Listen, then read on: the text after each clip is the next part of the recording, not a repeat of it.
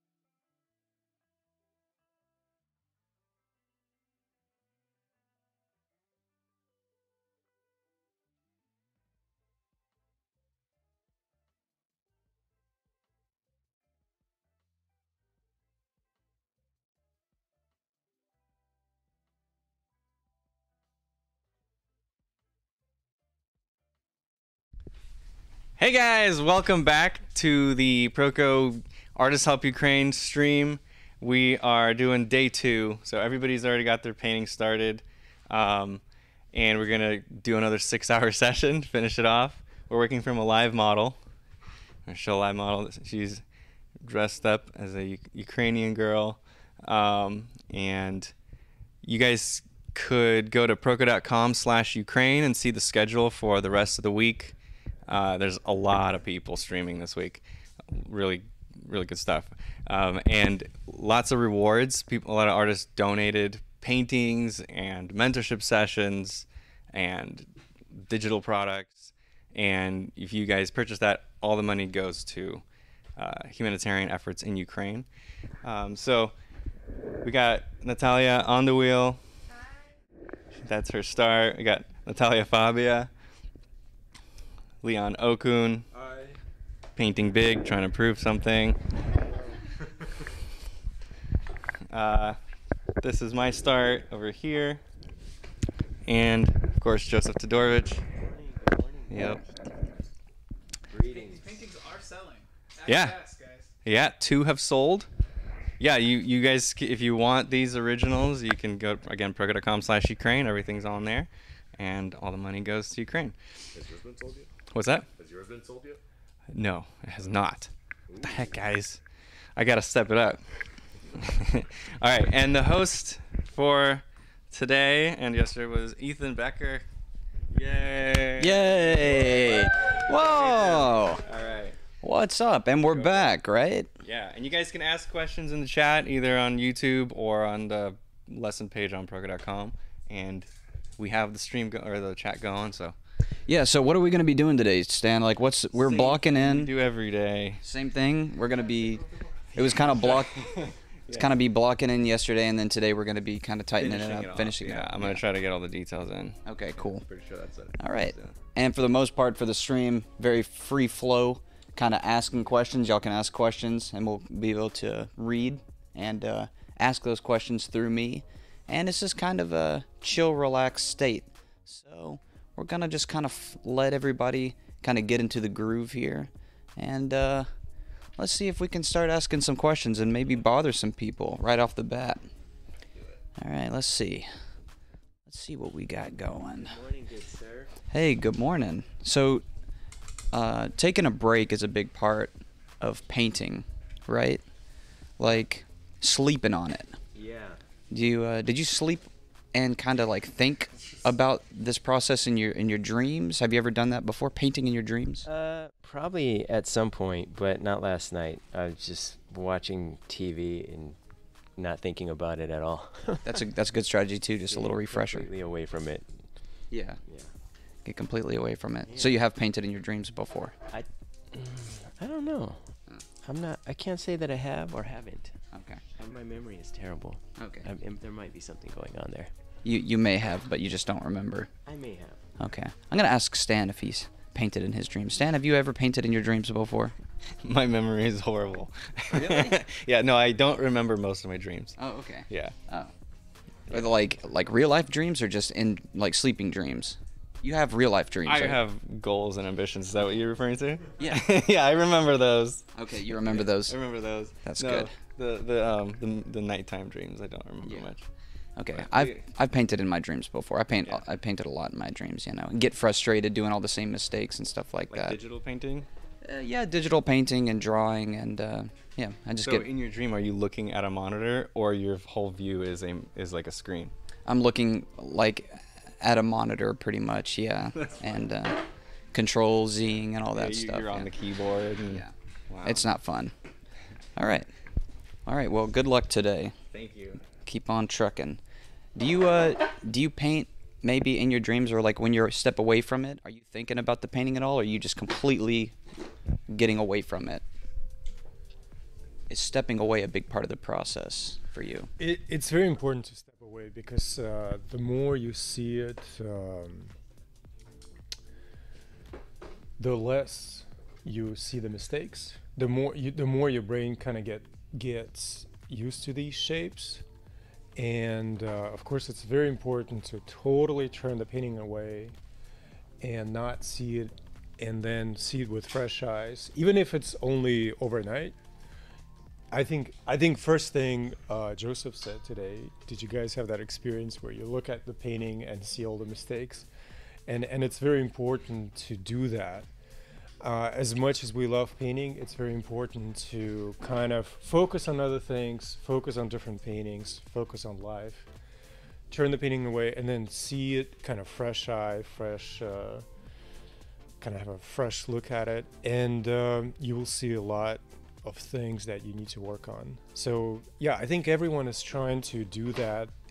Kind of, um, we all did a lot yesterday in one day, and just today is all going to be about details, nuances, taking it to the next level, taking it as far as we possibly can. So, um, what I've seen people do a lot is they'll work on multiple paintings at once. So you can leave that one alone, come back as a refresher, hop on another one back and forth. Do you do that? I think most artists do that. Oh, okay. Yeah, because uh, when you work on large sizes, you have to do that. Plus, one painting helps another. It, for my personal work, I love mixing up commission work where it's tighter, more detail oriented, more conservative, with uh, personal work where I could be a lot more uh, creative. I can take more risks. I can mess around. I can play with it. And that energy goes back to my um, uh, commission work. And then the uh, kind of the clarity and the det- detailization of uh, commercial work travels into my personal work. So I think it's a good balance. I think it's a great balance to establish that relationship where you work on something detailed and refined, uh, but at the same time you work at, at something totally jazzy, totally fun, where you just let go of everything and just have uh, have fun with this. I think the most I've learned, ironically, the most I learned in portrait painting was actually in background painting and background design, and vice versa. Like e- everything is kind of related, right? So just because you're painting a portrait doesn't mean that you're not going to still use the same type of composition in a landscape and uh, plein air painting. Is that is that true for you? Do you do plein air painting, uh, outside yeah, painting? Yeah, yeah, yeah. Of course. Yeah. Um, yeah, I think it's a good point. I mean, just think about literature. If you are writing about a character and all you have in a story is just that character and no interaction with the environment, Right. the story is not interesting, right? It, there's nothing, there's not a lot to talk about, or it's very challenging to make it exciting. It's when our subject matter interacts with um, environment and and is affected by environment in different ways. That's when it becomes interesting. And that's what background does and that's how color works is you clash character colors relationship and and you create this variety and you create this intricate story and that's um, that's how you want to think about color Yeah. so that's why when you paint just a face on gray or white background it's um, you know it's not real true painting you need environment you need to create a story For the reflecting light, the bounce light, and all the other factors. Well, what is painting? Painting is mimicking life, right? Why do we love painting? Uh, because painting is one of those things that mimics life, mimics experiencing life, mimics looking at life, and life is infinitely complex, and that's why we love it. It it's always surprising, it's always different, it's always unique. So creating complexity environment, that's why it's called fine art. You know, there's a difference between illustration, graphic arts and fine art. Fine art is looking or it's best when it's different every time you, you look at it. yeah. Uh, you know, illustration is not different every day. You know, book illustration, it's the same because it, it illustrates a story, it illustrates a point. Fine art is different. When you look at Mona, when you look at the great art, every time, every age you see it, it's going to be a little bit. You look at it, it's going to be a little bit different, right? It's almost like it's living with you, because it's it's all about fine nuances. It's all about complexity. It's all about um, mimicking life in its complexity. And and when you create that variety, that's when you, uh, I think, achieve something that feels natural to everyone. Yeah. Because everyone is expert in painting because everyone is expert in living. You know what I mean? We Painting is a reflection of life. You think? Right, right. We all have one thing we have is experience living, Yeah. right? So anybody, everyone is an expert in painting, right? Yeah. Or what painting should do. Right. So um, I think if you think along those lines, I, that will improve your painting and make it more artistic. I like it. Thank you so much. We're gonna let you get back to it. Are you just to ask, like, what's your plan for today? Are you going to tighten everything up? Are you going to leave certain areas loose? Um, yeah, no, I usually the way you want to do is you want to lead the eye. So obviously, phase detail number one, uh, her right hand detail number two, left hand detail number three. So I'm going to hit those notes, and then I'm gonna see how much background needs to either support it or jazz it up. So I'm going to kind of add more information and details and see how much I can get away with like living le- leaving uh, background as it is or or loose or abstract but mm, yeah I, I think that difference between sophistication in details and a focal point and then um, uh, maybe abstraction in the background i think that's what makes it interesting to look at so Yeah. I'll, I'll try to do that I agree. Eyes first, then hands. Right. right Okay. Right. Awesome. All right. Good luck. All right. I'm gonna scoot back over here. Let's see what we got going on this screen. Uh, that's beautiful. Did y'all like sneak in last night? All right. Oh, okay. So we got the chat up today, and we also have just the straight up questions. Ethan, you should paint a pretty picture. Yeah, I might. it might not be pretty, but at some point, I might actually hop on my iPad and show everybody here how it's done. You know, digitally. Uh, paint a couple uh, stick figures, perhaps. All right. From what I've noticed, this is from Alexandra. From what I've noticed, they establish first darks, then lights, and then midtones, then color over the top. Let's ask somebody about that. Let's let's go over here and see if I can trip over these cables and strangle myself. So, d- did you hear that comment by any chance? Oh, no, sorry. Okay, let me reread this. Um, so, from what I've noticed, they have established first the darks, then the lights, then the midtones, and then the color over the top. Does that make any sense to you, or is it all? Um, yeah, for the most part, darks. You can do darks, midtones, then lights, but it depends. Sometimes you just want to develop a light, light and dark graphic, you know, shapes, design. Um, I always start with darks. Plus, you usually want to because you want to paint typically thin to thick. So, and darks are Right. should be thinner. That, that does that depend on the medium? Or like yes, watercol- or watercolor, watercolor. watercolor would kind of usually be uh, backwards, right? The opposite. So, I'm not Yeah. a watercolor painter. Oh, okay. But yes, because you want your darks to recede. Usually they're shadow and they don't want them to be opaque because anything thick or opaque will bounce light back. Yeah, and we saw Leon start uh, yesterday. He started with charcoal, which you know I thought that was like a sin. But uh, have you ever done that before? I have, I have. I don't really do it that often, but it's yeah, it's one way of starting. Okay. Um, Pretty traditional way at charcoal. I've seen people start with um, oil sticks. They're just like little oil painting sticks. This is condensed oil, and then you can use medium to kind of um, make them runny. But I just usually start with paint. yeah.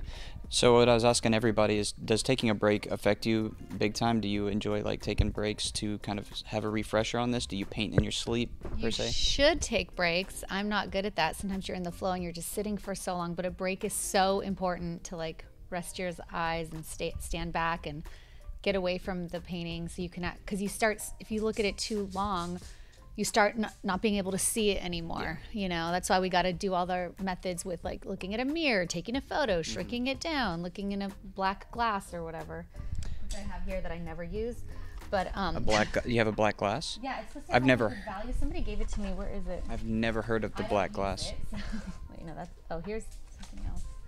Um, I'll find it in a minute. Um, oh, and sometimes I do paint in my dreams.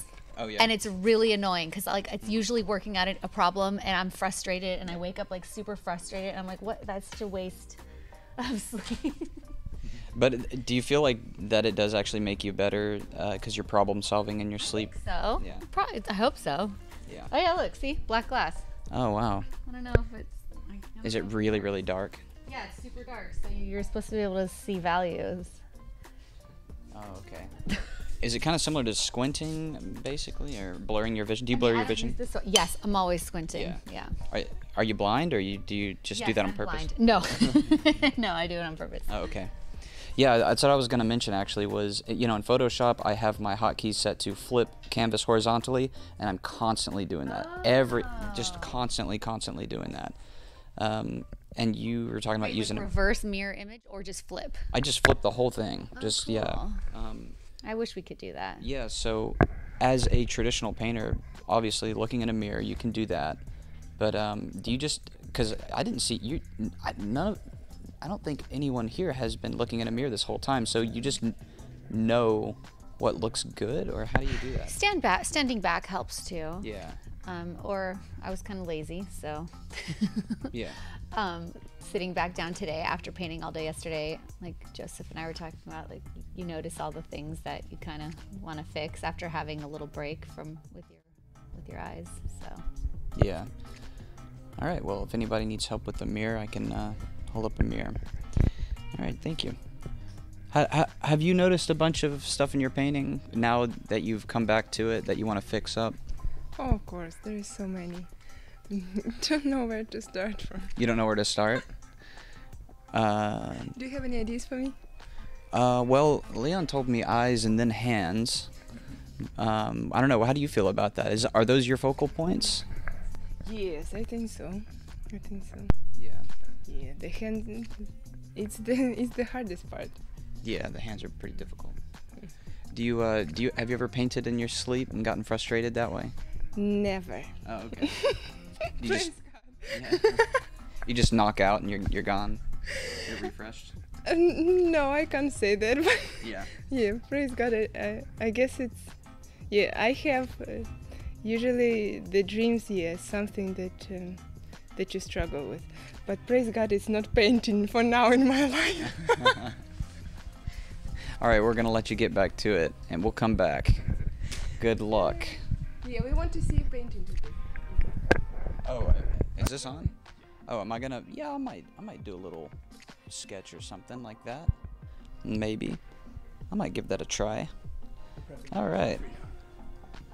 Oh my goodness. Oh wow. Look at that. she said, "What is that?" It's a knife. That's a really big knife. Not bigger than mine, but that's close. Wow, that's nice. Where did you did y'all go out and buy this knife just now? Oh, you had the knife in your van. I like that. All right. Well, thank you. I like your sweater. That's a that's a nice sweater. Is that is that an alpaca or a llama? I think it's a it's I think it's a llama. Is sure. it made out of a llama? I hope not. Okay. Well, just the hair, right? That's what that's oh, what I, I guess so. Yeah, yeah. Would be just the hair and the No, no skin involved. no llama skin. Right. Did, you, did you think you'd wear a llama skin uh, sweater? Yeah, I have. yeah. Okay. Nice. Cool. Oh, I'll take this microphone back. Thank you, sir. Yeah, thank you. All right. Let me read some of these uh, comments. What do we got? I like the. Uh, Paul says I, I like the yellow in Natalia F's painting. Very warm and nice. So good with the model. Absolutely. This is nice seeing the chat today. Yeah. Did I miss the rest of the shave? Yeah, sadly. Oh yeah. Can we? Yeah, can we get a shot of the the freshly shaven? Go ahead. Here we got. There we go. Now we got. That's nice. Yeah, maybe I'll paint him. Grab some brushes and just do a few dabs here and there. You know. Do you want to paint on me? Oh sure, yeah. Maybe I can make a painting on the on the back of your on the back of your head. Buy that painting. Too. Yeah, sure. All right, let's see what we got. What is your advice for the artists who didn't start young? When is too late? Yeah, we kind of answered that yesterday, but do you have an opinion about that? Starting too young versus too late, you know? Um, yeah, I mean, if you're interested in doing it, then it's never too late. Yeah. Yeah, if you want to make make imagery, you just make imagery. It's never too late. Um, starting young young is good if you really like it, but maybe some people have, you know, careers or you know, good jobs for a long time, and then they, you know, just want to do something different. Yeah. Got to do it. Yeah. Pick up that paint. Especially if you have a passion for it, right? That's the main main key thing there. Yeah, or if you just or, or not, if you just want to try it, there's nothing wrong with that too. Then it might develop into a passion, Yeah. or not. I don't know. Absolutely. Is there somewhere we can learn the Russian academic method person other than the oh Repin Academy? I don't know these academies. Do you know these academies? Leon went to the Repin Academy. Oh, okay. Did, did you understand the question? I don't I don't understand the question. Yeah, sure. Is there somewhere we can learn the Russian academic method and a person other than the Repin Academy? Yeah. um, I will tell you. yeah. Uh, so, sorry. Well, um, so there is a summer program where you can go and just go for a summer at uh, Repin Academy, but also you can learn from uh, graduates of Repin Academy, and I'm one of them, and I'm teaching um, right now at Los Angeles Academy of Figurative Arts, LAFA, and um, it's a full-time program that gives you a bachelor's degree, and it focuses heavily on figurative drawing and painting. Uh, it has two uh, fine art and um, illustration majors. So that's uh, so that's uh, maybe probably the best way, the accredited way. If you're interested in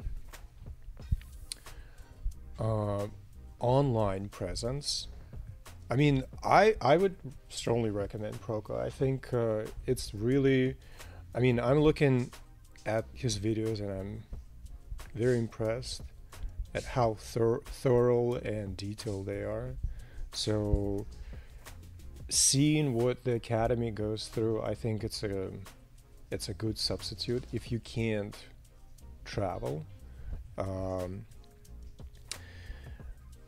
also a lot of ma- master copies. I would I would really recommend a doing a lot of master copies um, because all Repin Academy is based on classical training of French and Italian Academy. A lot of it is on stru- uh, based on composition and structure.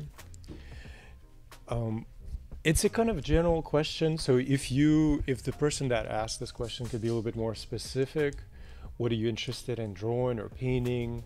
Or composition, the whole environment.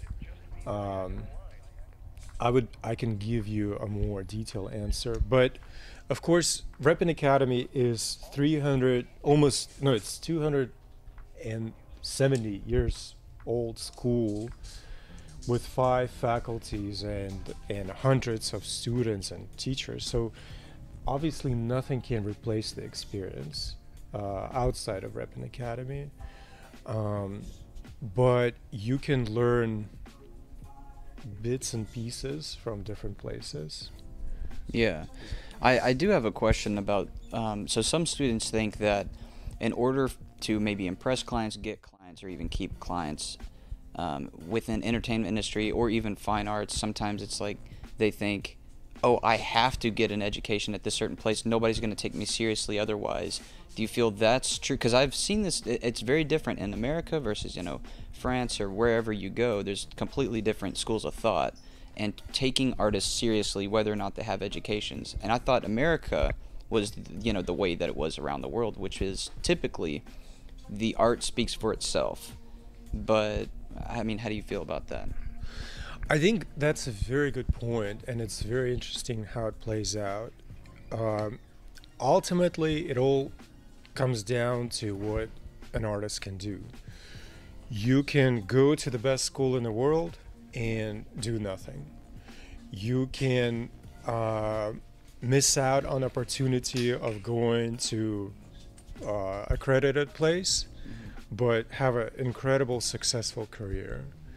Uh, absolutely, school does help you. It gives you so much more confidence in what you're doing, what you're saying, in meeting uh, a lot of artists and seeing how artists works work because a big part of this is just being around successful artists and looking at their schedule looking at their attitude looking at their way of life because uh, besides just painting besides just pushing paint around on the canvas mm-hmm. a lot of it is well how do you make a living how do you get um, commission work? How do you talk to people? How do you talk about your work? Yeah. You know, it's it's a whole spectrum of things. Yeah. So um, everybody's story is different, and I don't think there's one way. But please understand that I've seen successful artists that don't even have a bachelor's degree in art. Have you seen clients maybe turn people down or not respect them because of the lack of education? Well, maybe, maybe there's maybe, maybe there's uh, not maybe more schools. You know, for example, if you want to teach at a college, you have to have a bachelor's and master's oh, probably. Oh, okay. So it's just like if you want to teach in a big university, they will ask for your degree. Uh, I have my degree. I I don't I only show it when I go to interviews for mm-hmm. new work. That's the only place that's the only people that are interested. It's uh, human resources people. Yeah. Nobody, no, no clients, nobody else cares uh, where you came from. Mm-hmm. It all, it's all in your work. If yeah. you create interesting content, you're interesting. If you don't, it doesn't matter where you went, what, what, where you. What you look like, exactly. Who you Nothing are, whatever. matters. Yeah, yeah. It's all in the work. So please, uh, everybody, please look at different examples look at people that have education in what they do look at people that don't have any education and and what they do and they could be very successful. And um, of course it's better to try to get a um, classical education but it, it's not a decisive uh, parameter. It it's what you do with your skills. It's how you organize your life. It's how well you can communicate with people and make relationships and make friends and uh, and put yourself in an environment where things are happening. Because if you're kind of sitting um, where there's not a lot of things happening, like in a in a small town, and no, it, and it feels like nobody cares about art, and it feels like you're the only one who's doing art, and and like you are just in this environment where you feel like this is the only thing you want to do, but you're the only one like that. Get out of that environment. Move, move to a place where there's a community, where you meet successful artists that have a lifestyle you want, that have a schedule you want. Just meet those people uh, and mimic those people. Be like them. You're almost setting yourself up for failure if you think that you're going to maybe succeed just staying in one place.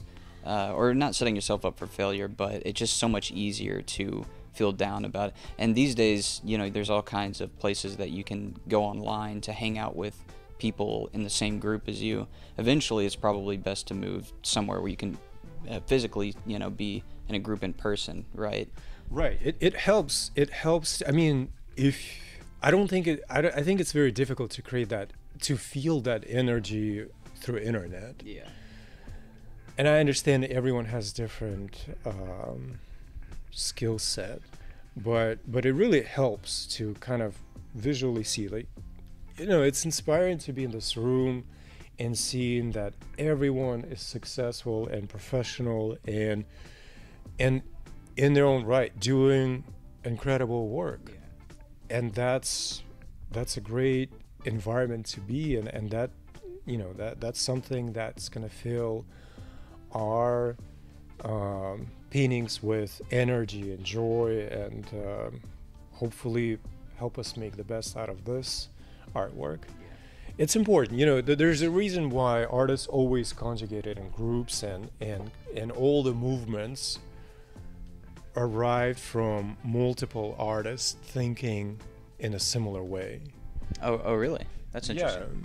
yeah yeah like They're like moving parallel or growing with each other at the same time. right and bouncing ideas off each other and you know that's just how civilization worked you know europe for example there's lots of small communities that constantly bounce ideas from each other and they have uh, excelled uh, much further than geographical places that are tucked away you know in a corner of the world for example Yeah. you know there's a lot less exchange of ideas happening Yeah. Uh, I'm going to let you get back to it in one second, but I'm going to ask you a technical, or maybe a technical question here. It seems on your iPad, it seems like you've taken the picture of the model's hand and you've blurred it. Is that, is, are you, did you mean to blur that? Yeah, yeah. So I can show this. I mean, this is kind of uh, just simple technique. So again, we, we've talked yesterday about details, and we've talked how details move no matter how well the model sits. So I am working on her face while the model is uh, sitting, and then on breaks I try to work on this hand. And when I start, I like to blur the image so that I see just the essence of color notes, not details, and I'm not overwhelmed with information. I can see a more solid, simplified, generalized block of colors. And the more you paint, the more you realize that you're really painting color patterns. You're not painting hands or faces. You're designing and shaping color patterns. And this simplified version helps you see those patterns more clearly. So that's a little hint for you guys um, to try. And and of course, I also recommend working with iPads. It's just it's such a convenient. Uh, uh, I mean, I, I have no uh, connection with uh, Apple, but but I like I like the. iPads are just so great. yeah. Anyway, um, yeah, I can't. You know, it's it's just a convenient tool. But yeah, blur blur the image will help you see uh, simplified patterns, which is great for beginning. And then and then you can unblur it and look at details. Yeah. All right. Thank you so much. So that's a really good point of blurring. I do that as well in, in painting and trying to block out the details. Also, something that I tend to do is in Photoshop, or there's a lot of uh, different programs that do, what do you call it, posterizing, where you can group a bunch of different uh, blocks of colors and really, really simplify it out. In Photoshop, there's another thing called um, dust and scratches. There's a bunch of different, you know, names and styles that you do, but basically all these different things group all the details or cut out all the details and just group these colors into big masses of uh, colors and values and stuff like that. All right. Let's uh let's ask let's ask another question for Proko. Should I ask him? Okay. Oh yeah. All right. So right here, so right here, you got a little paint can. Is this this is for Yeah, it's just my Gamsol. It's this mineral spirit. Yeah. this is like a uh, like a spittoon situation. W- I mean, when I'm working on a large painting, Yeah. like my brushes get very dirty because I fill them with a lot of paint. Um, yeah, and that's so, what brushes do, right? You put paint on the brushes. Yeah, that's what we do. And where's which camera am I in? Uh, so right now we're on the paint can. Oh. So Oh, uh, uh, let me spe- oh, this one. Well, I'm gonna, you go ahead and answer this question, then I'm gonna get more specific. But let's let's go ahead and see how you do here. if I, if I'm painting small, I just use this thing and I put some Gamsol on here, and that's good. But if I'm cleaning really dirty brushes and a lot of them, Yeah. it makes this thing is just so small. It makes the Gamsol super dirty very quickly.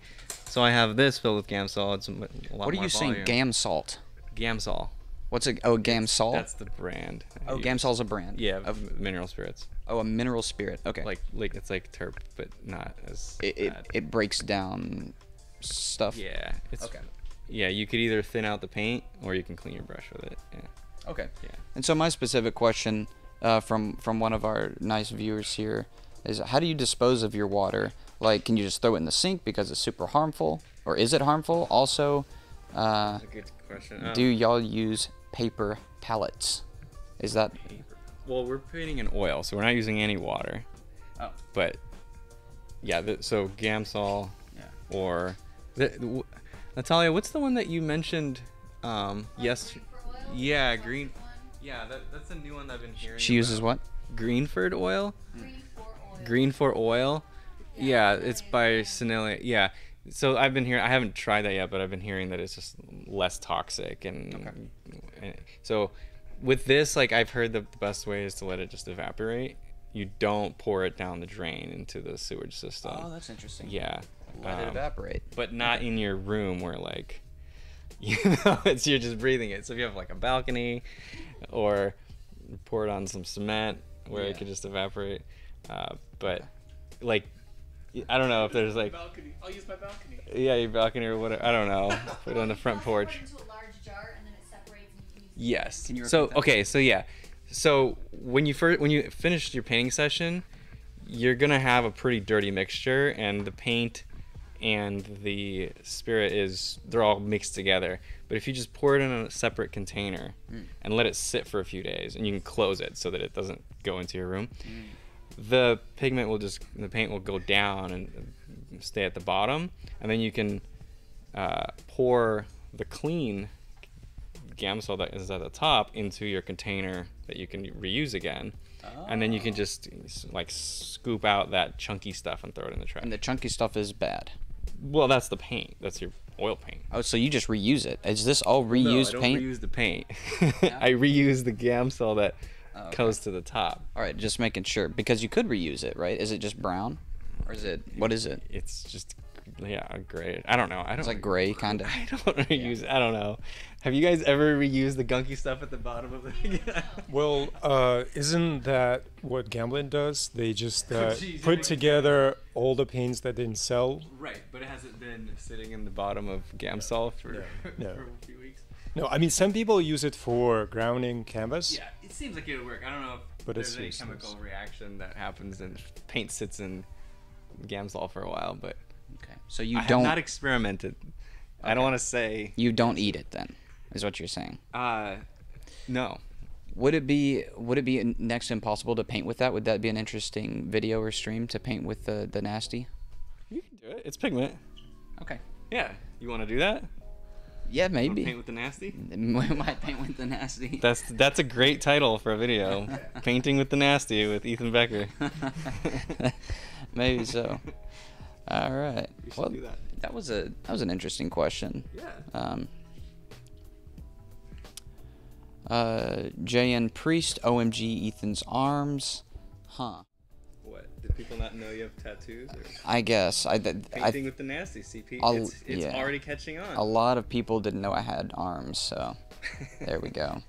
What are some of your hobbies outside of work? We we almost talked about this yesterday, but this is like we're gonna just for a quick second, we're gonna ask some people about their hobbies outside of art that just doesn't influence their art. Maybe some weird and nasty stuff. But do you do any?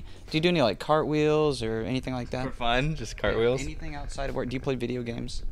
Um, no, I, I don't play video games.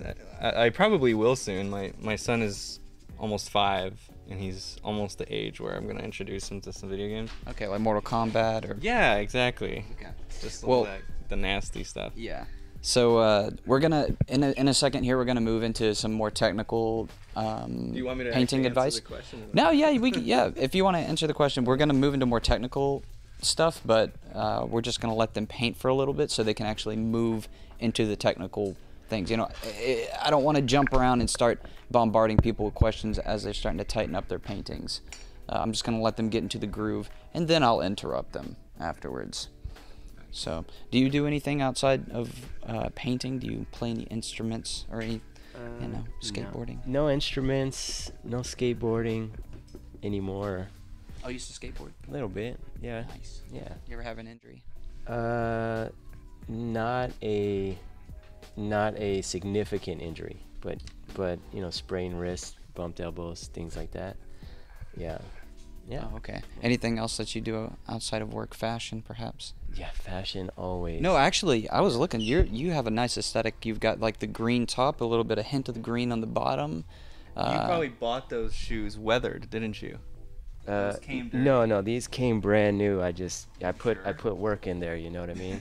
Jumping nice. fences, you know, escaping through narrow channels. yeah, they're they're used. Oh yeah, I like that.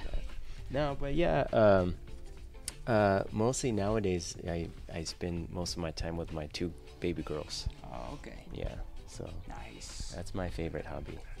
Well, that's beautiful. That's amazing. All right, and that does take a lot of energy. It sure does. All right, we're moving on. Let's see. Just a quick question. I'll let you get back to painting. Do you uh do you do anything? Any other hobbies outside of painting? Yeah, I play soccer. You play soccer? Yeah, that's my- Okay. I have a Um, game tonight. You have a game tonight? Right He- after this. Here? Yeah. Well, Well, not- not- Y- not here. YMCA, Yeah. Yeah, Oh, it's okay. just um, Wow. yeah. It's, so I know in in basketball you'd probably dominate. Does the does it still translate into soccer? Does the uh, the radiation kind of help in that d- regard? The radiation. Yeah, it pushes uh, people away a little bit. Okay. Yeah, I get. Um, I you know just like because there's a lot of uh, Latino players, Mhm. just being tall and kind of uh, quiet, just uh, uh, makes the other people uh, just be careful with you. yeah, you yeah they're very careful of you. Um, are uh, do they pick on you? no, Okay. they don't. Soccer, that's pretty cool. Yeah. Yeah, that's a lot of cardio, right? Are you already exhausted from standing all day?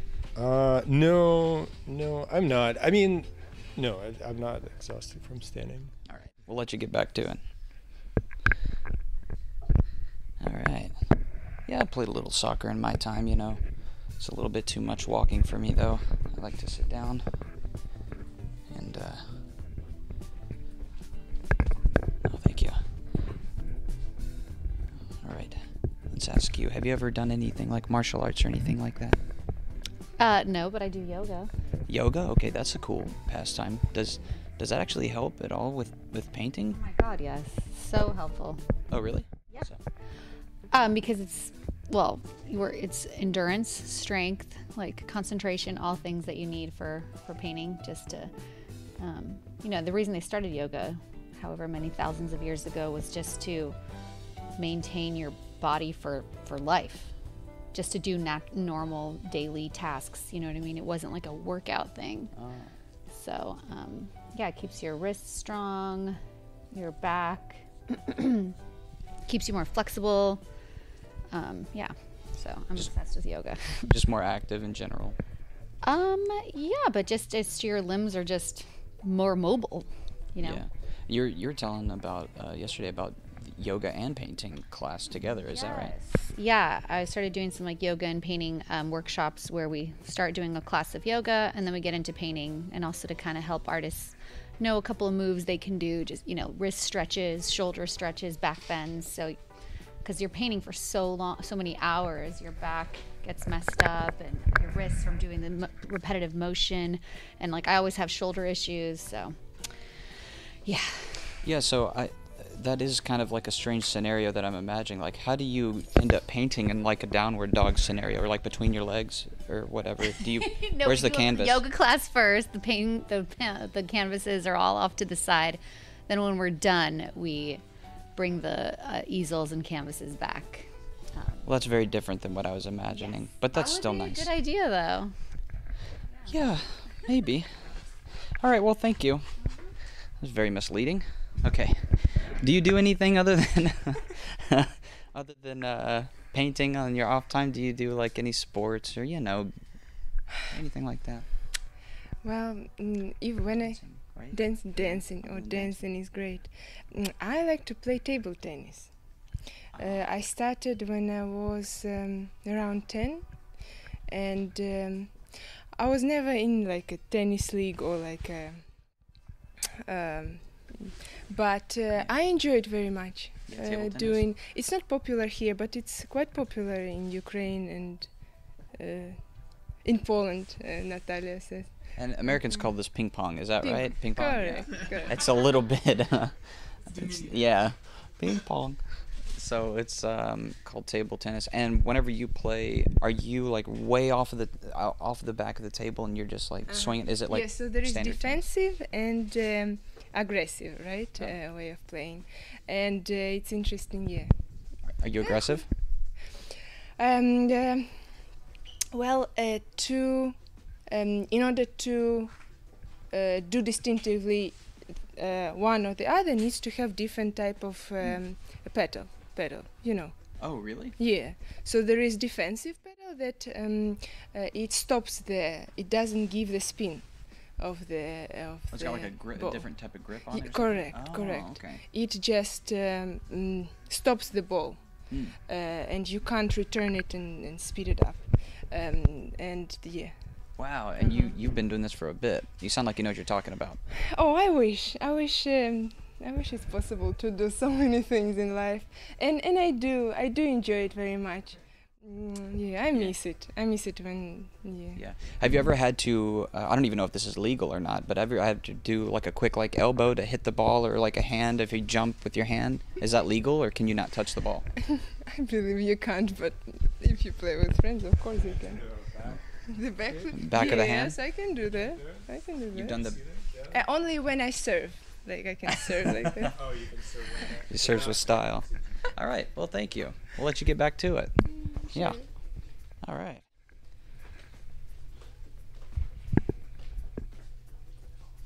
All right. and Here's the beautiful model. So how's it looking? How do you feel whenever you look at these? You're like, I don't like it. They need to do better. Do you feel that way?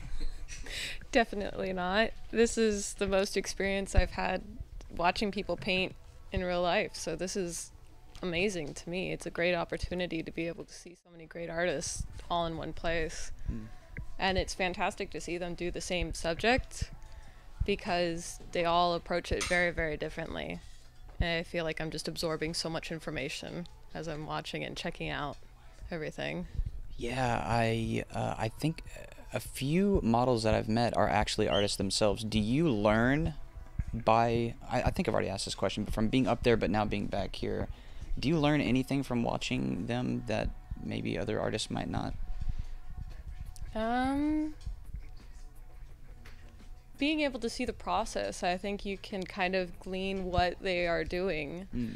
Whereas, um, if I were to actually watch them, I know that I would get a whole much more information than if Yeah. I'm behind the canvas. Yeah. But still, you learn a lot. Yeah, for sure. All right. And how you feeling? You feeling good? I'm feeling good. I took a magnesium tablet last night, and that just relaxed everything. So I'm fresh today. Hell yeah. I uh I'll need to do that as well. Yeah. All right. Thank you. Thank you so much. All right. This is beautiful. Keep getting in every camera. Why are you getting in every camera? Cameras are all around me in this area. So um I have a very specific question for you. Why do you keep getting in the camera's way? I don't know. They're hovering in this zone. There's four cameras right here, and I'll try to get away from one, and then I'll just get into the other one. Yeah. But All right. there's a question up there that I want to Yeah. ask. How You- to stop forgetting? Like, oh, uh, Christian. Oh, he's not there. Can you scroll down? so There's a question that you wanted to ask Yeah, though from the chat. monitor, and I was like, oh, that's a cool question. Just scroll down and oh. That's all right. Well, okay, I could rephrase it. He's saying how to stop forgetting what you learned. Yesterday, my gesture drawings were awesome, and then today, I started drawing and felt like I started from level zero again. So, mm. yeah, I don't think that this person, I don't know who asked this, but I don't think you're forgetting anything. It's that the mental state you're in affects your session dramatically. Like mm. if you if you're tired or you're thinking about something else or whatever it is, you, you it's not like your knowledge is just gonna take care of itself and like you're gonna have a good drawing session. Mm. You have to like being able to sit down and get your mind in the right place is a skill in itself. Mm. Being able to just like focus, know your body to get, to be able to get your mind to where it's supposed to be. Is it focus? Because sometimes I feel like if I listen to music and I just chill and groove with the music and get into it, it, maybe not the most necessarily productive, but a very positive place. Is that? Do you do that as well? Listening. I mean, everyone's different, but I mean, music. Yeah, music helps a lot of people get into the zone. Yeah, for sure. Yeah. To me, walking around, get my my blood flowing will help my my brain get a little more active. A little mm-hmm. caffeine, a little bit of music, and I'm in the right place. Nice. Okay. And yesterday you were talking about you listened to whale sounds to do that. The the whale sounds, yeah, that helps. Whatever you know. it's, All right. They're not whale sounds, but I'm sure whale sounds would be great too. Like really. Don't don't hate on whale sounds. They're great. All right, let's see if we can ask some questions from the. Uh, yeah, kudos to the model. Paul says kudos to the model. Amazing. Learn by exposure. Yeah, that's very true. Uh, which one was that? You pointed out another one. Oh yeah, these paintings are beautiful. It makes me miss being in art school. From uh, from old Pepper over there in the chat. Yeah, that's. Uh, I never went to art school, and it makes me miss art school as well. It's beautiful. Yeah. Proko is everyone else too. I bet it's nerve wracking being live. I don't think it's very. They're saying you're nervous, but I don't think you're nervous. No. I mean, I think maybe if I stand around you, you might get a little bit. I get nervous when you're around me because I know you're about to like make fun of me or something. I'm not making fun of you. I think it's just like stare into your eyes. That's what it is. Yeah. And maybe sometimes I just get like really quiet or something. What? Does that make you nervous? no, it happened. All right. Let's see.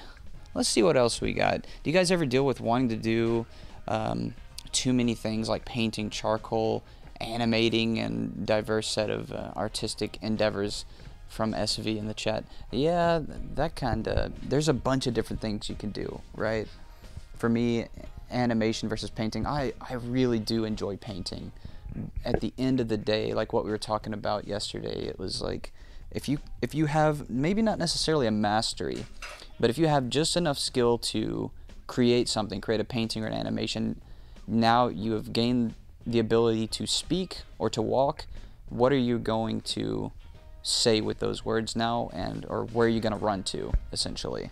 And so for me, I've built up those skills to now say like what am I going to say with my art?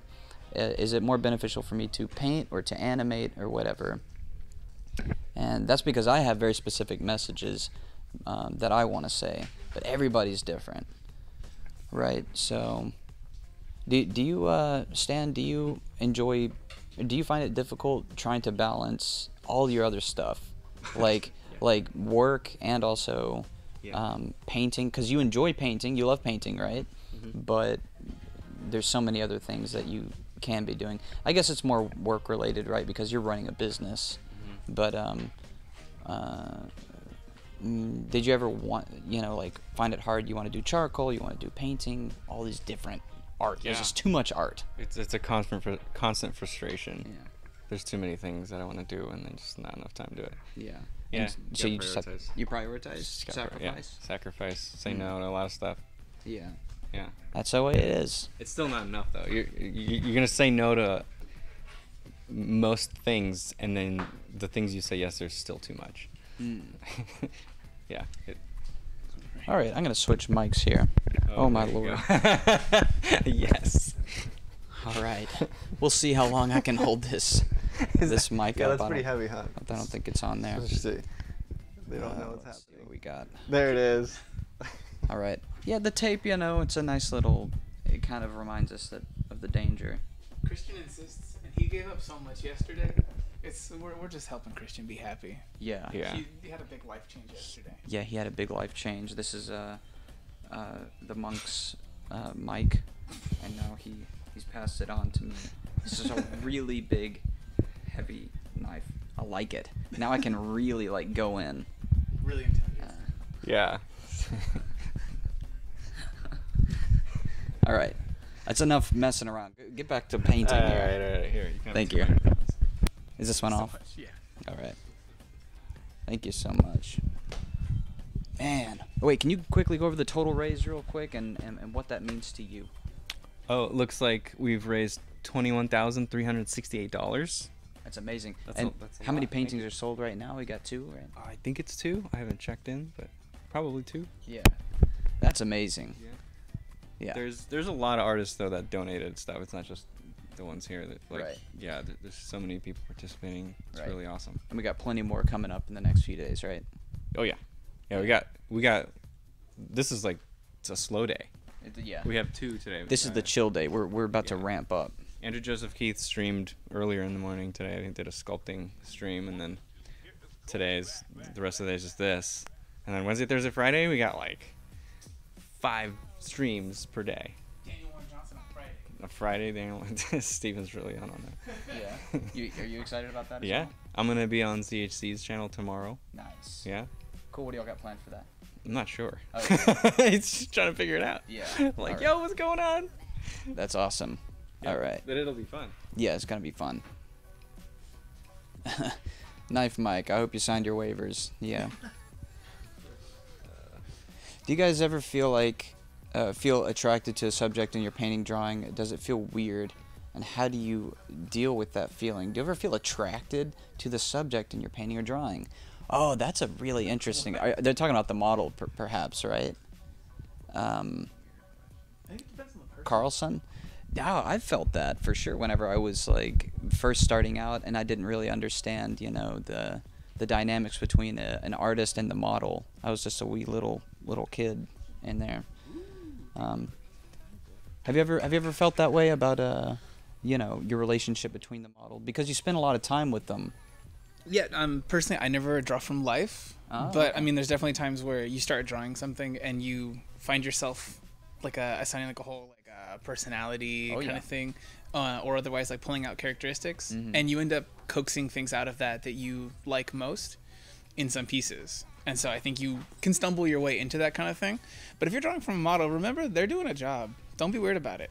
Yeah, but maybe there's something there though. Maybe you don't put that on the model themselves, but you can allow that to uh, influence your painting, kind of like what you're saying, and like you're creating a story perhaps, and that might influence the the type of painting that you do. Uh, but again, like you said, don't be weird about it. Don't like if if it influences your painting in a positive way. You feel that? Yeah, absolutely. Yeah, like fi- find things that, that you like in a person. Um, say you're you're drawing someone and you really like their profile. Go ahead and really drill into rendering that thing and pull out the things that you think are the the best features they've got going for you um, to make a good composition. Yeah. But it doesn't mean that you're in love. Remember that. All right. It Faith does got a nice nose. does not mean that you're in love. Uh, I'm gonna ask somebody else that question really quick. Have you ever? Well, this is. Have you ever? Yeah, I know you're married. Okay, I'm gonna move on. Whenever you were younger, perhaps. Whenever you were younger, no. I, I, I, really think his answer is uh, a profound one, and I think that uh, I, I've been fortunate enough to early on uh, be guided to this idea of reverence for the model and having a, a, a, a tremendous amount of respect for what they're doing Yeah. for us. And so I take that approach, and um, you know, but I but I think that you know when you're making art, you know, your your your mind is, you know, your imagination is free to kind of like. um uh, you know, be creative, and uh, and that can mean like you know finding things about the model that you think are really beautiful and showcasing that for everyone else. You're kind of interpreting that. So beauty is a huge part of it, and for sure I can appreciate that beauty. Yeah. And I'm gonna leave it right there. You're gonna leave it right there. That's a good place to leave it. Respect comes first, though, uh, in any relationship. I think that's very similar. Stan recently posed for somebody. Stan, you recently posed for somebody. Yeah, Morgan Weistling. Did you? Feel, Oh, yeah. Did you? Did he? Did he feel attraction to me? Yes. Did probably. Did Morgan feel attracted? He to you He tried to dress was- me up as a girl. Well, okay, you- but you would you would make a very beautiful. Yeah, he, he was showing me all the dresses he has, and Did you do that? I don't know. I was, it was, I was trying to convince him to put me in a dress, but he, Okay, that's Yeah. cool. So, uh, is it was how was it the other way around? As a model, do you fall in love with the painter? Because there's a romantic part of that. you uh, can find beauty in anything. You could be attracted to a rock, and it's okay. You're like, wow, that that's like there's something happening in those shapes and those colors, and that's cool. It's not like a, oh man, I want to go make out with that rock. It's just like that's it's a nice looking rock. Can you say that in the camera, please? Which part of it? That's a nice looking rock. The entire thing. the whole thing. Oh yeah, yeah. You, people are gonna clip that out. Yeah, make Alright. that into a thing. Yeah, We're gonna leave that That's there. fine. Thank, thank bring in those views. Stan. uh, That's a nice looking rock. Stan likes nice rocks. rock. Yeah. so I hope that answers your question. Yeah, thanks for that question. That's uh, yeah. Oh goodness, that was interesting. Can can Becker also paint himself? I've never actually painted on myself before, but at some point, maybe today, um, that would be an interesting stream, right? If we had a model and we actually painted on the the model. Do you think of what do you think about that? No, you don't like that? Paint on the model? Yeah, Oh, like body painting. that's weird, man. So loving a rock to you is normal, and painting on a Loving a rock is not what I said. So there's, there's actually someone in, in the chat who's asking um, about uh, whether you guys feel that it's important. Well, actually, I guess I can say this on Yeah. the microphone. let's see. Um, they're, they're asking right now um, if you guys feel it's important for a person to capture the likeness of the model, or if you guys think that it's an example of skill to know when to divert from that. Hmm. So, if you're asking me, honestly, it's not my priority. Uh, but my priority priority is accurate shapes, values, edges, things of that nature. But ult- ultimately, I mean that that will get you a likeness. But the the main goal is to make a good painting, to to me, and in doing so, that means uh, trying to capture the way the light is falling across the model. And if you do that accurately, I think that you will get a likeness, but it's not the priority, it's not the goal. And because it's too much pressure, and it's nice to be able to kind of re- let that go. Yeah. So that's that's my take on that. And this takes years of mileage to, or should you do this from the beginning versus now as a professional? What do you mean do what? Uh, making that decision, uh, doing what you're talking about as a student versus now. I I think it's really That's a tough thing because some students are really obsessed with the likeness, and then they sacrifice other good qualities that need to happen uh, to go for that likeness, and then never really learn those uh, those tools well enough. So you can be obsessive about it, and you can get a great likeness or get things that are kind of in the right place, and still have a bad painting. Or Yeah. or the converse is true. You can have a terrible likeness in a really beautiful painting. I think you want to marry them both and have a good balance. But I don't think you you want to obsess about it because it's such a fleeting idea. From one picture to another of a person, like they can really look different in a lot of different ways. So like you know, just one swipe of the brush, your likeness could just vanish. Yeah. Uh, so I, it, you know, when that happens, it's terrifying if you uh, lose that. But that's why I, I don't put too much value on it when I'm painting personally because I know it's going to come and go. Yeah. So I just like steer into that.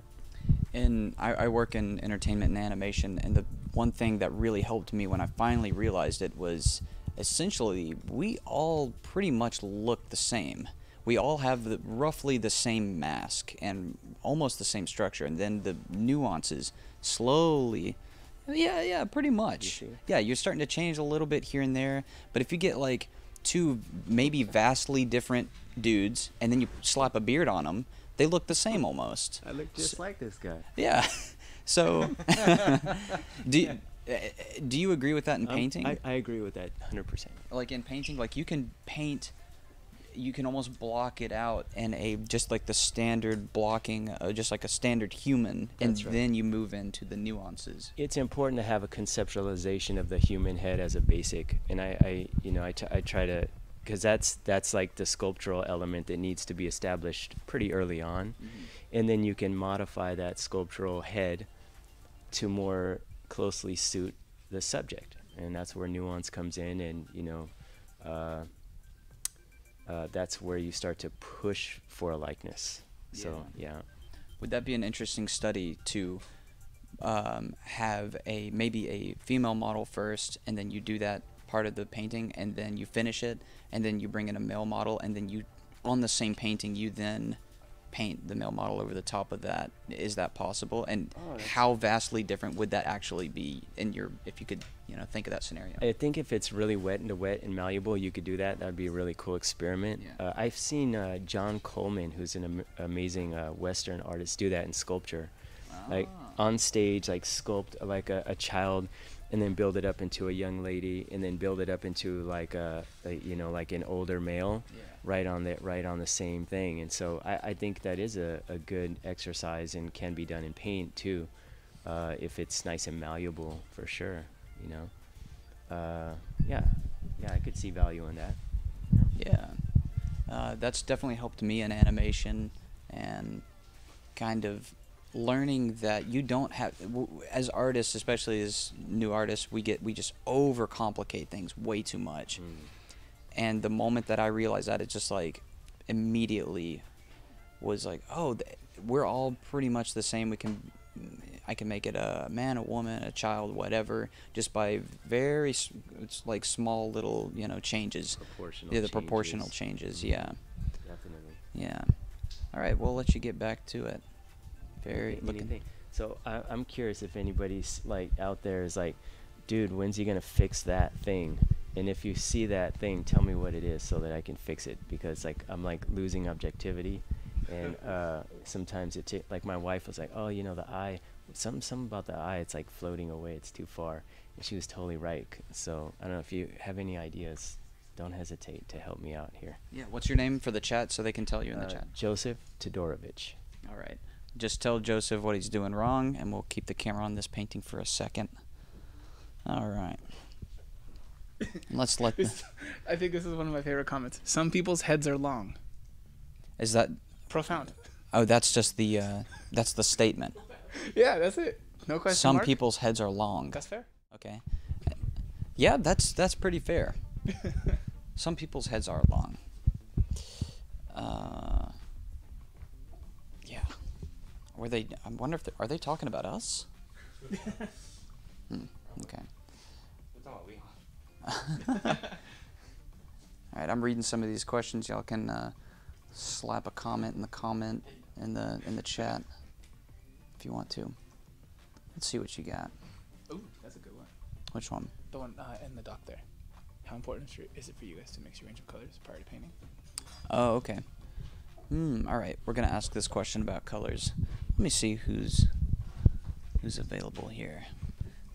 All right. I'll sp- yeah, yeah, I'll go down here.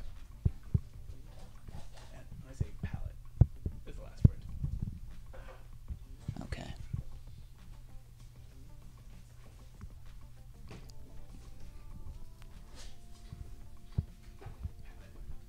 All right. Here, I'm going to ask you a question, okay? Mm -hmm. How important is for you guys to mix your full range of colors prior to painting? What significance do you give sticking to your palette? Watch out, this is a knife, but it's just it's actually just a mic. oh my god, okay. Yeah. Um, for me, it is actually very important because I use because I can get very lazy to in in mixing color.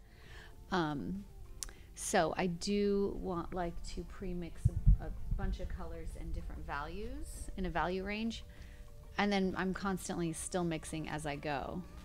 But I think it's important um, to take some time to mix and like stare at your model or whatever you're painting to get to know you know what's the relationships um, yeah and then you also can get great color harmonies like if you if you're just mixing um, I mean, I still mix as I go, but if you just if you mix as you go without having anything pre-mixed, it can your values can get really screwed up. Not always, but it can. So it's just for me, it's palette like palette organization. Yeah. Uh, and what I see a lot of students doing as well, kind of what we were talking about yesterday, is they're just all over, all over the place with their colors. The shadows might be different from uh, the overall, I guess, like the dominant uh, color, and it's just they they may not be painting uh, everything in harmony. Does that have to do with palette? Because like we were talking about, if you if we see your painting right now, I'm not sure if it's on the screen, but the the dominant uh, paint or the color in this right is probably the blue, and that's going to affect the the shadows and whatnot.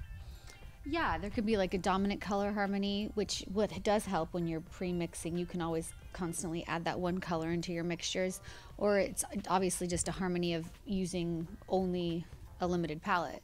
You know. Um, so if you use too many colors, um, they cancel each other out. What's the most limited palette that you've ever painted with? Uh, it's actually something I teach with a lot now. Um, burnt sienna, ultramarine blue, and white. Oh, and you wow, just that's focus very on limited. you focus on like warms and cools. Yeah. Oh, okay. Um, no black in there. No, you just use burnt sienna and blue to make your darkest dark. Okay, that's very interesting. All right, cool. That's a really cool answer. Thank you. All right. Let's go back over here. It feels very different seeing Ethan so chill and calm. Well, I'm actually very furious right now. I'm just keeping it in check, so. They asked if uh, anyone here has tried digital painting. Has anybody here, any of our professional painters here, have any of you tried digital painting? Okay. Alright, we'll start with you and kind of work back this way. So, was it for fun? Was it for a client? What was the Um, scenario? I actually took a, a class um, to like learn how to paint in uh, Photoshop. Did I tell Sorry. you? Oh, I forgot to tell you. Like I I, sh- I like to shoot guns. Oh, that's cool. Yeah, you asked. So I was, yeah, you asked about hobbies, but I haven't got to shoot because like ammunition is pretty expensive. ammunition is very expensive. Yeah, that's a hobby. I, it's a hobby. Okay. Yeah. Uh, otherwise, it'd just be collecting, right? Because you don't really do much else with a gun, I suppose. Yeah. Otherwise, yeah. yeah. That's that's interesting. It's fun. Is it, that's very. It makes What- you feel powerful. It does. Yeah. Yeah. It. Yeah. He is powerful though. Yeah. Yeah, he is. It's it's on top of the power. Power on power. Power on power. So yeah, But- you were taking a class on Yes. Photoshop or digital painting in Uh, general. like um, I, I guess it was like uh, yeah, uh, digital painting in general. Yeah, uh, and it's really fun. Um, but I don't do a lot of it. I haven't done it professionally, and I want to do more. But um, yeah, yeah. Okay. Um, and it transfers, right? Or what does and does not transfer? Do you look at digital artists as a bunch of punks now? Do you hate digital artists? No, Is no. it easier to paint digitally? That's a huge thing. All right, that's a huge topic. that Yeah. People say, "Oh, if you paint digitally, yada yada yada, bang bang bang." That's what they all say. I, I think it's just a tool, and uh, I think it's like a great tool. You know, it's the convenience factor is amazing. Actually, I like to like take a picture of my painting sometimes if I'm gonna make a major change or like want to try to include something or put figure in the background or whatever. Take a picture and just like paint you know, paint these ideas out and see if it works. So like a sketchbook for your painting. It's like amazing. It's like the best way to compose and try different ideas. Mm-hmm. And they're all reversible, different layers. You know, even if we want to make a minor adjustment, sometimes I'm like, damn, like, what if I made that adjustment? Sometimes it's not always like the best move because it can just disrupt the whole painting. I'll just like try that minor adjustment in like Photoshop or Procreate. And Yeah, if you're like really scared. What what's that? If you're really scared. If I'm really scared, yeah, I fear it. Yeah, well, no, I'm well, yeah, no, it's it's terrifying to lose something special in a painting, but you can't be you can't paint from that place. You know, you gotta oh, Because you see the confidence in the strokes, right? you gotta yeah, you can tell if it's like, well, yeah, you can't fear the paint. You gotta beat the paint. I want everybody to have a quote by the end of this. You can't fear the paint. I Can't love fear that. the paint. Yeah. Can't fear the paint. And Stan's Do I are already yeah, have my Stan's quote? I can't already- change it. Stan's quote is "I love rocks." That is not my quote. You said I love rocks. I have a rocks. I said question for him. I beautiful have one more question for him. If you can wait your turn, thank you. does does mi- does mixing paint? So you're mixing paint right here, Yeah. right? And that's what traditionally you do.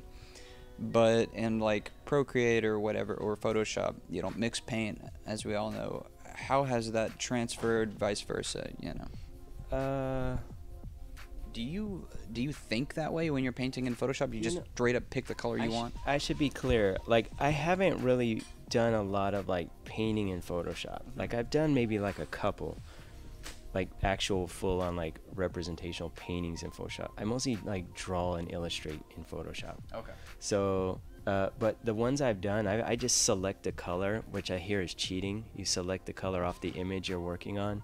That's that's like, that seems like cheating because it was so easy. Like it was like really easy, and it just looked really good. He has a bias already. I, he's he's called it cheating. No, no, no. Well, I thought it was amazing, but I mean, it would. I think it would be harder to go into the color picker and just like get the right color and just. I think it would take a lot longer, right? But I'm just selecting right off there and painting. It's like it's just man, it's just like so easy. You know what?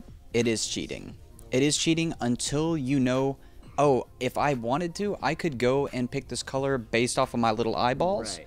But I'm choosing, like I know I can do that already. Right, I, as a student, you know, I knew like oh, just so much time to go in and do this. I know that I can eyeball it. Once you get that eyeball inside your eyeball, and you got the painter ball. If you can, if you can describe color in terms of value, hue, and chroma, you can go into the color picker and start testing those strokes and nail it. Then you know you can, you can do it, right? It's easy. It that's that just takes a shitload of time or a lot of time.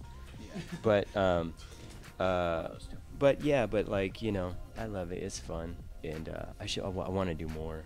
Yeah, it is nice going back and forth uh, to try to experience that. All right, I'm gonna ask somebody else that question. Thank you. There's, there's actually one more question that I think is actually a really interesting one, Mhm. particularly for you. Um, they're saying, uh, I wonder if the artist painting right now has changed the style uh, from how they usually paint, from how they. Oh, I thought this was how they used to paint because you used to work predominantly as an illustrator. No, What was, what was I've never, done some- I've never been an illustrator. you We're doing, we're, um, we're going over some questions from the chat Yeah. real quick. before, Uh, and then you moved towards painting, I believe. Yeah, I mean, I, in college, I mean, that was like 20 years ago. I was. I, I just wanted to learn how to draw. Yeah. I just wanted to, like, my, I used to do graffiti, right? That was one, one of my first things, right? And just make up characters, but they were always kind of flat and designy. And then when I went to college, I wanted to learn how to draw correct, correctly. And I started like seeing these drawings on the walls, and and uh, I read, Graffiti's really confident driven, right? Like you have to Yeah. be you have to do you know do you know the, the, the, the, the stroke or the line that you're about to do or do you just like say I'm gonna start here and I don't know where I'm gonna end up sometimes? No, you gotta know, You gotta right? know. Yeah, you gotta know. I mean, you gotta know, and you gotta have that memory into that let, you know, that arc for that letter or whatever the case Yeah. may be. If you're doing a nice clean outline or It's whatever. muscle memory thing. Yeah, but I was I'm always into like the characters and the backgrounds and like the fill in, like the extras, right? And so that meant like representation. And I started to figure out like I don't really know how to draw that well in terms of three dimensions. And so in that way I've changed my style a little bit, but I just think it's like I've just grown or just I don't know, just evolved or whatever. That's amazing. If you can, yeah, keep on reading questions from the chat. I like that, especially if I'm on a a specific artist, y'all have a question for that artist while I'm while we're talking, you know, sling it up in the chat, and uh, I can keep on asking them. I They, they said they, you, you got mad respect. yeah, mad respect. What, what did you What did you write before? What's that? What did you write? I used to write loves. Okay. You used to write loves. Can we find any of your tags anywhere? No, I, no, I haven't. I haven't done that in a long time. Okay. Well, it's really nice seeing you painting on like a established wall to now like a piece of a wall. So that's nice. All right, we're gonna move on now. Have you ever watched Bob Ross? I do, I do watch Bob Ross still. Okay. He does some pretty cool stuff. Where like, oh, sorry, is He's he- not that good. Yeah, he's pretty good. He's got some cool. He's got some cool tricks up his sleeve. Yeah, he- But, yeah, he's, he's just he's always talking, you know. Have you ever seen like he like every once in a while like he's got that real long fingernail on his pinky? Have you ever seen that? Is that not for? What was that for? I don't know, but it's me and my wife were cracking up when we the saw 80s, that. right? Yeah, I guess. I know. But I take him as not a you know. Yeah. Yeah. Uh, who knows? It takes all kinds. We're gonna come back to you later to do a, like a Bob Ross section and see what you do. Um, we're gonna do one more round and Yeah, then I might try that technique. If Yeah. I try that one particular thing, I'll let you know. Yeah. Okay. We'll we'll come back for the Bob Ross technique and see if you can kind of do like uh, the tone and the Yeah. With the, the little uh, tree. yeah, do a little tree or something. All right. Rock. A little You got rock. A lot of beautiful rocks. You still on the rock thing, huh? You just giving me a hard time.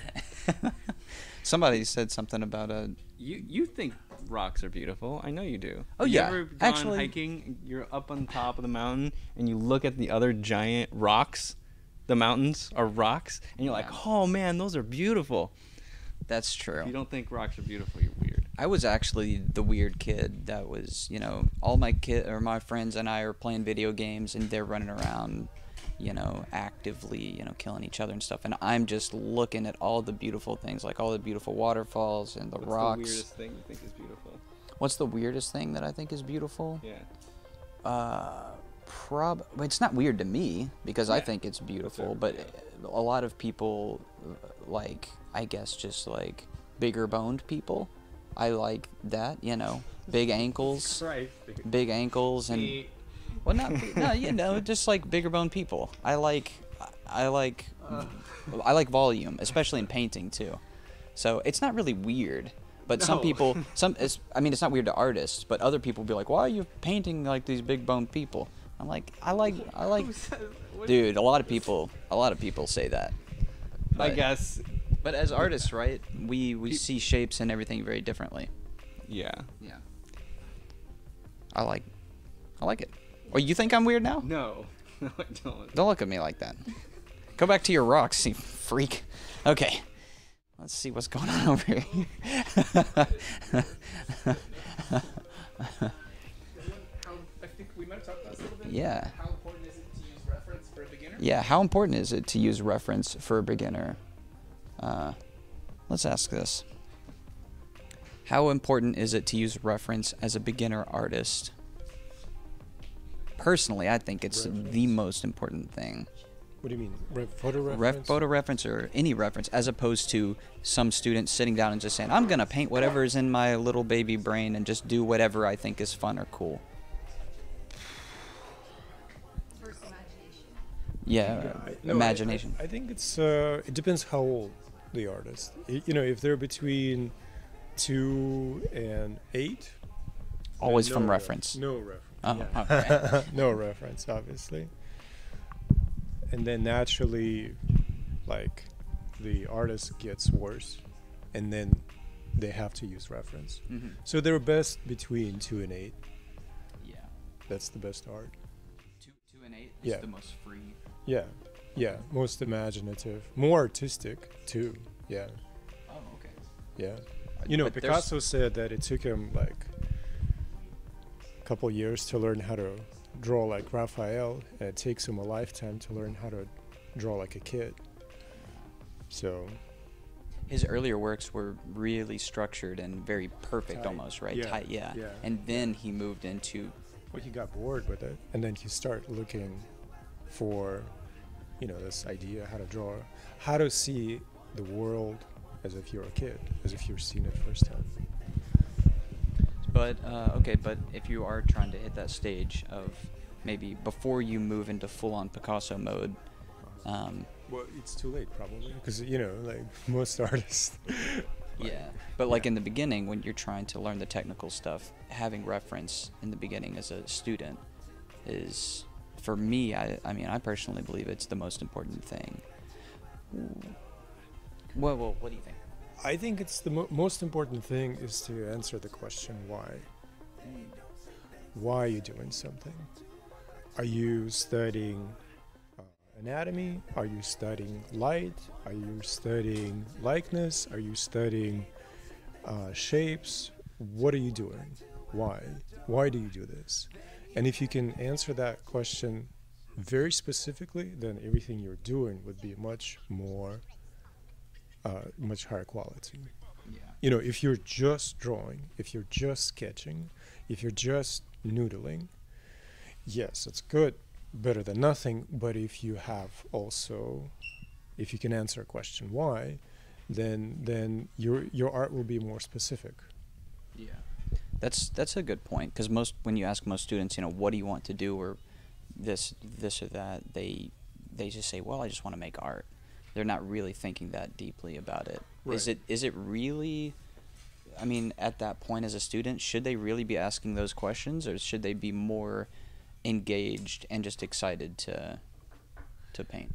I mean, it takes um, all kinds. You know, like you want to be draw. You you you can't be always too serious. You know, sometimes you just have to try things and just take a bunch of paint and slap it and squish it because it's fun. Yeah. Um, but if you are deliberate and specific and you are on a student mode, remember Yeah. how we talk about different modes, Yeah. artist and student mode, then you want to say like, okay, well today I'm gonna try to study this, and you stay say stay specific, and then you choose your reference, you choose your materials, you choose the time that will best benefit whatever you're studying. Yeah. Um, also, I see right here that you have put your study up, which you've done um, a few days ago, right? You put your study up next to the painting that you're working on right now. Is there any reason why you have that up? Ideas. Ideas. It's not finished.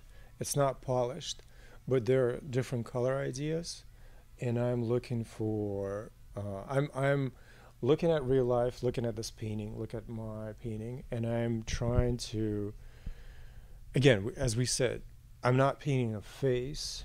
Well, I am, but I'm also designing shapes and patterns. Yeah.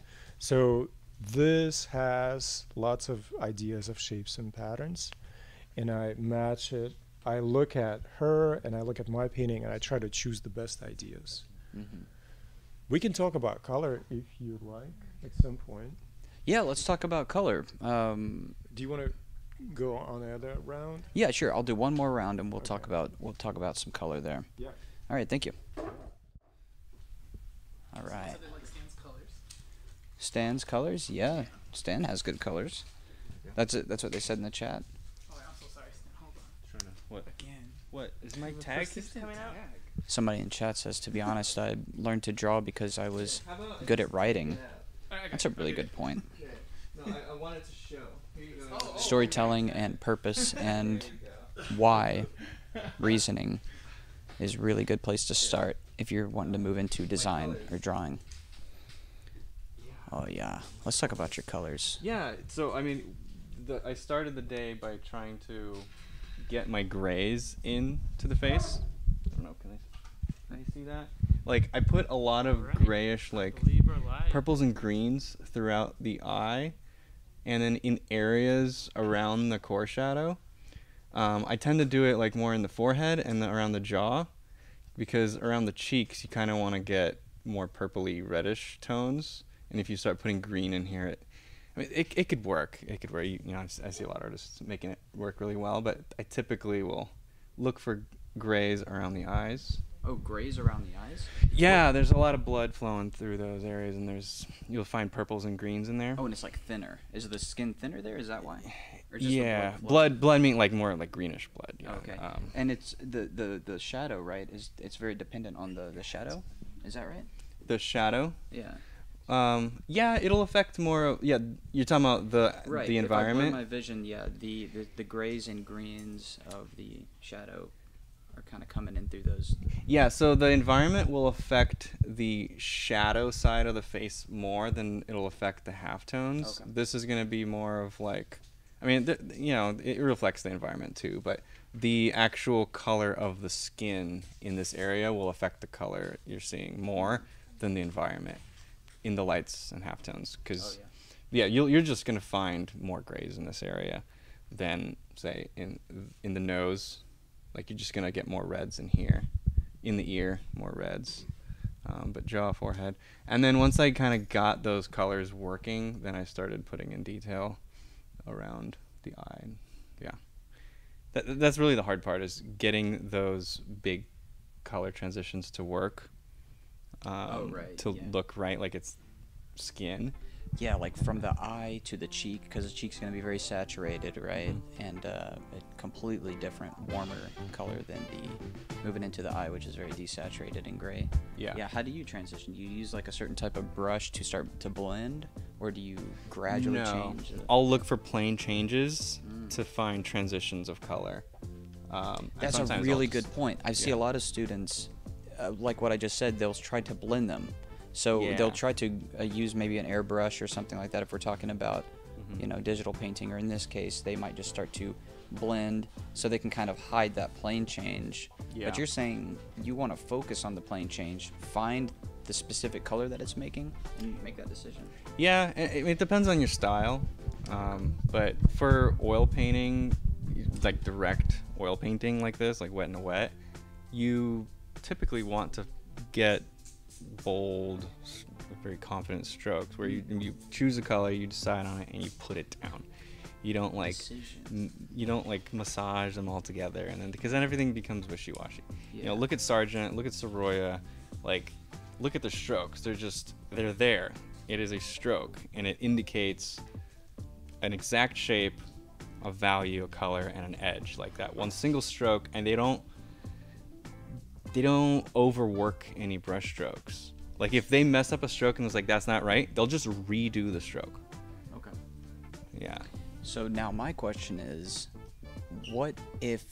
Because what we were talking about yesterday is, it doesn't matter what you see in person. Sometimes it doesn't matter what real life is. Sometimes it only matter, matters on what you're designing from from that model or from real life, because real life can be really tricky sometimes, and it's your job to then design out real life. So what if you're looking at the face and you don't see a plane change? but you know that you need you as a designer you need to create that plane change to to you know manipulate the viewer have you ever seen been in that situation Yeah.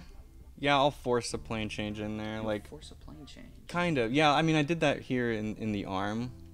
Like, when I look up there on her shoulder, I'm seeing, pr- like, I don't see this much volume in this cylinder of the arm.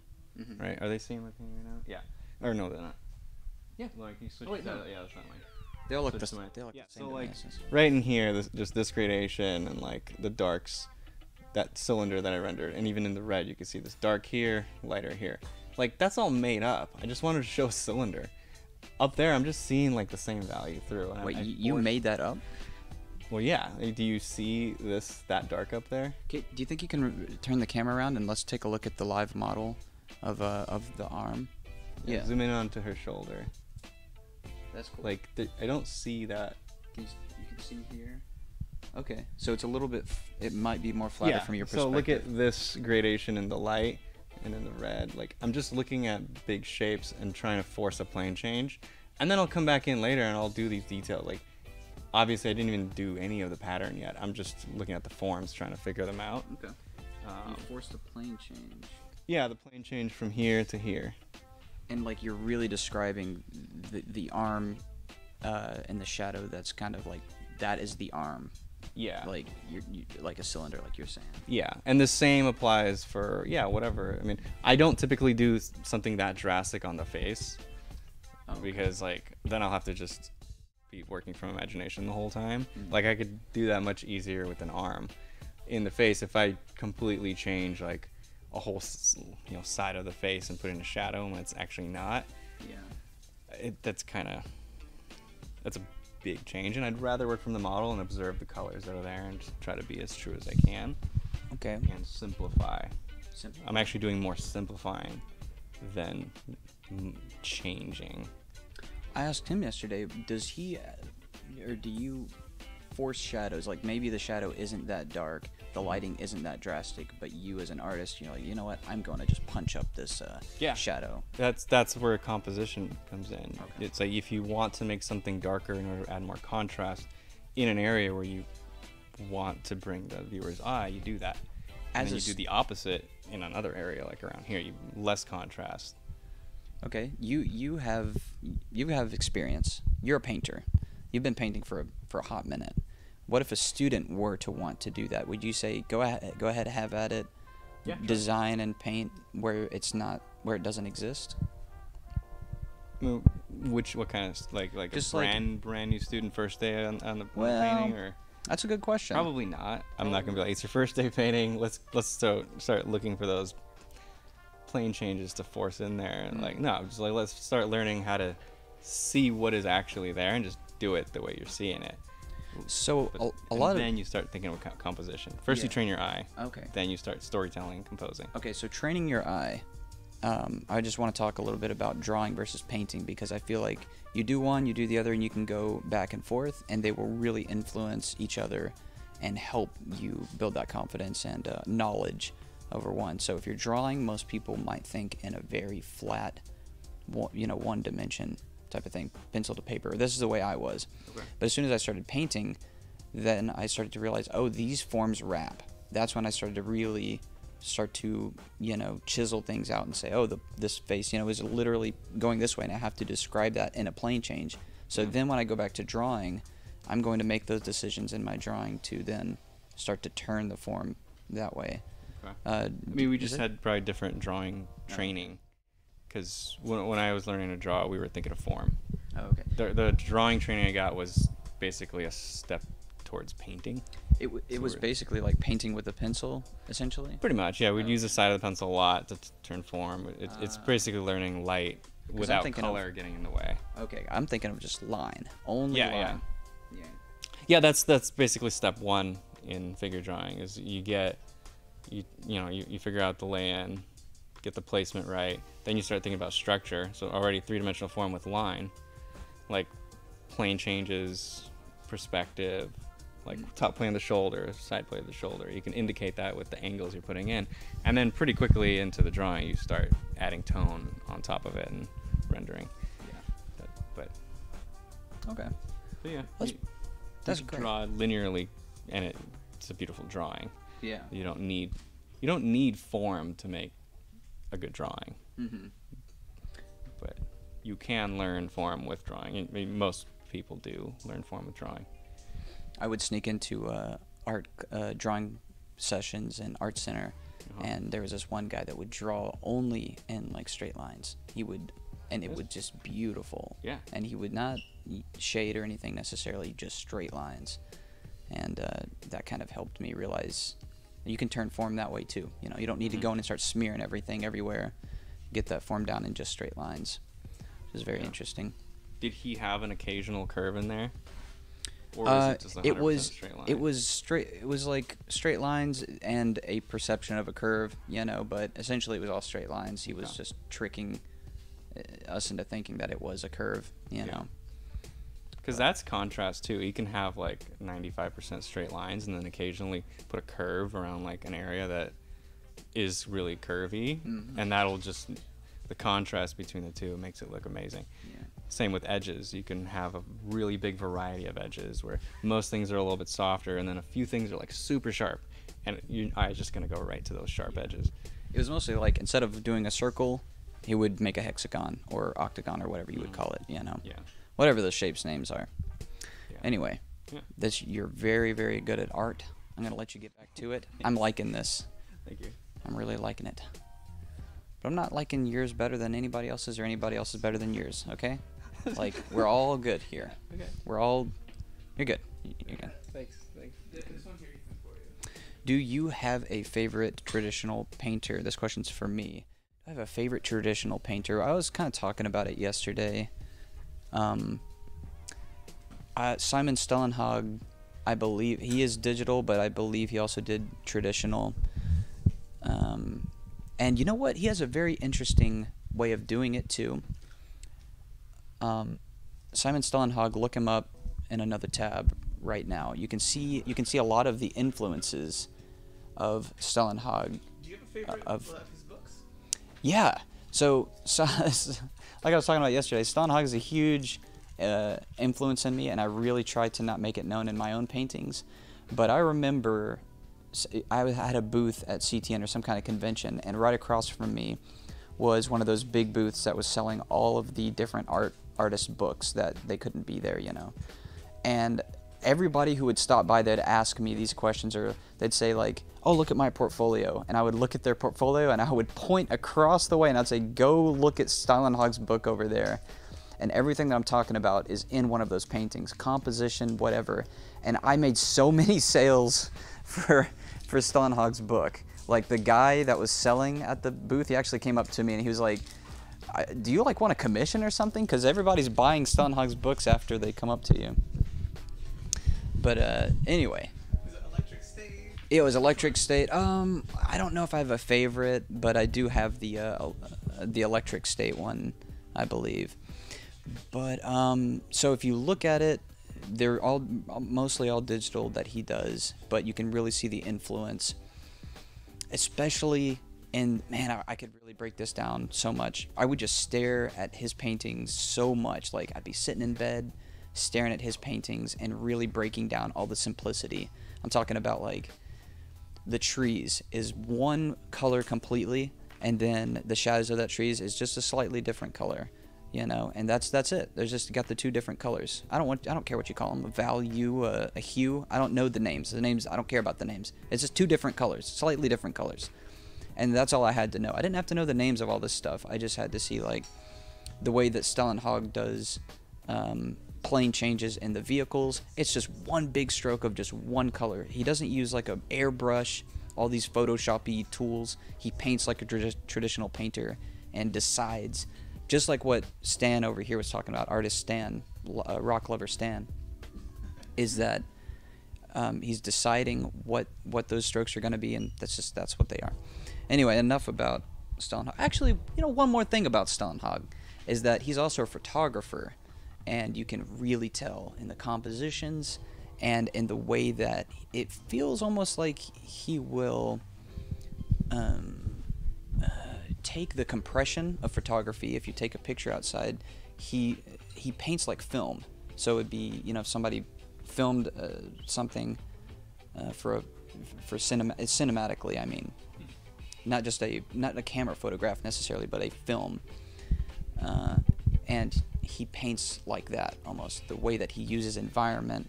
Anyway, I could go on forever about Stålenhag. We have, we have one for uh, the fun Natalia here.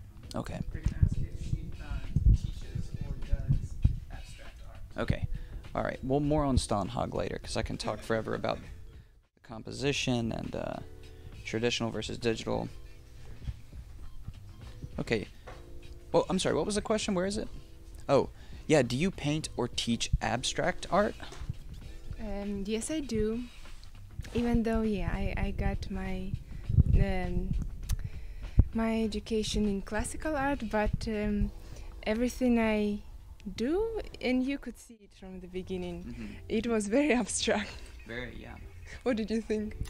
I think well for one it's very different from everybody but it's so beautiful because of the energy and like you were you were talking about the energy in it and the way that it falls rises and all of that is still present the energy that you had from the beginning is The still abstract, present uh, yeah yeah right? it's still present in it. Uh-huh. Is it difficult to keep that energy in as you tighten things up Um, uh, of, uh, it's yes, it's challenging, but um, yeah, I I perceive everything as an, as, a, as an abstract, and um, to simplify, um, like yeah, everything starts with an abstract Mhm. uh, for me. And uh, yeah, you remember it, it started so abstract and so like undefined. And, uh, this is the way I start uh, uh, all the time because um, um, it's actually it's not how I how I was taught to do, but it's just um, how I. Um, how I uh, open up the, the most in my art. It helps me feel free, feel um, alive, feel um, yes abstract, uh, abstracting things and uh, uh, doing abstract art. Uh, I, it's very freeing for me, even though I am such a traditionally trained artist. Um, but um, yes, it's a great question. Um, I teach abstract art uh, a lot because uh, it's uh, very interesting for me. Uh, my whole research in synesthesia corresponds with this, and um, I love.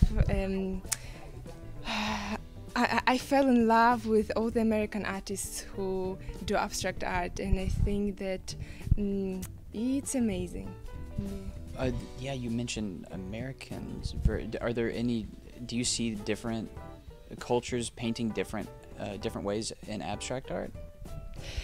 Everybody paints different ways. all different all because um, um, no abstract art contains uh, contains like the play of shape and textures and um, uh, how they touch each other. Um, and um, the line you you know that line doesn't exist in reality. It's a tool of defining the objects and uh, uh, uh, or color. It's a tool. Um, like shape is a tool to create your world to create your own um, way of uh, looking at things uh, to yeah. It's so interesting. I love exploring uh, abstract art. It's so so vast and it's so it it can go so deep and it yeah it's it amazes me. How do you even go about beginning to teach abstract? composition like composition yeah like in like in everything. Um yes. So there is there's still structure behind it then. yes yes there is of course. A lot of people think there is no but it's very much uh, mm, once you start to to um, to learn about this you see because at the beginning of my uh, um, art um, um, mm, art mm, art I don't know like yeah art life I don't know how to say. yeah I didn't understand what is abstract art. And only after I would find um, I would find all the way of thinking of old masters in abstract art which is which is fascinating for me. Do you understand because all the old old masters they had structure. Behind their realistic work there's always abstract uh, idea of how the shapes inter intertwine and how this goes here. And the the um, light and shadow uh, spots and uh, forms. Uh-huh. in my in composition though I, I, I teach composition as well. Mhm, and mhm. it's pretty much always primarily based on uh, the same principle that I teach in design, which is Mhm. big, medium, and small. Mhm. Do you you use these as well? Big, medium, and small, just the standard principle. Correct, but because the more variety you have in your artwork, the more interesting it is. Uh, big, small, sharp, uh, uh, not sharp, uh, yeah, like straight lines, and, Yeah. uh, wavy lines. Of course, it depends on the subject and what you're trying to um, to to do. Uh-huh. If we use your painting as an example, do you think you can kind of point some of the stuff out for us? Do we have a, a shot of her painting right here? Yeah. Can we switch to this camera by any chance? Thank you. Ca is can you point out any of the because it is abstract, but you're saying there's still a lot of structure that you're thinking about. You're not just throwing it together randomly. You're still using your knowledge of composition. Of course, I try. Uh, what do you see? Do you see anything particular? Well, I mean, for one, this this is a very big section here, and uh, almost a section of rest, and this big section and this. They're very big, confident sections. Um, and that, I, I don't do abstract, but as composition, compositionally, well, I see a balance here as well of this blue down here and the blue up here and the yellow connecting those um, those areas of rest maybe. Yeah and then the hint of that as well so if this is the big this could be considered a medium and this is a small if we're talking about the grouping of blues Correct, yeah correct. and a very confident shapes in that as well is it was that what you were going for Yes, yes, okay. you're right. did you do that on purpose or you're just like hey that's a good idea No, I did it on purpose. Okay. Well, mm, um, or do you just like know it feels right at a certain point yes, Yeah. it feels uh, it feels right to me to do this. yeah Maybe somebody else will do it differently, but uh, I feel um, it it it kind of makes me feel more balanced because you see what what is here is such a such a mm, Yeah. f- flow of, of different things, and this part is actually kind of to connect these two together. The, the say, say that again which they part? are, they go together. oh The the background with this yeah. it's different texture compared to this texture. And yeah i try to do different textures. I paint um, differently. I i use my fingers a lot. I use a knife. So each um, object the is painted differently that's what i was going for okay for example, I painted my the face with fingers. Obviously, I painted the this with my knife. I painted this with the cloth, and also the skin, and also with my fingers, and uh, the rest with my knife. And I think only this part I painted with the brushes. Wow, that's beautiful. I see that now. Like the the cloth is going to have its own specific texture versus the softness of the skin because of the the tools you used, I guess, right? Yes, I try to use different tools as much as I can and different way of putting mm, paint on the canvas and different way of yeah, like applying it like or I'm applying it horizontal. Well, eh, I you are a great artist yourself and you you um, it's very important the perspective correct and Mhm. if the plane is in the perspective i try to put the um, put my brush strokes in the perspective if it's horizontal i put if it goes um, yeah the sides also in the perspective mm, yeah it's it's very important to do this Yeah, that's where all the traditional yeah. and all the structure comes in from your training. Okay. Well, what you were describing was like so I pointed out the technicalities of oh this is a big over here that's a medium right there and that's a small. And but Mhm, mhm. your response to that is but it just felt right. So you knew all the principles. You knew you knew that design theory i guess of big medium and small. But what you're saying which is very interesting to me because that's also how the viewer's going to see it. They're not going Mhm. to say tip the typically the viewer is not going to be like oh well that's a big and that's a medium and that's a small and that's why i feel good about this P- the people are going to look at it the most Correct, common viewer is going to say Uh-huh. I don't know why, but it just feels good. And you're also painting from that point as well, because you Yes, know all I these. very much rely uh, on how I feel Yeah. and uh, my intuition and uh, what, mm, uh, how, yeah, how. Um, yes, very much. It's very mm, helpful to have all the knowledge kind of on the back of my head, Yeah.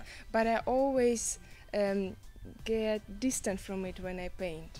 Uh, That's a that's the sign of a master. I feel like whenever you're not so into all the technicals Oh, and you're just constantly, you know, making sure everything's perfect, but you learn all those things, like you said, and then you just set it in the back of your head, and then then just go on, on yes, what you it's, feel. he- it's very helpful to have this luggage. And um, yeah for people who maybe didn't have it or would like to have it it's very helpful. Any amount of of the of that luggage is helpful. Yeah. um, you don't there is all there is no perfection. There is no um, um, like connect co- finishing like point that you know everything. And there is always um, li- like learning is a life process. Yeah. and um, don't be discouraged if you didn't have the training. Um, little by little but uh, yeah learn learn from uh, from stan videos and uh, from like leon says um, from masters from mentors uh, which leon is a great mentor himself. Um, he, yeah do what you can but don't lose yourself. Yeah do don't forget why you're learning this. For the purpose of whatever you would like to do to express yourself for your own uh, therapy. To say something meaningful and uh, convey an idea to uh, to people who will be looking at it. Yes. So for me, growing up especially, um, and every every household's different, you know. Like yes uh, for me, for me growing up, I saw abstract painting, Mhm. and the way that I was kind of taught in my household, and Mhm. also the way you know the friends that I was around, and me personally, was just like abstract. You don't really have to be that good. You just sling paint around, and you just do whatever, and it's all it's all about how you feel. And but what Mhm. but what you seem to be saying is like for some abstract painters, there's a lot, and this is what we were talking about about there is Picasso. such a deep, deep uh, uh, understanding and thoughts behind it. But I agree, some artists do this intuitively. There is difference here between um, yeah how people do this. They can they some yes. Uh, I have a couple students that. mm, um, that are amazing intuitive painters. They didn't have uh, all the background and baggage and all the training, but they intuitively do the right thing. They intuitively put the mm, right color in the right spot and arrange things intuitively.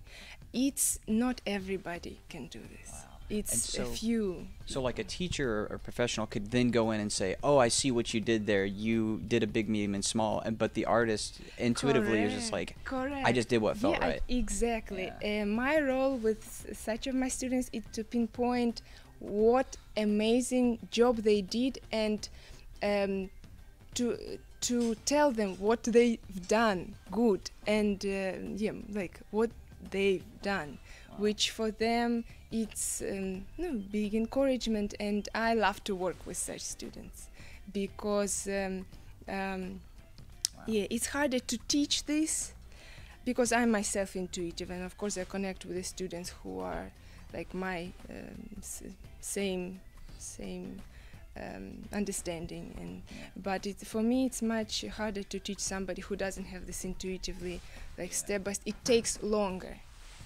It's so interesting because it, it feels mm-hmm. like all of that means that it's what you're doing is all in harmony with with itself, and I try. yes. Mhm. and that seems to be within us. So it's like what came first, the the chicken or the egg? Did, did we create these rules and then started following them, or did we mm-hmm. paint what felt right, felt it balanced and in harmony, and then we mm-hmm. created the the rules off of Mhm, that? mhm. It just feels the way of the universe to me. I mean, if I'm if I'm yes. if I'm being We- real, we- are you just gonna take my Yeah, my? we live in this world Okay. that, uh, that, That's that's the way it goes. and we learn from this and we go back to uh, who we are and then we learn and go back and Yeah. uh, I love it. I love it. I have so much more respect for abstract now. It's like I can see why people might not have respect for it because I grew up that way and not quite understanding. But now. I, I really see it. I, I really do see it. Mhm. Thank you. That's amazing. Mhm. Thank you for the question. Yeah. Mhm. We'll we'll jump back later. Yeah. Thank y'all for the question. And if you don't like abstract art in the chat, then then you got to yeah. You gotta say gotta get learned.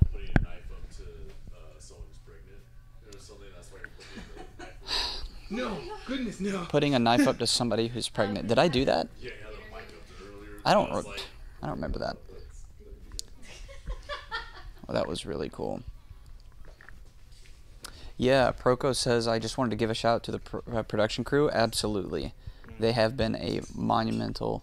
Uh, they've been monumental in making this stream possible. Yeah, there's a lot of people behind the scenes here, Everybody's making this possible, even behind behind the scenes, who aren't even in this room. So, thanks to everybody.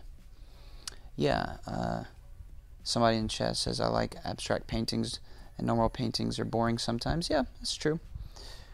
Yeah, absolutely. All right. All right. Man, you're up at 4 a.m. right now watching this. Thank you so much. Thank you. Okay. Let's move on to another question here. All right. Here we go. What was your latest aha moment when trying to master something? Have you ever had an aha moment? Um, yeah, I have had some aha moments. My latest aha moments trying to master something. Um, oh, it's been a long time. I, I, I need. I could use one right about now. Um, God, I'm terrible at these. At the aha, aha moments? I'm just taking a look at this painting right now. That's really cool. Um, yeah, I mean, I, I remember uh, a, a, a, ya- a aha moment early on in re- in regards to, I guess, how the the subject relates to the environment and how how to model the form in a little bit uh, more of a kind of a strategic and gentle way. And mm. that was it's that was always a big that's always stuck with me. And so I always try to kind of infuse that quality into the work like like this area. Like the idea that really what we're doing is we're painting light. And I mean we're painting an event. And the event is that she's sitting there and there's a light source on her. And light has very particular properties and I remember this idea that I started to tune in to how the light was hitting everything uh, in a in a continuous way and in a cohesive way Mm. as opposed to painting like parts of the painting Yeah. I think I know what you're saying. Like, if it's a strip of light, you can see it go from point A to point B. Like, if somebody took, like, a a maybe a brush or a paint thing and just slung it, and it just. Is that what you're saying? or or like if like you think of the light like um like a mist coming from the direction that it's coming from hitting the model hitting the garment hitting the like hitting the background hitting the flowers hitting the hair Yeah. the light is affecting everything in a similar way and in, in an opposite way the shadows are connected as well so uh, in terms of like Oh, I've never thought about that. The, the shadows are. kind of an opposite of that pendulum uh, well you know that right Well, I, I typically just think of. uh, Like one creates the other, or they, they are they are the one and the same. But sure uh, yeah, that's that's interesting. So I mean, but just like in general, like you can tell, like right in here, I'm trying to get that that light to harmonize, and even as it hits the background as well. So I need to get a little bit lighter value there, but I'm just kind of holding off and waiting for that. But That's painting the tough in- light, that's tough in plein air, right? Because it's always moving. Yeah, that can be tough. But if you design it first, the shadow shapes, and you stick to them, that's a good practice from what I understand. People who are, are smart plein air painters t- tend to design the shadow shapes early and stick to that pattern. Yeah. So I try to do that in plein air painting. Yeah, that's really cool. Uh, one of the one of the aha moments for me was actually not during painting. It was a very simple line. So I, I hate reading. I can hardly read it in the first place, but espe- especially so I hate art and I hate reading. I hate reading about art. Like like That I don't. I, I, You'll- I, I, I like reading about technical things about art, but not about, not about. Um, uh, well, I like. Well, I like reading a lot. I like reading about art, but not other stuff. Sorry, I yeah. interrupted Well, you. uh, s- so but, but in art, if we're talking about art, um, was it uh, some some fancy artist dude? I can't remember his name. I read. I opened up the book, and it was during whenever I was playing plein air painting a lot. Opened up his book and I was like, oh, I hate this. I don't even want to. I don't even want to look at a single word. word. Read one sentence, the very first sentence in the middle of the book that said, if you're having trouble, uh, if something is not matching, you know, within like with anything, skin tone or whatever, it's typically the you need to either saturate or desaturate that thing. The next to you know, whatever color it is. And that had so much effect on me. So I shut the book, and that's all I read from it. And that was the most effective thing. Because anytime I was painting something, then I was like, you know what? It isn't, everything is just a value of gray almost, unless we're talking about, well, some skin tones, but it's all pretty much gray. When I jumped into painting in the beginning, I thought, you know, you just slap down the most saturated colors.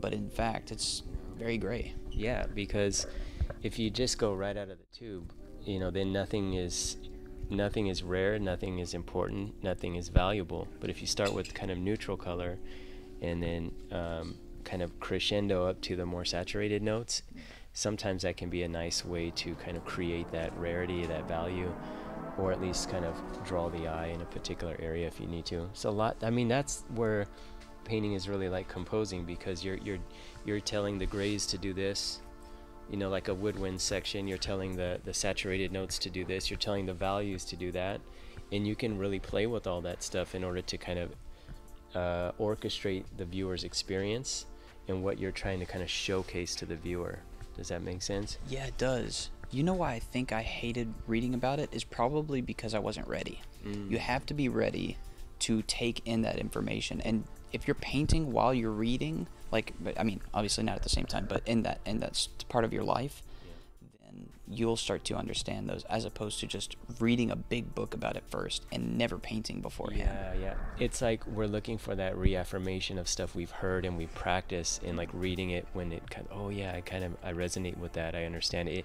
It's it internalizes it, and then it becomes more of your kind of uh, your um, uh, conscious instead of having to think about it and think about doing it right. So some students might not just be ready for for some things. If they if it doesn't resonate with them, you think they should just come back to it later No, sometimes. Well, I think, well, uh, they might not be ready, but it's still a valiant effort to to read and study, and that's what makes, I guess, that's what makes one's journey what it is, because you get introduced to stuff, and then as you move on, it, you kind of re circle back around to those ideas, and that can be a really valuable experience. I think so. Initiation of ideas is just as important as really internalizing them. I would argue. Yeah. But Well, this is looking great. I love the richness of the red in there. That's really nice. Everybody's got a, almost a slightly different red. Yeah. You know, Stan's going a little bit more orange over here. You're like rich. Kind of Yeah, a little bit I don't know if orange that's in gonna it. stay or not. We'll see. We'll see how that goes. I like it. Yeah, may, yeah. Thanks. Okay. Maybe I'll leave it. Yeah, very nice. All right, let's keep on going over here. Let's see what we got. Okay, that was good. Yeah, to anybody who likes reading, you know. All right, question for Ethan: What is Ethan's favorite uh, episode of uh, Avatar: The Last Airbender? Oh my goodness. I think I have a. I think I might know who's asking this question. Um, my favorite episode of Avatar: The Last Airbender is probably what we call Ember Island. I think it was because of the we really get to know the characters and uh, we're very personal. You know, that's why I'm going to go on a little tangent here.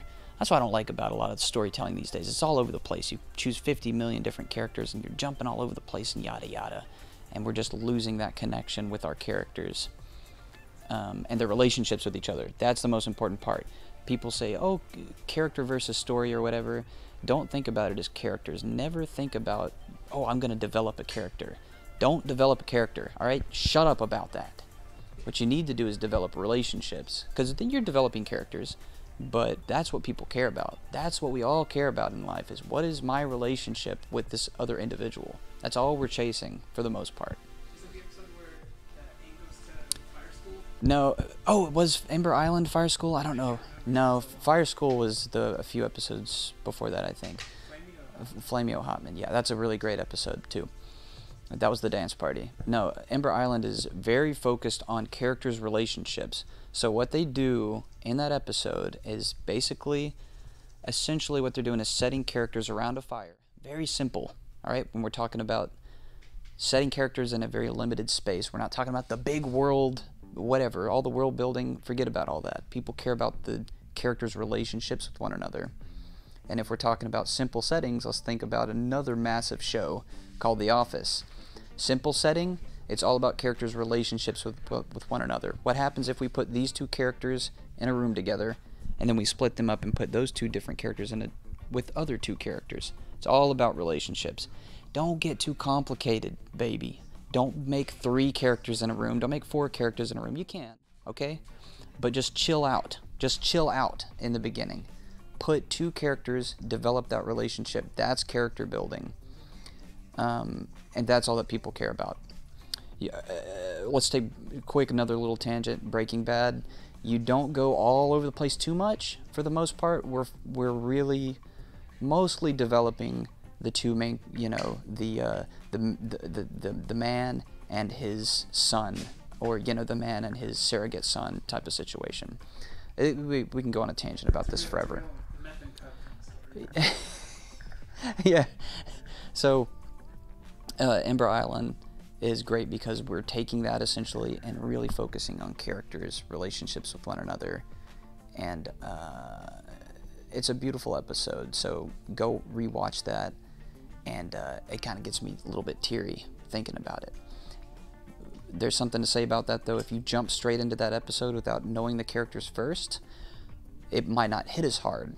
So that's something else you need to study as a storyteller, as a painter, or whatever, is the relationships that you're setting up prior because I tried to show somebody The Office. All right, I jumped into the middle of a season and they just didn't get it. They don't understand the relationships with these characters. That's when I was like, oh, you're not laughing because you don't understand who the inside joke of whomst these characters are to each other. So first, establish that relationship, then you can start to expand on that.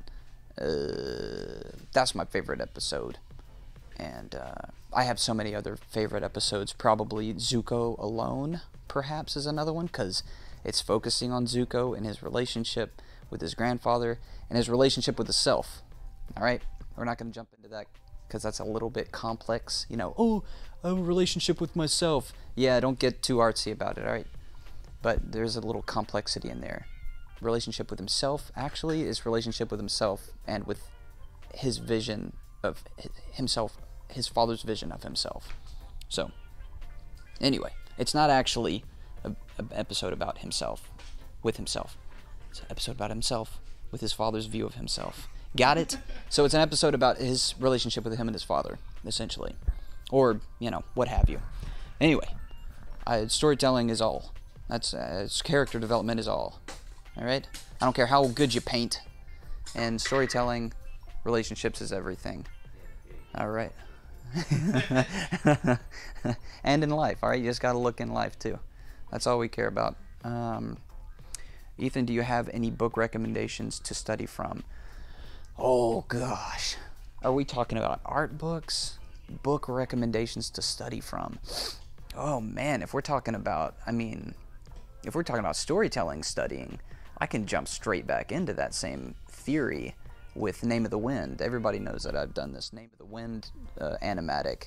The book is phenomenal, and the book just blew up, and you know immediately everybody loved it. Name of the Wind. It's because it's focused on relationships, and also it takes its time with relationships, um, and it it's pretty simple. We stick with one character. There's not 50 million different characters. It's consumable. It's like for everybody. You know, you can chill and follow a character within those limitations, what are you going to say within those limitations? You're stuck in a box of one character's viewpoint. Now, how creative can you be in creating those relationships? So, as a storyteller, chill out. All right, keep it simple in the beginning because it can get real complicated real quick. Uh, we're going to ask Stan a very important question in a second about rocks. Oh, let's see. Compo Flask says that I empathize with the amount of elements and concerns to juggle simultaneously. Uh, thank you, thank you for accounting. Yeah, they, you're you're very welcome. I think they're talking to me and the team, of course. Thank you so much. Yeah, uh, Heather says I love Tales from Ba Sing Se, where the where Iroh's story is revealed between him and his son. Iroh seems like a uh, comical zen, peaceful. Yeah, Tales of Ba Sing Se is great. I don't care too much for for you know jumping back in the past, you know. But those are really cool. Tales from Ba Sing Se is beautiful, very beautiful, simple storytelling. If you look at the structure of that, um, I've been actually watching a lot of uh, this show called Little House on the Prairie from the 70s. All right, it's actually a very very good show. I mean, it was big in its day. It was massive, and there's something to that. And if you look at it, you're stuck on a, a little house on a prairie, okay? And it's about people's relationships with each other. Go watch it, and you get sucked into it, and then it's pretty fun. It's very fun. And if we're going to be talking about relationships, what's the most relatable kind, right? With your family. You get a mama, papa, everybody can say, I can relate to that. Relate, relationship, all right? Is relatable. Everybody can relate to big mama, big papa. Whether or not you've actually had a mother or father in your life, you may have had those figures in your life because that's what we gravitate towards, baby. That's the most simple, basic relationships we have is big mama, big papa, little bro, little sister. And that's all you got to know. And we are, y'all already understand that. All right. Don't make it complicated. Make it about family. Replace characters with family members. That's all you got to do. Very simple.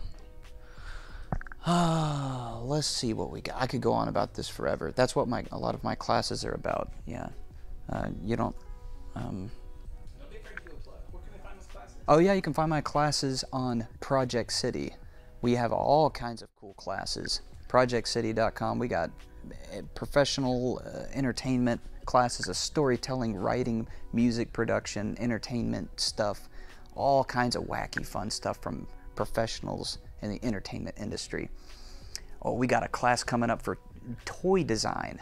I'm talking about pro toy design. Like these people are, they, they've never been out in public before. They're like a, like a caged wild animal. And now they're finally released. And we can hear professionals talk about how they design toys. Why does the why does this toy and the animation not look like the one that we see on the product in the in the store? There's designs behind this. There's purpose to all this. You could be a toy designer if you wanted to. All right. It doesn't have to be for a Barbie. It doesn't have to be for a little Polly Pocket. It could be for anything you want. Big Hulk. You could be a big man, big strong man. Polly Pocket. What Barbie? Oh, Polly Pocket's good. Yeah. Barbie's good too. All right. Okay, Stan. What is your relationship with rocks? you would come back to rocks. That's not me. That's the that's the. Either your crew is asking that or somebody in the chat. I don't know. I don't have a relationship with rocks. Don't do don't do rocks like that. Can we move on? No. So what was your first rock that you saw like I as a broke up with child? rocks recently, so What happened? I prefer You broke to up talk with- about you broke rocks. up with rocks? Yeah, rocks is not in my life anymore. What was her name? Roxy? Ro- rocks. Oh, her name was Rocks. Rocks. it doesn't have a gender either. It just. Oh, I'm sorry. So yeah, we don't need- 2022, Ethan. Come Yeah, on. So she's Ethan. What was your? Did you like? Did you actually? Because I don't know if you know this about me. I I love rocks and waterfalls, like boulders. I don't. I don't like Waterfalls are pebbles. even better than rocks. What did you say? Waterfalls are better than rocks. Oh, okay. I think, but Well, how's your relationship with waterfalls? More edge. Are you moved on to waterfalls now? Yeah. Hey, don't go, don't go chasing waterfalls. Don't go chasing waterfalls. Are there any real questions? Yeah, there's like, there's one up here right now. All right. Yeah, I'm gonna ask everybody how they set up their palette. Um, wh- How are you taught, and do you still use that same method? Um. Yeah, pretty much. Uh, It's it's pretty simple actually. Like you have it on there. yeah, we've, we've got glare. But Oh, you it's can, really you can point bad. To zones, though. You can't even see the colors. You can point to. you can't if even you see want. any of the. No, they're not even in the. Oh, that's nice. That's it. No, you, you still can't see quick them. one. Wait, Ethan, They're can you come, still can not you in go a little bit closer to that? All of these colors back here are not even in the frame. There they are. So, it's basically. So the light can fall. There you go. So I, I start with white and then I move over or go from yellow all the way through the color wheel to green, and then green would go back to yellow. So it's. Um, these are you know yellow, then ochre, then it starts warming up a little bit to my my browns, red, uh, permanent alizarin, ultramarine, cerulean, viridian. And so, because it's organized through the color wheel, I know exactly where to go to reach for a color. Um, always put a lot of white. Yeah, and that's it. You know, and then I just have a bunch of puddles of. Do you paint. pre-mix? I do a little bit beforehand? sometimes. You pre-mix? A little bit, not not too much. Um, yeah, it depends. Like if I'm actually doing a limited palette, like Zorn or something, I'll probably pre-mix even more. What's a what do you Because what's I- Zorn? Is that like Zorn is uh, basically you would you'd have white, ochre, r- red, and then like a black, sometimes a blue black, and that's it. So you just have those four colors, and two of them are black and white. So really, you have ochre and red. And then to cool things off, you add white and black, and it'll bring it back down to gray.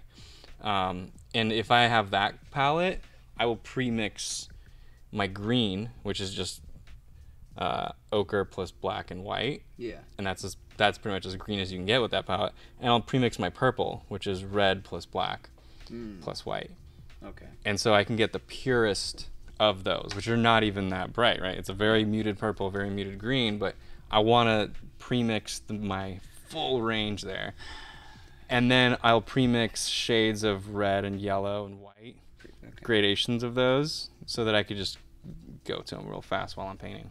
You got like a whole flippin' rainbow right here. Is this how you teach your students? Kind of. I don't have any oranges and stuff. Is this how you teach your students though? Would you say it's easier or best for them to start with a limited palette first? Yeah, of course. Yeah, I would say start with burnt umber pick out. So you just have burnt umber. Okay. Or I mean any kind of brown pick out. You could I mean, you could do any, any blue pick out, whatever you want. Like make sure it's a dark color though. Like you could do ultramarine pick out. And, and but you got to you want to make sure you can get like a pretty dark value in there with just a pure pigment. Um, and no white. You're just it's like drawing. The more pigment on the canvas, the darker it is. The more pencil graphite you have on the canvas on the paper, the darker it is. And so if you want to lighten something, you just take some off with a Q-tip, with your finger, whatever, uh, paper towel, and you're just drawing with that pigment. Then you can move on to burnt umber and white. And so now you're introducing temperature as well, because white will cool off the burnt umber. Um, So you can have cold areas, and, the, and you can have the warm areas where the burnt umber is. Um, and so now you're you're learning how to mix value and temperature, but it's still extremely simple, just two two colors. Then you can move on to something like Zorn, which is four colors Yeah. or four paints, but really only two colors in there. Um, and then you start going into some more complicated things like warm, cool, primary, Yeah. where you have the three primaries, a warm and a cool version of each, plus white, um, and then just unlimited palette, which is Okay. kind of what I have here, which is like whatever. Okay, so I have a question specifically for me. I'm going to be a little bit selfish here. Yep. I've been painting digitally for a long time. I understand shape, I understand design, all this. I can basically I can do everything that you can do here. Mm-hmm. Except I don't know how to mix the paint and get like I know like oh you know what I know what color I want right there. I just don't know how to then learn this new medium of mixing and stuff. How long Yeah. does this, not including all the other stuff, if you could guess, how long does it take to understand how to mix properly and get the color you want? It's a constant struggle. I don't know. Like, I noticed. So, I don't paint very much anymore. Like, I, I go months without painting, right? And I noticed that like the first thing that I lose is not actually things on the canvas. Like, I could still put a pull a good stroke. I could still, you know, draw the land good on my, my canvas, whatever. It's here that I I'm just like foggy all of a sudden after not painting for a few months. No, you're doing great, man. Well, I've been practicing for the past few months. I'm- Like I'm I'm not foggy right now. Oh, okay.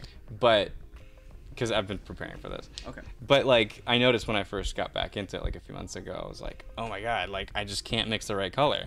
Like the muscle memory of just being able to just like put my hand where it's supposed to be and grab the right color is just gone.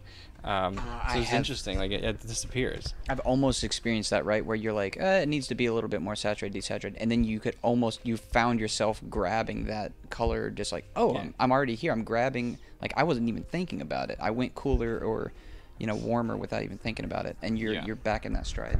Yeah, and it's taking me longer to get to the right color because I it's feel like a just about- sports guy. Like, are you back in Yeah. the stride? You finally back at it. You know. yeah, my mind's in the game. Um, yeah, and it's not just about uh, reaching for the right color. It's how much do you, do you grab of it too, Yeah. right? It's just like wait, do, like a twenty percent difference. I have to now go back and read, you know, go mix, reach for another color to undo what I just did.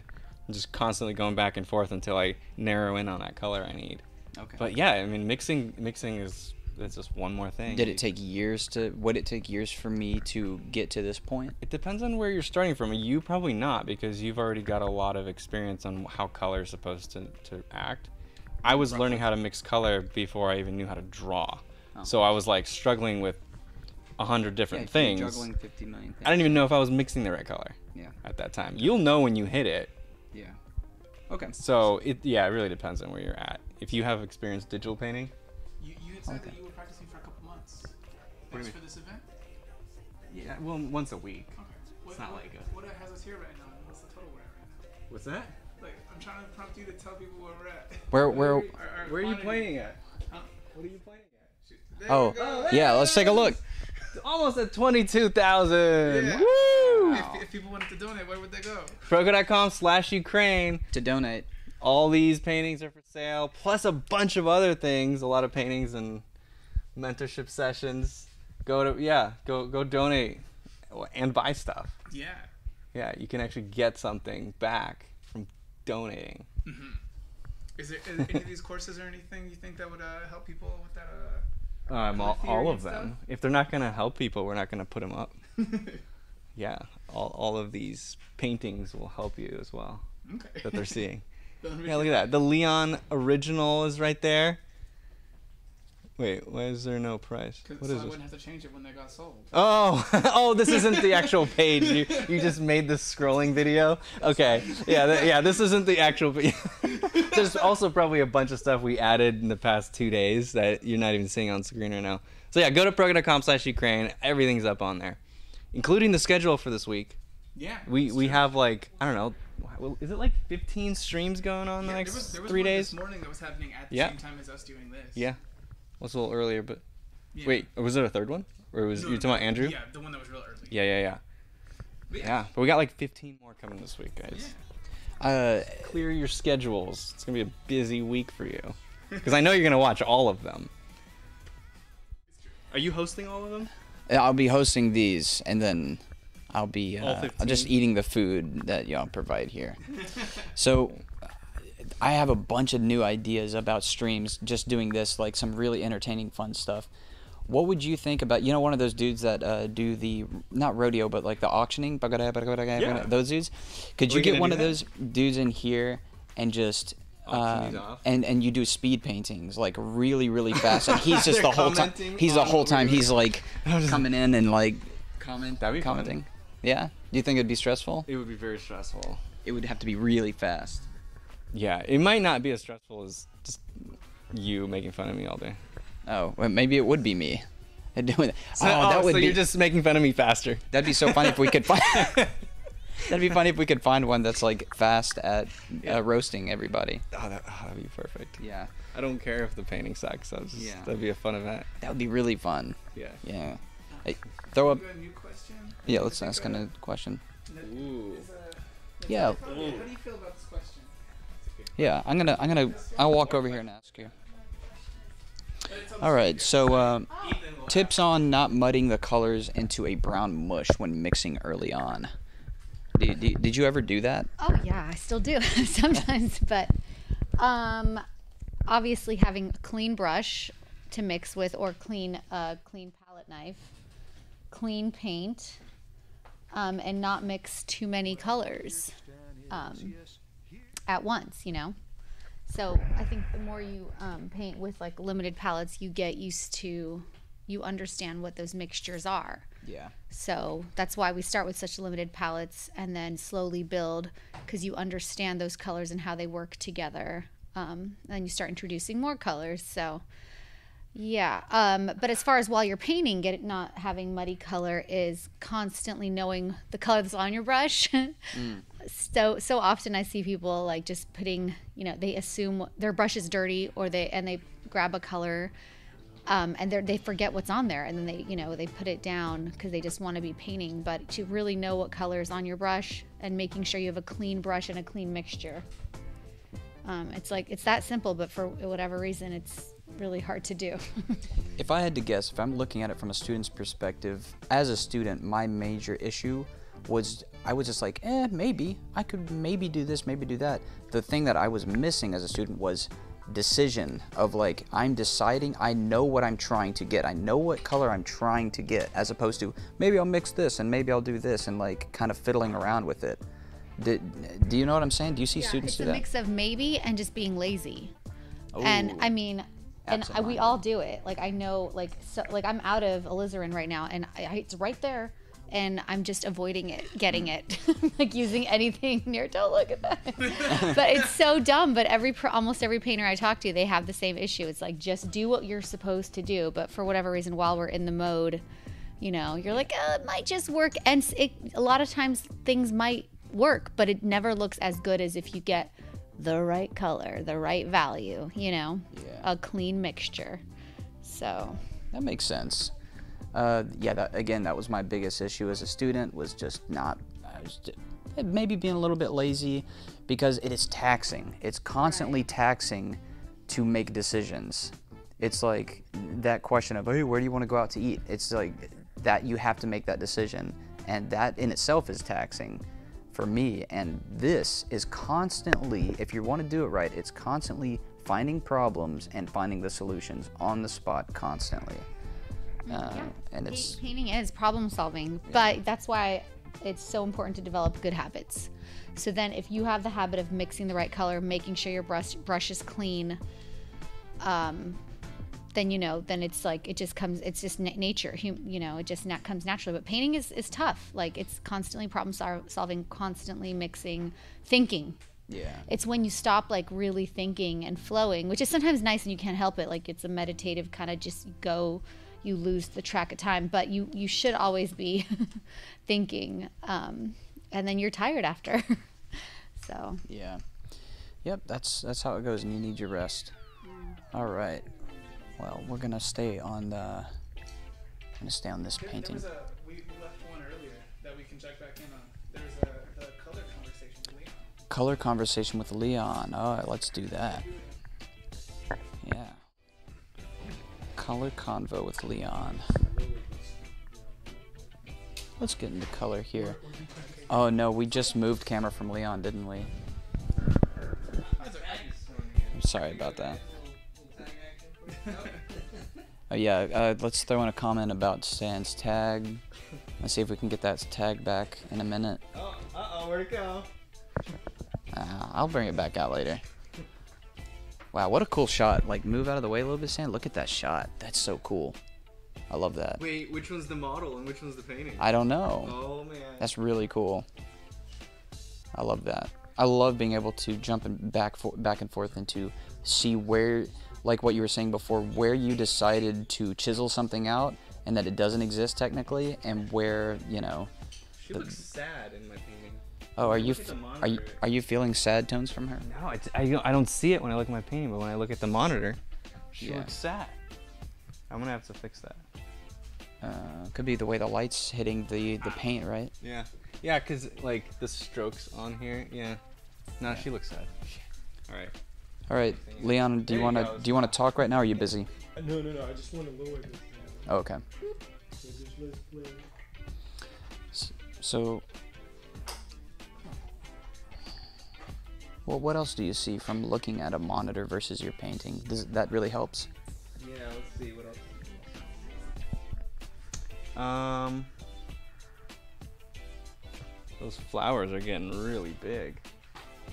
Keep them big, man. I like I like the big Like, flower. When I look at her, the flowers are kind of small around her hair. On my painting, they're just like giant. I like that though. You like it? Should I just keep that? That's so cool. Okay, sure. It, it's Maybe- like a crown. It's beautiful. Let's let's do a little vote in the audience. Yeah, let's do a vote. Do we want to keep the do we want to keep the flowers smaller and realistic, or do we want Stan to make those flowers big?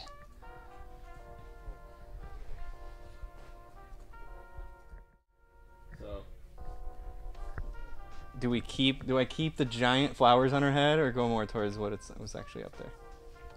Vote in the chat. Yeah, they're voting. And I will do as we Is, say. uh, is, uh, think Proko TV is someone in there. Proko Uh, they they Yeah. can put up a poll. A poll? Paul, Oh, oh Paul, hey. Paul is saying I like the guys in there addition of the yellow in Proko's paintings. Oh, yeah. sure. It seems new. The sorry, red. Bigger is better, baby. Keep it big. Bigger and Keep the bigger. flowers. Big flower. Okay, that, that's like five votes already. Yeah, that's what I'm saying. big, it's nice. big. Keep them big. Keep them stand. Bigger.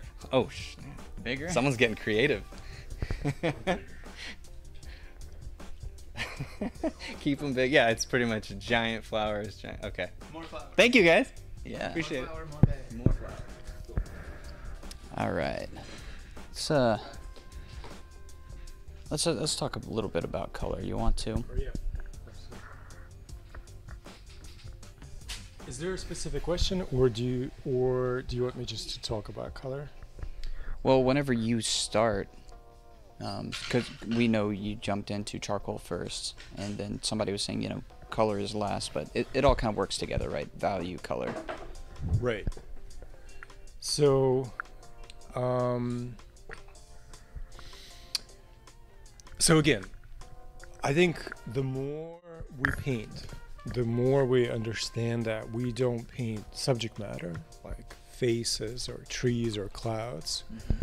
We paint uh, shapes, right? And we learn how to design these shapes. Shadow, uh, pattern of light, pattern of shadow, pattern of halftone, pattern of reflective light. Right, so that's why usually in art schools they teach light logic first, so that we talk about, so we are on the same page with terminology of uh, different different things that happen in light, different things that happen in shadow. Uh, so, and if we talk about shadow, we usually agree that there's three types of shadows. There's form shadow, reflective light, cast shadow. Uh, in light, usually we just say that there's uh, lighter halftone and darker halftone and highlight, right? So we kind of have three different things happening in the light, three different things happening in the shadow. Uh, now the key to painting is to create constant variety.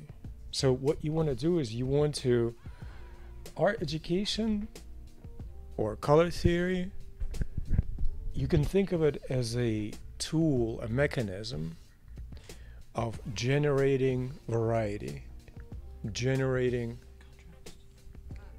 not just contrast, endless variety of edges, color, uh, because we know that uh, the model is infinitely complex, right? And there's no two spots that are lit in the same value and have the same color. Yeah. So it's it's you can observe it intuitively. Like you could see, you can open your eyes and see, like, oh yeah, this is a little bit lighter, this is a little bit darker, this is a little bit cooler, this is a little bit warmer. But our minds are too lazy and and can't focus enough. So that's why it helps to have a system of generating variety, generating complexity. And the system is if we know that there's three different things happening in, in uh, light logic, in, in difference between light and shadow, so when you comes to color, uh, you also have to, wh- when you jump from one area to another, you have to change temperature and you have to change color. So, for example, uh, I can show you this. So we have warm, light, cool, shadow, right? So most of of this, you see that this is warm light, cool shadow, right? If we talk about shadow, we have different things happening. We have form shadow, reflective light, cast shadow. So in this case, we'll have kind of well, I see warmer form shadow, cooler reflective light, warmer cast shadow. So so when I look at the shadow pattern itself, when I look at the shape, when I look at this complicated shape, I already have ideas how to complicate, how to find difference between patterns of form shadow, patterns of reflective light, and patterns of cast shadow. Does it make sense? Yeah, like warm, cool, warm, cool. Yeah, so basically, exactly. So just in the shadow, uh, form shadow is warm, reflective light is cool, uh, cast shadow is warm. And then when I jump from one pattern to another, I'm also going to change the color a little bit. So here, for example, you see uh, warmer, darker purple in form shadow, lighter, cooler, greener reflective light, and maybe softer, warmer, but not as hot as the form shadow and the cast shadow. It seems like it's all based on recognizing patterns and and understanding. Like, you don't have to be everywhere at once. You can start to recognize those patterns and follow that. I would say that there's infinite complexity in life, but you can you can put together a system that will help you break it down Yeah. and generalize it a little bit. So that on one hand it gives you variety, on the other hand it reminds you of the changes that will occur whether you see them or not. Right? So for example, like if you get tired and you just see the shadow as one color or value, your kind of the, the slight logic should tell you, wait a minute, pay attention between difference between form shadow, reflective light, cast shadow. And then once you remember that, then you're like, oh, I gotta see that difference. So whether I see it or not, I will implement that difference. Does it make sense? Yeah, just to help design out, chisel out your portrait. to bring complexity and variety, to bring information. You try to saturate this form with information. Eh, If we won't move to the light, we have pretty much um, lighter, warmer halftones and then darker, cooler halftones, right? So because warm colors come forward, cool colors recede. So we're trying to organize the volume or turn of the face uh, by placing the right temperature halftones in the right spot, Okay. right? And so we know one rule we know is that warm colors come forward, cool colors recede. Uh, then on top of that, we can apply uh, this idea of planes of the head, right? So there's there are details, there are nuances like eyes, nose, lips, but there's also volume that's based on skeleton and based on uh, Asaro head, which helps us understand how to structure the face, how to find structure, even regardless whether we see it or not. Well, can you explain to me then, like you're saying, cool recedes, warm, warm is coming towards us, Yeah. and in some paint painting styles, you know. In all painting styles. Well, yeah, yeah, but I'm, I'm saying in some painting styles I've seen they do the shadows in warm, so in warmer tones. So how do you go about? Do you just stick to that pattern then? Great question. It all depends on the lighting situation. So, natural light, indirect light source. So, indirect light source when we have uh, overcast, or for example, we have a window, it's always going to be cool light, warm shadow, always. Direct light source, like sunlight or direct uh, artificial light, uh, well, okay, let's say all sunlight is going to be warm light, cool shadow. And in our case, our artificial lamp makes it look, makes our light warmer and shadows cooler. So it, to answer your question, it depends on your lighting situation. Well, what if the, the lighting is this way or natural, and you're deciding at this point in your career that you can do the warmer shadows, and uh, so how is that gonna balance? Meaning you just want to switch? Yeah, No, maybe not switch. It's too complicated. It's too complicated. you can't do warm shadows and a if, warmer if tone you on the face. Clearly, cool light, warm shadows. You can't do the opposite. Well, you can, but it's going to be awkward. It's just it's, you know, just change the lighting. Why would you want to do Yeah. that? You know, just put a put a light that that you desire. Okay. Right. So what I'm trying to say is that colors are complex, but there's a system how to organize it so that you can solve it right? So you can solve the volume of the forehead, you can solve the volume of the cheeks, you can solve the volume of the chin, um, and create volume going from left to right. And then also composition makes important part.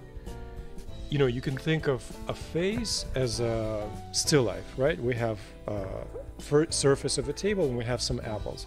That's how details of the face should stand out in front of the face. So obviously eyes, nose and lips have to protrude forward beyond the information that you put in the face, right? And obviously information that you put in the face should stand in front of the information that you put in the in the um, in the background. So not only there is logic of how to create volume, but there's also a very specific logic how to subordinate information.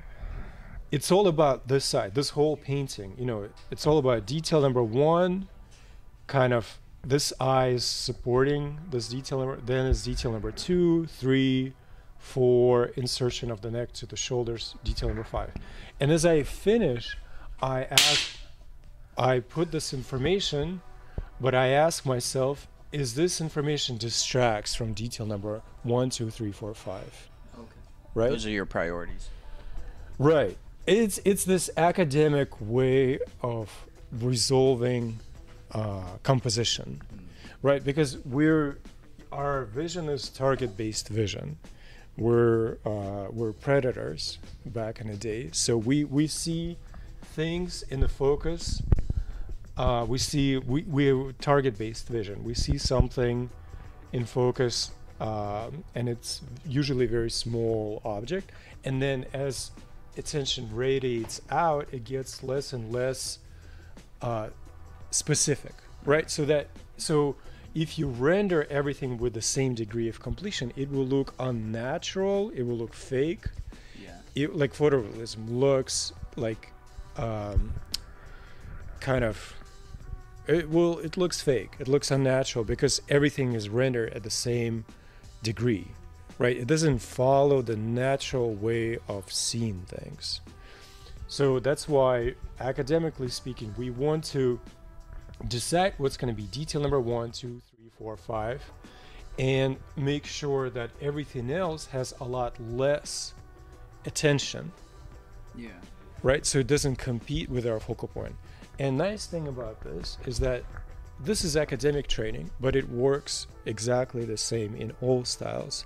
Abstract painting, impressionism, post impre any any style you take, it's the same rules, Mm. right? So you can look at Kandinsky, you can look at Malevich, and you'll see the same uh, uh, rules applied to, uh, in the artwork. Yeah. It's very interesting seeing it on the monitor versus this. For what what has helped me as a student to notice is the the patterns of the roughly the same color that you're using.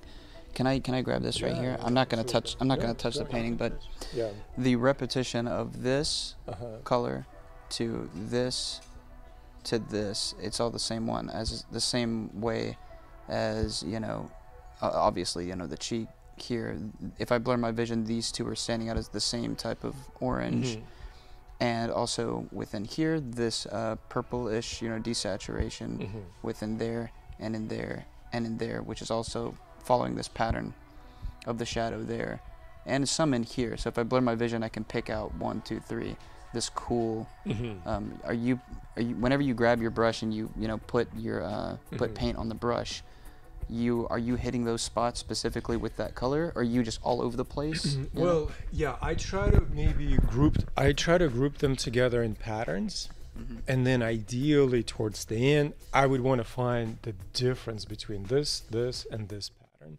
I would want to find difference between this, this, and this color. So, I kind of bring them to uh, general, kind of like uh, separate to general, uh, separate them in general patterns, and then find variety within that as well. there's a lot of variety in this for me i tried to pick maybe three three of those varieties especially when i'm first starting out Right. you have that orange that I pointed out on the cheeks. You have the desaturation on the, the left side of the face. You have that the brighter, that uh, tan of the you know uh, the light, and then also you have the pink, and then you have not to mention the the blues coming in here under the eyes and under the nose right there. There's so many different colors in there, uh, as opposed to for me, I do three to four. Right. Um, like you're saying, you're finding a lot of variety. It's all, whenever I look at it in the monitor, it starts to really come together because of the compression of the camera. But in person, looking at it here, it looks like a rainbow. There's so many different colors, but they're all working together in harmony. Do you do you ever like limit, you know, or do you are you painting just what you see? Because there's so many different patterns and groupings, but there's a there's a lot of different colors in there. Do you know what I'm saying? Uh, yeah. I think it's a good question. I think it then it comes down to kind of aesthetics um, and personal taste. I think if you like color, that's what you pull out color. If you love edges, that's what you're gonna accentuate. And different artists are experts at different things. You know, for example, if you love uh, color, you're not gonna go and look at early Sargents, for example, right? Because it's gonna be so conservative. It's so conservative. His later work, when he uh, gave up on portraiture, uh, commission port. Well, not gave up. He's just was fed up with it, and then he painted with uh, um, Monet. Uh, uh, in the mountains and, and just kind of went to travel in uh, down south to Italy, you see a totally different painter.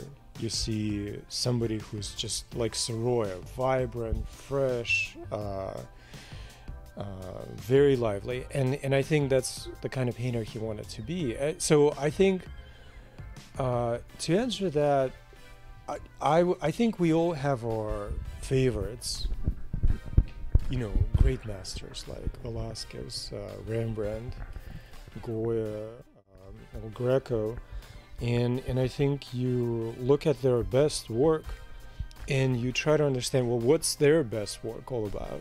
So if if these great masters really valued, for example, color, maybe that's what I, what I want to pursue.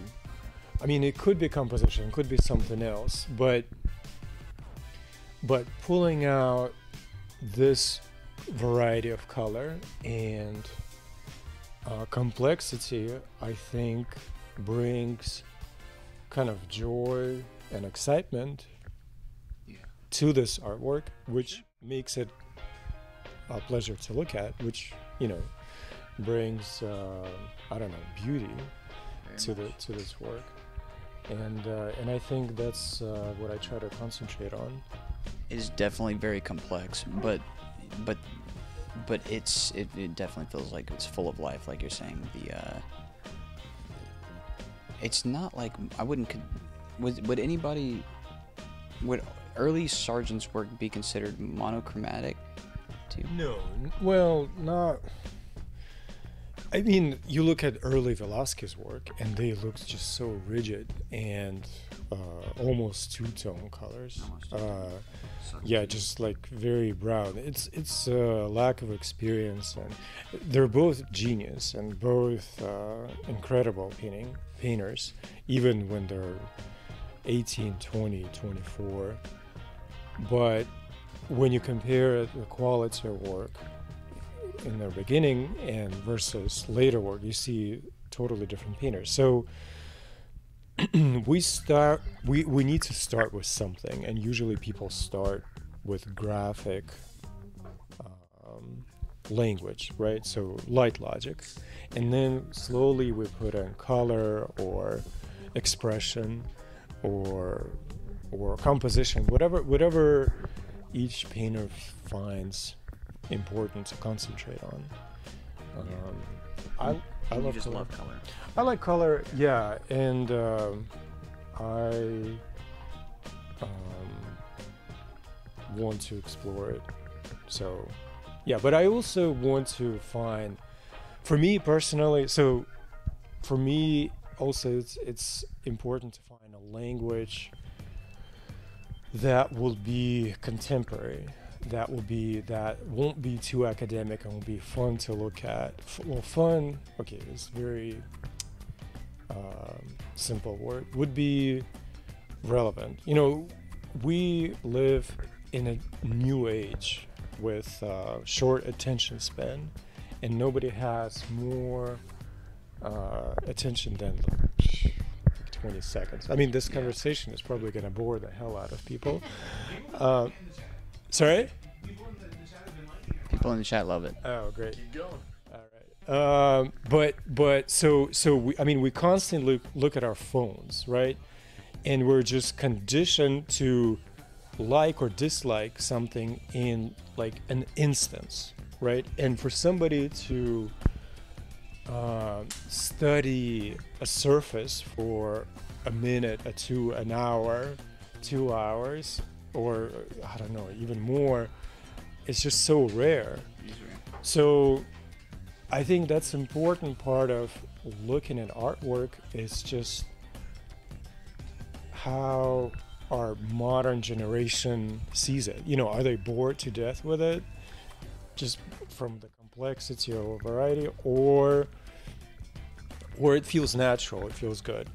Yeah. It, it's interesting. It's interesting. I don't have an answer to that, but I definitely I am aware of that. That I can't. I I'm trying to keep it expressive, and I'm trying to have a lot of fun elements to look at, uh, and then slip academic kind of language and knowledge in this as much as possible as well. Yeah, that's amazing. We're gonna let you get back to it, uh, and we'll be watching you. Yeah, let's let's ask let's ask him a question really quick. On the top there? Yeah. So this one, the, people, people have just been saying your thing is great. No one has any notes for you. They love it. Oh yeah. Yeah, they, they, they've just been enjoying it so much. Why does Ethan look like a kid next to Leon? I am a little kid next to Leon. You know? I'm just step. I just look up to him in so many ways. Uh, yeah, who are your favorite masters? If you could pick one, who would it be? I love El Greco. El Greco is just mind blowing. I mean, I I started out with two, Dali and Caravaggio, and I still eh, just absolutely blown away by Caravaggio.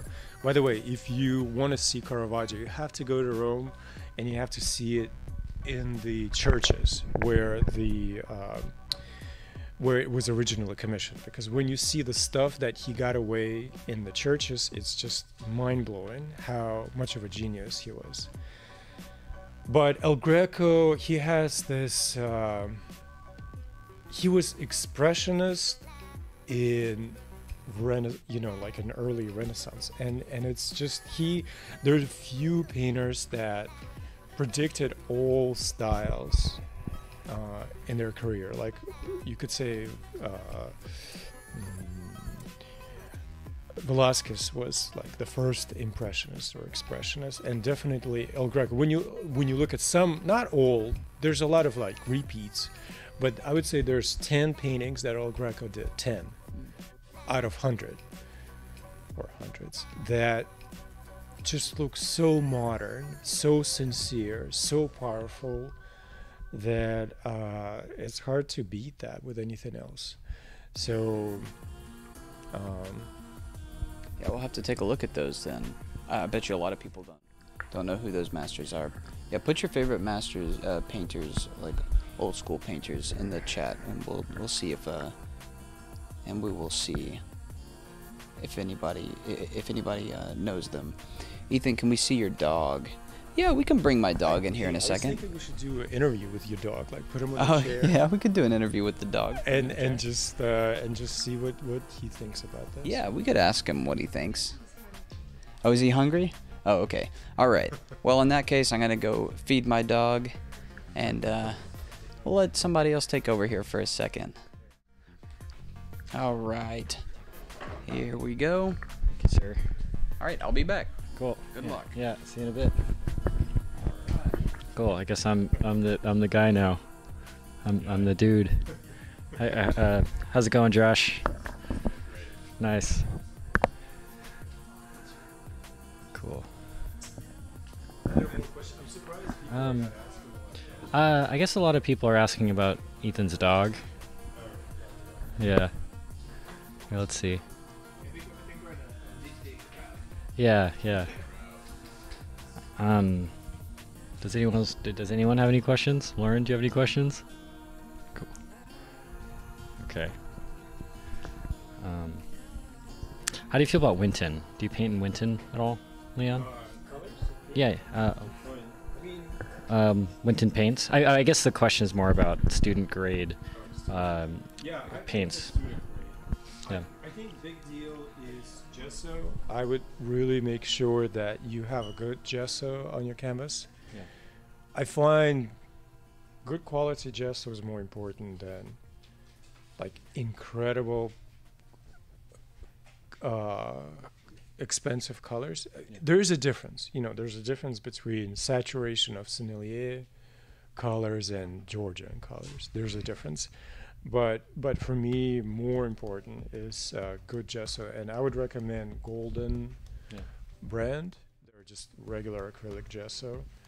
It's just when you don't have a good gesso, you put a coat, and it will gray. It will go dark and gray Yeah. when it dries, Right. and you literally have to repaint the entire painting. Yeah. And uh, that's just too much work. Right. So my suggestion that if you're going to save on something, buy cheap muds, uh, earth tones, siennas, umbers, um, um, ochres, blacks. Buy cheap muds. Um, spend your money on uh, turquoise, oranges, Indian yellow. Discover Indian yellow, yellow for yourself. Indian yellow is just like a whole chapter. If you guys paint, Indian yellow will kind of start a new period in your life. Change your life. Yes. Um, because it's so good, it's so complex. You can put it into blues, you can put it into. It, it explodes in the light.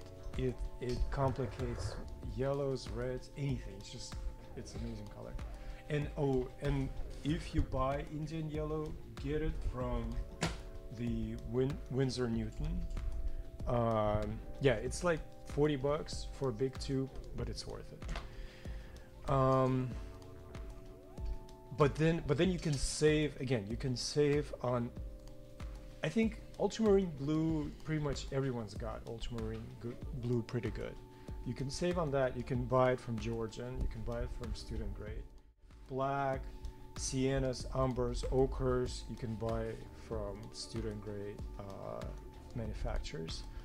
Uh, if you can invest your money, invest it in um, warm oranges, turquoise, Indian yellow, maybe uh, rich uh, reds. Avoid. I would recommend avoiding Naples, col- Naple colors. Anything like Naples this or Naples that. I would try to avoid that. Um, I actually I have a question. Uh, so uh, I was talking to Stan, and he was telling me that you guys had ran into each other at the airport. Yeah. And uh, do you want to talk about how you, you guys came up with the idea for the stream? Uh, I think originally we were discussing it with Natalia. Um, that she, when she um, came back, we um, talked about. Uh, not not not. I'm sorry. Not when she came. We I think we talked about before that. Even before that, we were talking about. Well, maybe we should do a portrait. Maybe we should do a show.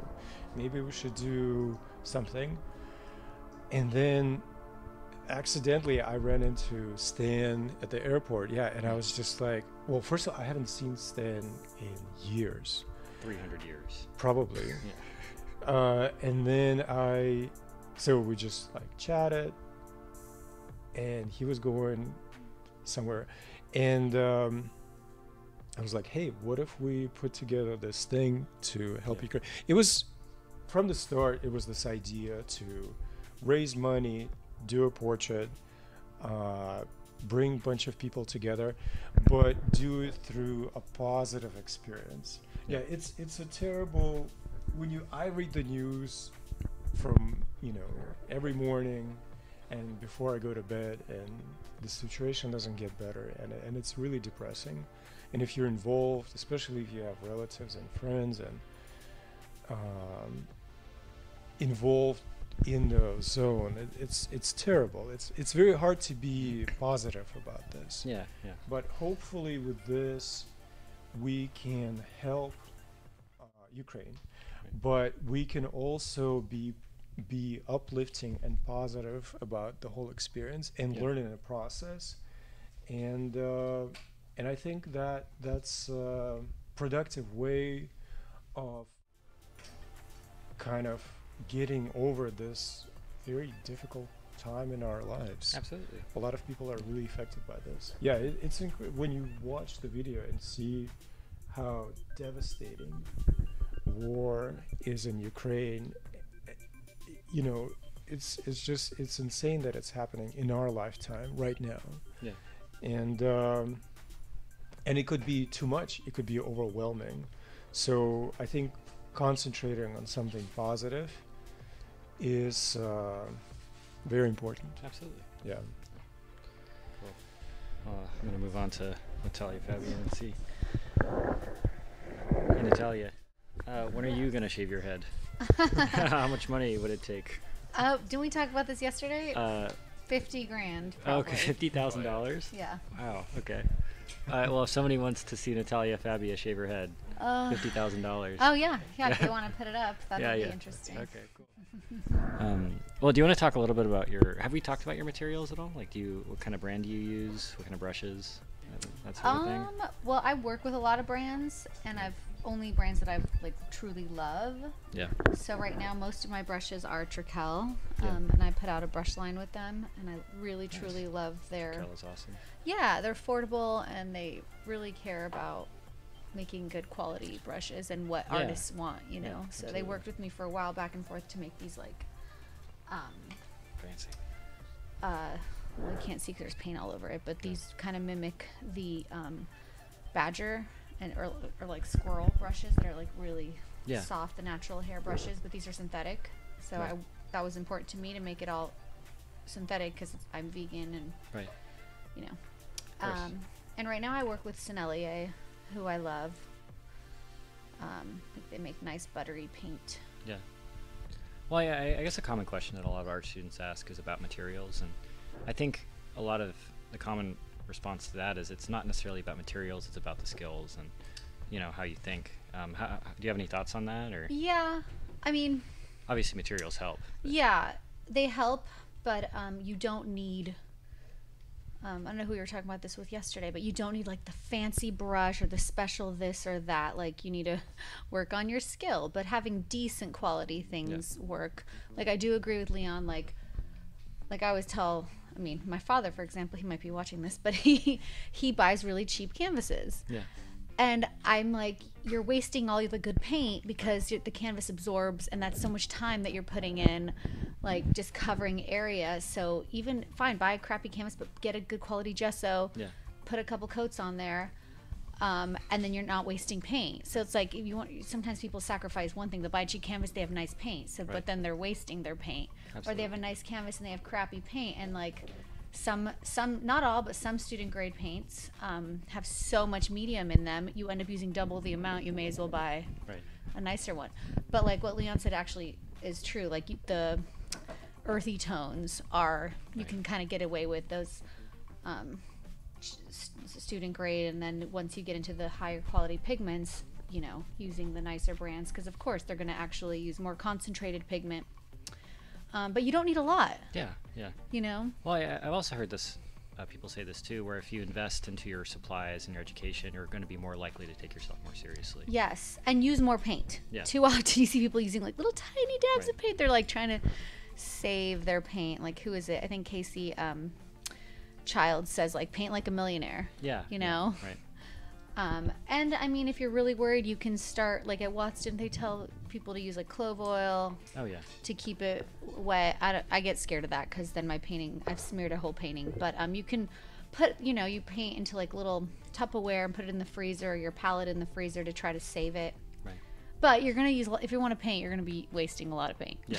That's yeah, just yeah, it. yeah. That's Yeah. just part of the investment. Learning. Yeah. yeah, yeah. Part of the ten thousand hours, you're probably gonna you know, Exactly. spend a lot of money. Yeah, so maybe you have, have your limited palette. Buy like bigger tubes. Um, yeah, you can just gesso piece some pieces of of board. Yeah. You know, you don't have to invest in the crazy high quality linen. Of course, the more the better you get, and like when you start playing with nicer materials, some are pretty Yeah. magical. Oh, absolutely. But they're not going to make you a better painter. Yeah, you have yeah, to have yeah. that skill. Nothing's going to make you a million times better. Yeah, one, it, it, it you know, uh, it really depends on artist to artist, and I think it's important to find out what, what works for you. Yeah, exactly. Yeah. I remember I was I was talking to Meadow Gist about this. Uh, she was I can't remember who she was taking a workshop with, but she was it was one of the famous plein air painters, and Mm. he only used Winton paint or something to, to do all of his paintings, and he said it, that's just the thing that worked best for him. That's great. Yeah, and that's affordable. And if it works for him and he's getting nice colors, then who cares? He's probably using a lot more concentrated too. You have to know, like, are you the kind of person who wants a lot of medium and thinner? Yeah. You know, and play around. Sometimes, like, I was travel. I had to go to Mexico, and I wasn't able to bring any thinner with me. I thought I could buy some there. I couldn't find any, so I was forced to not use any. But it was a blessing because then I learned how to paint with just paint, you know, and I realized, wow, I was using way too much thinner, which actually breaks up the paint. And um, then the next subsequent layers you add on don't stick as well. So Yeah. that was hu- huge. Um, but yeah, some people only paint on one surface. I love experimenting with surfaces. Um, I don't think you should be like tied into one thing. I mean, it's okay if there's one thing that works and you love it, but it's good to experiment too. So. Uh, yeah. Cool. Well, I'm gonna I'm gonna leave you to your painting, and I'll I'll be back. Okay.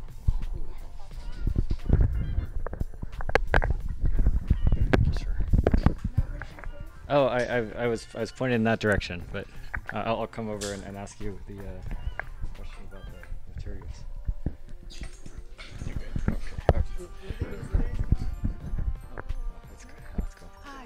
Okay. No, no, no, no, no.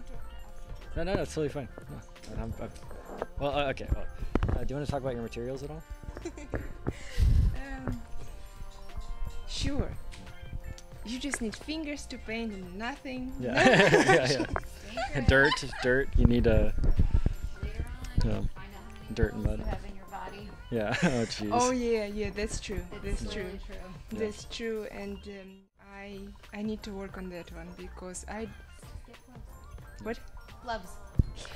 you know I can't. p- I I tried with gloves. It uh, uh, annoys me so much. Yeah. I can't, and um, I I need to yeah, to change my. It, it I don't know if I will be able to do this. Um, it's like uh, changing the whole lifestyle or, and who you are. Yeah. I don't know.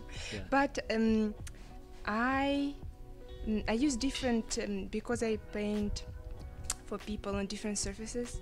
Uh, I usually uh, need to have all range, uh, starting from enamels to outdoor paint to concrete paint to inside paint, in- indoor paint, which. Um, um, yeah, I, I agree with Natalia and with what Leon says that uh, mm, mm, it doesn't uh, matter as much what um, what tools and materials you have as much how you use it. Yeah.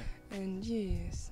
Well, it, it's really cool Mm. seeing how you use texture and obviously different brushes and knife palettes and stuff. And you know, it's cool seeing the results you get with a really wide variety of materials. Mm, yes.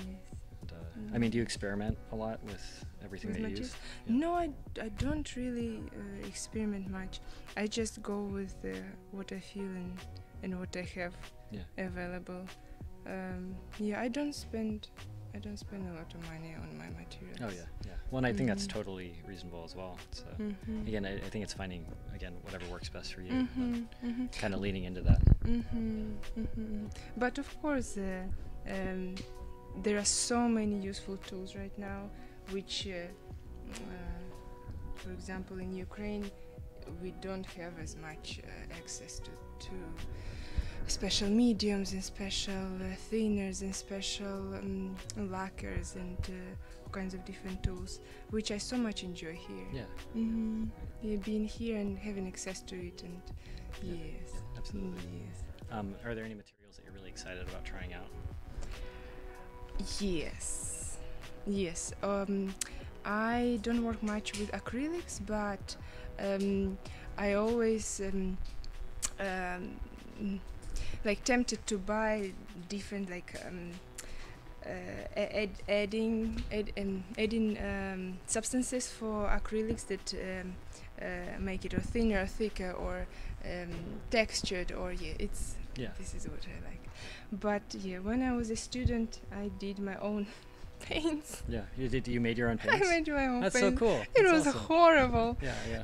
because I loved to paint big paintings Yeah. and having like mm, very little money Yeah. mm, I would buy yeah, the, mm, the pigments and just mix it with oil and uh, and use it as much as possible and uh, right now I look at this and think oh my god what did I do Yeah, well, that's very inspiring. You know, I think a lot of people feel like painting or doing any art in general is uh, something they can't do because they can't afford it. Mhm. But you know, pretty much Mhm. anyone anyone can, you know, do it. If yeah, they really, yeah. they But really at that time, um, I I look back and I look at my paint and think, oh, I wish I used better quality. I wish I did because there were some things that I can't uh, re reproduce right now, or I I changed my style and I will never go back to that. But that was so um, interesting and. Um,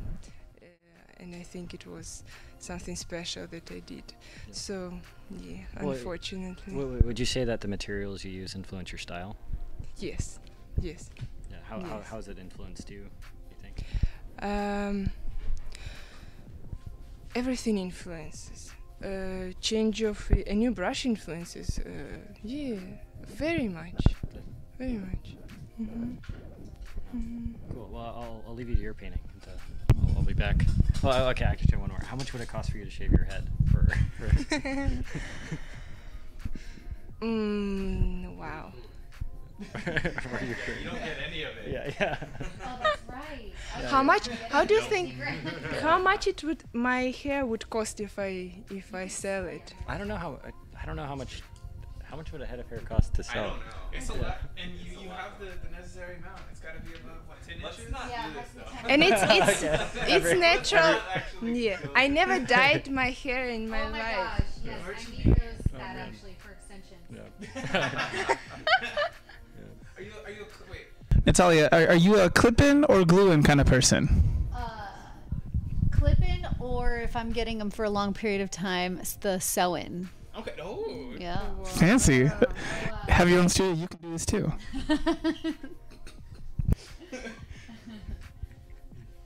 Cool. Okay. Cool. Well, I'm gonna I'm gonna ask Joseph about it. Oh, okay. Thank you. I'll take that. This, this lives with you.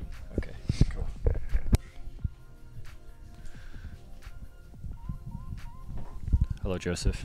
This is Joseph's moment. This is Joseph's moment. Are, are you ready to, to to to start some shit? Uh, Oh, oh, I'm in your shot. possibly. Nice. I mean, Um, clear my plate here. all right. Uh, here. So, I understand that we've got some, uh, some, some, some people had some things to say about my question. So, do you guys have that? Yeah, yeah. Um, people were commenting about the eye placement. Oh yeah. Um, do, do you want to? Uh, what about it? Uh, they were saying that the right, her right eye might be a little bit too high. Who, who said that? Uh, I, I don't, it wasn't me. it was. Uh, I can't remember. There were some people in the chat. Can I get some names? Are you crying or are you? Uh, No, I'm just trying to figure it out who did it. um, do you want to? Do you want to know where they live? Do you want to know their names? Just their handle. so okay. can- no, I'm kidding. Uh, no, yeah, I, I, uh, my wife told me the same thing. She was la- last night. She's like, something's wrong with the eye. Yeah. I was like, thanks. Uh, um, Thanks, honey. It's your fault. yeah, but um, so do you want to try to fix it? Or No, no. Well, if you want to talk about. Uh, Yeah, okay. Because I, I, I know that you know every single artist, no like no matter the level of skill and mastery, everyone makes mistakes. You know, Mhm. and Well, especially Joseph, you know. What are you saying? What's that? Uh, you know. Did Joseph make a mistake? no, no, it's a perfect. Oh no, I no, I I make mistakes a lot. Yeah. So I'm not above. Yeah, and yeah. So what? And no, that's not a. I don't take that. I didn't take that. I didn't even understand why they were laughing. No, Christians should be punished. No, no, God. he's called. He's make. He's you know. He's calling you out. So so to Shave your eyebrows. Yeah. okay. So yeah, no. If uh, uh, let's if, if seriously like this is an issue. So there's an issue here, right? And so I took a couple pictures. I, I kind of looked at it, you know, and I'm trying to determine what's the best route to go here. So, you know, the first instinct would be to lower the eye. But well, that means a lot more than just lowering the eye. That means every single edge, every single thing has to come down and support that move, including maybe the brow, including the forehead, and it could really change my design everywhere in that vicinity. Uh, you know, so I've got this really kind of horizontal thing going on there, and I don't mind that. So, and even the nose is still somewhat ambiguous in terms of where that back corner is located. So, you know, uh, I think more of the issue has to do with uh, the recognition of the eye being low might have to do with something along this edge because her, it's kind of giving the impression that her head is tilted a little bit because the, the forehead is, the apex of it is out farther to the left than anything else. But on her, the, the farthest apex to the left is like the, the cheekbone here. Yeah. So I would argue that it's more about an issue over here. And this is all really initial stuff. I haven't really touched it since I put it in there. And I've, I've been meaning to modify this edge a little more correctly, a little bit more fluidly. So what I'm getting at is that I think I can better solve the problem by swinging this stuff out. And but then that's that kind of presents some other problems. So that usually when you have to fix something that's this subtle, I just think it's kind of a a read issue. It's reading a little bit high. I don't know that it's necessarily an unacceptable issue, but if it if it if I determine that it's unacceptable, I usually make these these uh, adjustments by doing a series of things, not just one long story, long sto- to shorten that story. Yeah. Um, so the first thing I would try to do is get the read to work a little more effectively, and that means like like ripping a band-aid off. Get just put something down to kind of like make the cut, and and do the job. And I, I think what it, it would benefit is if I try to put a little bit of a dark note a little bit lower, and kind of align it or even suggest that the under plane of the eyelid is slightly lower in relationship to this one. This one's really, you know, a little bit darker, a little more clear. And so if I were to try to like do that, I might be able to nudge that down a little bit. Also, maybe even down here on the lower lid, drop that just a little bit. So just a gentle nudging of an edge can kind of start to initiate the read in a little more favorable manner, if that makes sense. Ah, deep breath. Uh, so yeah, so you got to try to do that. Do you want to try to do that? Me? No, me. Okay. okay, I can try, man. okay. No, no, I don't want. Okay, stand back. You're making me nervous. Okay, I'm sorry. Uh, so I'll try to do that first. The next thing would be to is to kind of alter this edge, um, but that opens up another can of worms with the mouth, which I have kind of uh, conveniently placed in a really brief way. So I don't know. The question is, what what's going to happen? This might be a good use of Photoshop if you really if you're really worried about it, but I'm, I'm not. So I think it's okay. You just go in there and make what I what I will say when I do something like this, and what I encourage people to do, is make really minor incremental adjustments. So I'm not gonna like do anything too crazy when I say like make a make a you know a pretty deliberate move. I'm gonna do it in such a way that is like uh, discreet. Let me get my stick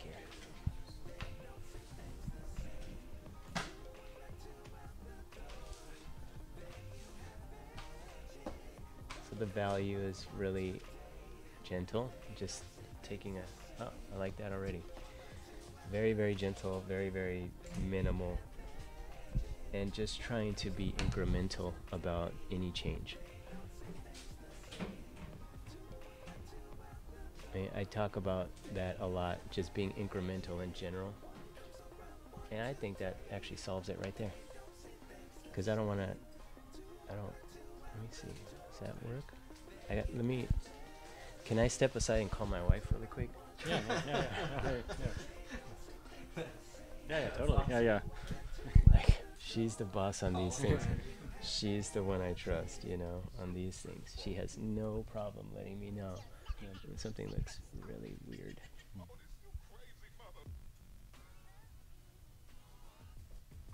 We all need someone like that in our lives.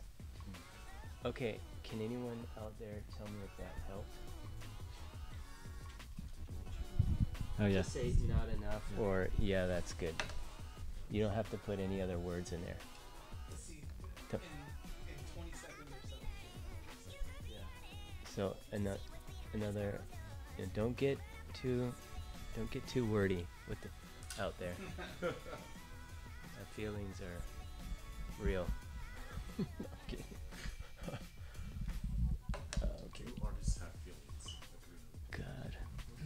Uh, Sanford Green texted me. He says all Joseph has to do is make the left eye smaller, not lower.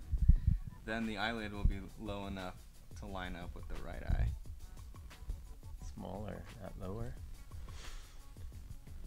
Okay, that's fair. Yeah, I mean, not. And he's talking about this left eye or her left eye. Her, her left eye? Uh, 'Cause he just this- said left eye. Okay, 'cause that eye looks, that's her left eye, and it looks larger than that. I believe. Well, probably means the one that you're thinking of make lower. Hmm. Oh, because he He's said saying not, lower. so yes, smaller. I see. Probably the left eye on the canvas. Uh huh. Uh huh. So you- Sorry. Yeah. So- So it probably just means lower the top lid. Yeah. Okay. And then he says awesome work. Oh, thanks. That's kind.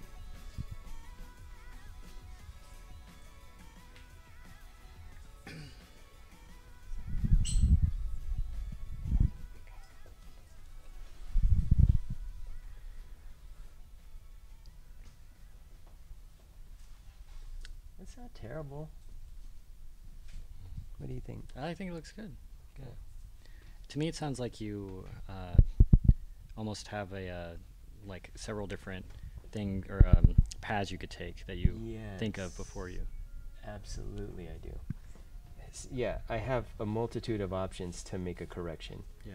Always, I mean, always. It's never just one thing, you know. Um, in it, it's usually a, a series of a few minor things. If if if the goal is not to disrupt what's going on. Yeah. You know what I mean? I, I don't want to do any major damage control here, right? I just I, I like the painting.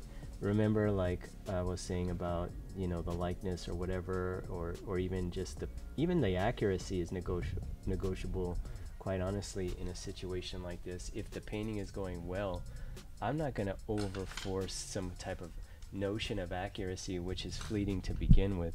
I'm just trying to paint the right clues to have an experience, the viewer to have this sensation of light, the sensation of the model, and this kind of feeling of expressive authorship, right? And so if I'm achieving that, like, why would I want to disrupt that for some like strange uh, uh, dogma of it being like, oh, you know, no, it's it's got to be perfect or whatever. I think that's a myth, and I think that, um, you know, I, I've learned just uh, which battles to choose. Like, you know what I mean? Yeah. So, um, I so yeah. I mean, that's that's not bad. So I think um, at this point, well, let me stop talking and use my brain right.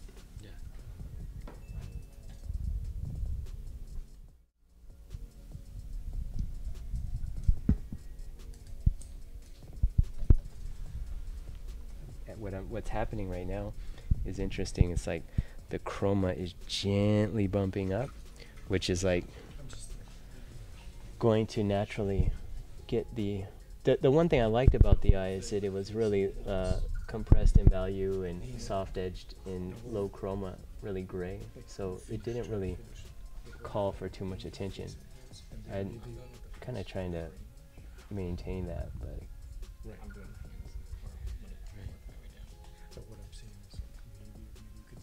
in general, the eyes are pretty minimal and suggestive, and so uh, I don't I don't want to lose that quality by trying to go for something too too literal. Um, trying to explain it, I guess, but it's just really more of like a feeling. Does it read well or not?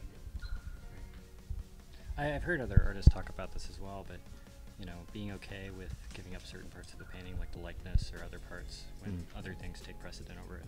Mm. Kind of being intentional with what you're trying to say with the uh, piece of art that you're creating. Yeah, it's totally true.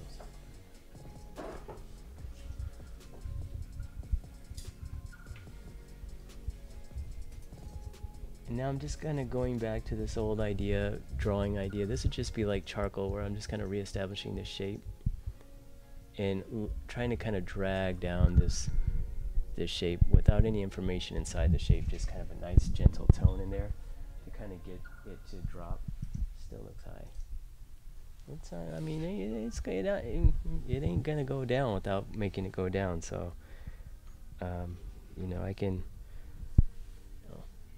try to push things uh, quietly as much as possible. But at some point, if it doesn't doesn't work, you might have to do a little bit more aggressive tactics here.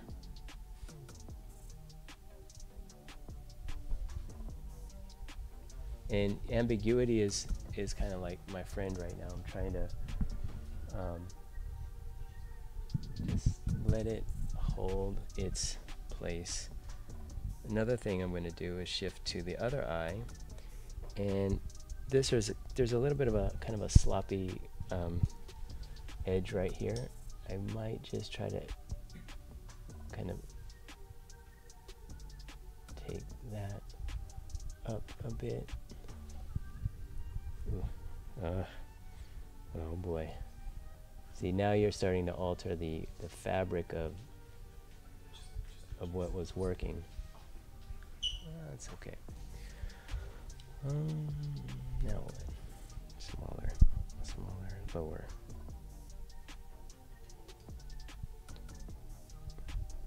Oh my god, oh my god, oh my god, oh my god, oh my god, oh my god. Did I say that out loud? But no, I think it's really important uh, to have some um, tools when you've got to make adjustments.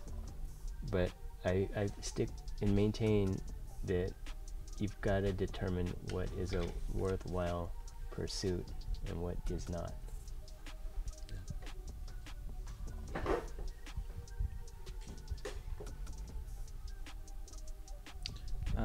Before you make any changes, do you uh, do any breathing or anything? You know, trying to try and center center yourself. Sometimes, you know, a little prayer Yeah. to the the the muses. No, not. Well, I don't know. I'll hold my breath Yeah. if I try to make a stroke that really, you know, it's really pivotal. Oh, she's not there. Okay, I should probably wait until the model gets back up there. But I I like that. I think that's I think that's okay so far. The highlight is also another issue too. If you notice the highlight over here is lower or on the same plane as the highlight there, right? So that could be another possibility, but you see I'm trying to avoid that because I kind of like the I kind of like the the haplessness of that little fleck of paint. So, you know, at some point that's another option, but once you start if I remove that, then all of a sudden, you know, some real some real things have changed quite a bit in terms of the you know the quality that I that I like so far. So I'm I'm juggling whether or not uh, it's worth it. And the other thing I'm doing, which I think is really important to, to say, is that I'm very patient about these decisions. I'm not just gonna like sacrifice this this thing right right near the finish line for something that doesn't bother me that much. Yeah. You know, I might regret it later, but um, painting from life is really tough. And to me, I've got some good victories going on, and one defeat is not a deal breaker for me. So we'll see. Like I'm just gonna take my time. Yeah, absolutely. And maybe uh, again, I still have the option to kind of adjust this edge, and I think by possibly bringing it out just a little bit, or even modifying it carefully, might help as well to kind of just b- essen- essentially straighten the head out to real horizontal and make it an acceptable read. Does that does that make sense? Yeah, yeah, absolutely. There, there's a person in the chat here that said the eyes are definitely starting to look normal. In case that's any reassurance for you. I don't think there's no Todorovitch for the last name, so I don't think this is your wife in the chat. Oh. Yeah. But Where? there's good positive things here. Oh, Manuel okay, Sal- Yes, it's from Manuel Saldivar. The opaqueness on the right eye is like, is is what in my opinion? The opinion? opaqueness on the right eye is. Uh, what, do you see that on there? Uh, That, that it's like VRW. the main thing people are pointing out is like the inner Corner? eye, the shadow on the top,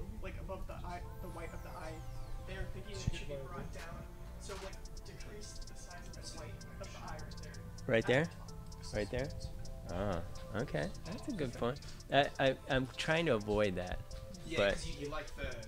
the highlight yeah i just like the the yeah yeah i think like yeah it's funny so i there's i noticed it um there's things that seem obvious and when you execute those things they can really change the dynamic of the read what i'm what i'm trying to say is through experience i know that i'm very very like cautious about things that might seem obvious taking that step because i know how dramatic of a change it could be and then i can feel like i've lost something that i didn't want to lose so um, patience is the key for me and and really i don't take a step just because you know i, I want to know what it's going to look like I, I take a step because I, I have an idea a, a good sense that it's going to be the right move. Yeah. does that make sense? Absolutely. so um, these are my this is my philosophy about making subtle adjustments like that.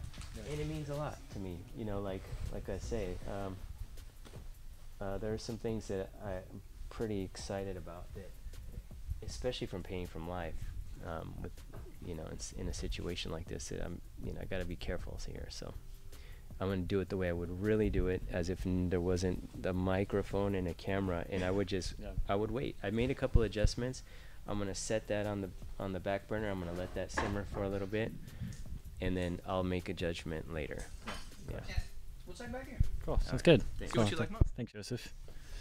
Cool. How's it going, Stan? Good. Uh, to figure out the sleeve. I think it looks that way. But I finished. Mostly, I finished the face. Nice. Yeah. I like it a lot. It's good look. It looks good. But yeah, it was just it was getting busy, and a lot of the sh- like brush strokes are just like it's like 50 separate strokes that just don't go from one to the other. They don't. There's no flow. It was just a bunch of islands. Yeah. So I, I just went in and just like destroyed this whole area. Right. Just with the fan brush. Yeah. Probably do the same thing here. Just kind of boop boop, clean it up, come back in and tackle it again. Do you want to talk about the philosophy of troubleshooting your painting while you're painting? Like trying out different things, you know, trying to visualize what you think will work and what, what won't? Fixing. Yeah, yeah. I mean, I, at any stage in a really big painting, I'd imagine that there is some trial and error and troubleshooting that goes along with just trying stuff out. Um, Yeah. Yeah, it's a. I mean, it's it's always wrong. It's it's more of a, like when does it look good? Yeah. Right. You, you get got to get to a point where all the wrongs look r- right. Yeah, um, and that there's so many ways you can make that happen. Um, that you can you can yeah you can just try a bunch of stuff, but a lot of times what happens with me when I'm painting and I see an error like something like this where it's a really complicated error like this this shirt doesn't look good right like Yeah. that's really it's like what does that even mean if I try to go in and like noodle it to try to force it to look better Yeah. it's usually gonna be worse um, like if I just try to add more detail Yeah. so messing it up and then coming back in with cleaner strokes usually works better for me. Yeah. Um, yeah, I don't know. Uh, It's it's a it's a tough one. It depends on your style and depends on what what you want the the look to be. If you're going for ultra realism, then then yeah, just observe and fix every little piece of the Yeah. thing. But if you're going for more kind of impressionistic and like nothing in here is really realistic, um, then it's more about the combination of, of brushstrokes that look good. Um, variety, variety really matters. I think one thing that was really wrong with what I didn't like about this area was that there's just like a bunch of repeating strokes that were all isolated. Um, there was not enough variety. Uh, so I'm gonna try to go back in and simplify things, but consider the edge um, of every stroke that I put in and how that leads to the next stroke. Yeah. Um, kinda- do you want to talk about your influences for this painting? Like, like which artists did you look at before doing I this? I looked at a bunch of um, Russian. Are they from the academy, Repin Academy? Leon sent me a bunch, and I was like, Jesus, this looks amazing. But like, it, my opinion doesn't look anything like those. Like, it was inspiring, but then when I started painting, I just went my own way. It was more of all my influences in the past that Right. led to this now. Yeah. It wasn't what I looked at before. Right. Yeah. Cool. But, yeah. Any any questions from the audience? Um, here, let me see. Uh, there are no questions right now from the audience. what? M- McKenna, do you have any questions for anybody? So much pressure. Ask a question. Was there was there anything for you guys that made you particularly interested in coming out to do this event? For anybody? Like I, I know. You tell them to the other artists. Yeah. Alright. Yeah. Anyone in general. Here, well, do you want to? Oh, sure. Yeah. Um. So, Stan, obviously, like you, you're a person who put the thing together with Leon. I- I- I- Yeah, we- video, so Leon and I we ran into each other at the airport because our flight was delayed, and we You had guys, you guys are both first class people, right? No, it was just me. I was in first class, and he was sitting in the back. A, a man of a man of the people. I was flying the plane. I was flying. That's why I was delayed. He tried to My seats out. were that cheap. I had to work. I understand. I'm with you. Yeah, he was trying to read the handbook, like trying to figure out how to fly it right before. That's why he was delayed. like, how does this thing work again? Yeah. so no, you, but you guys, you put this this together. Yeah, we just so we were sitting there and we are just talking about what to do, and yeah, we brainstormed, and yeah, yeah, and then and then it happened. Okay, no, that's good. Crazy how things work. Yeah, right. when you put forward an idea, it happens. And then you do it. Yeah. Um, Joseph, was there how, how did that process go for you uh, with Stan reaching out, or did someone else reach out? Uh, was it was it i think it was stan or stan's team and I, you know i was honored and i was like of course you know like i just i i just really i'm a pe- i'm about peace. I'm not about war. It's just like that there's other ways to solve these problems and so forth. And you know there's people really struggling right now which to me seems like a situation that is ancient. I, I don't understand how p- this is going on. I was just like uh yeah it's a, it's a no-brainer yeah Absolutely. If you guys want to help out with this one, obviously there's a link on the screen right now. Um, you guys can donate to that. Ev- People have been doing fantastically so far and making sure that there's actually like good rewards for this one, and that we can actually end up helping with through with art. can I just thank the person who uh, supported us in in purchase my painting? Like, genuinely, I'm I'm honored, and I really appreciate we we all really appreciate that that help. So thank you. Absolutely. You're talking too close to the microphone. Oh, I'm sorry, guys. Mic guy. I'm, so- I'm so used to living on a microphone. Um, yeah, I don't know. I just think it's really good that it's happening, and obviously, you everyone who's here right now, you guys don't have to support or anything, but you can still do something, even if you can't put towards this any monetary thing. Share a link. Tell someone that there's basically like an art symposium going on every 15 minutes or so here. Thank you.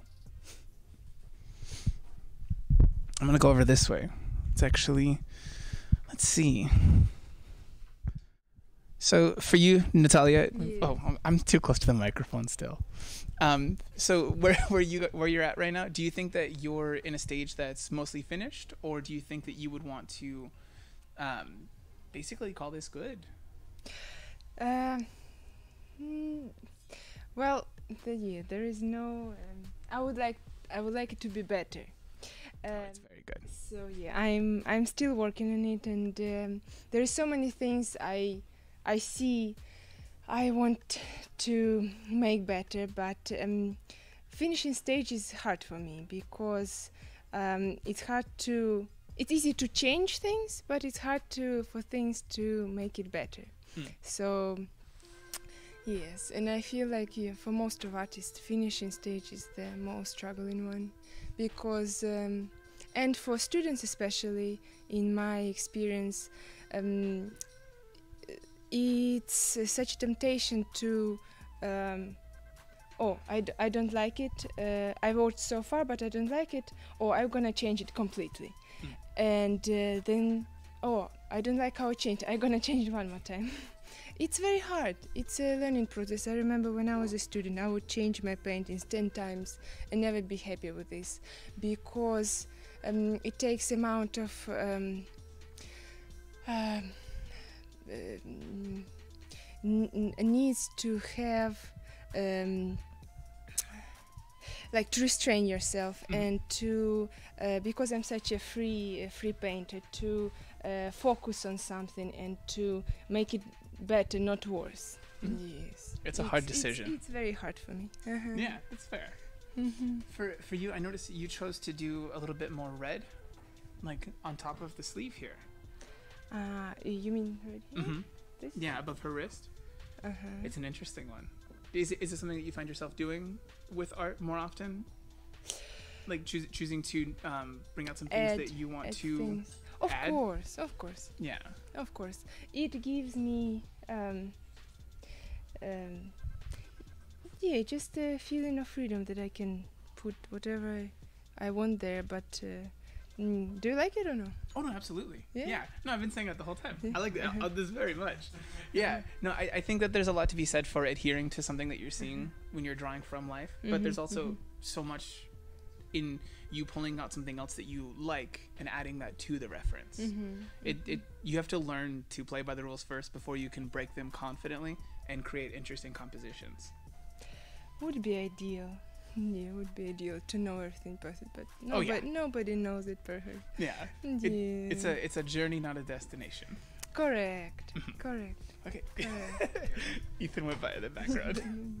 yeah, I I'm so honored and uh, grateful and happy to be here in this place, uh, especially because um, I'm so connected to my um, my country and my people and uh, my family, and uh, uh, Ukraine is my home. Yes, and uh, my parents are doing everything they can to help, and we are so united um, in Ukraine. People are so united right now because um, everybody um, everybody is doing their best in in the place they are. Mhm. uh, to help to help uh, bring peace to help finish this war to to restore uh, the um, yeah just the the justice and peace. Yes and um, i'm so grateful so grateful for people who um, who have uh,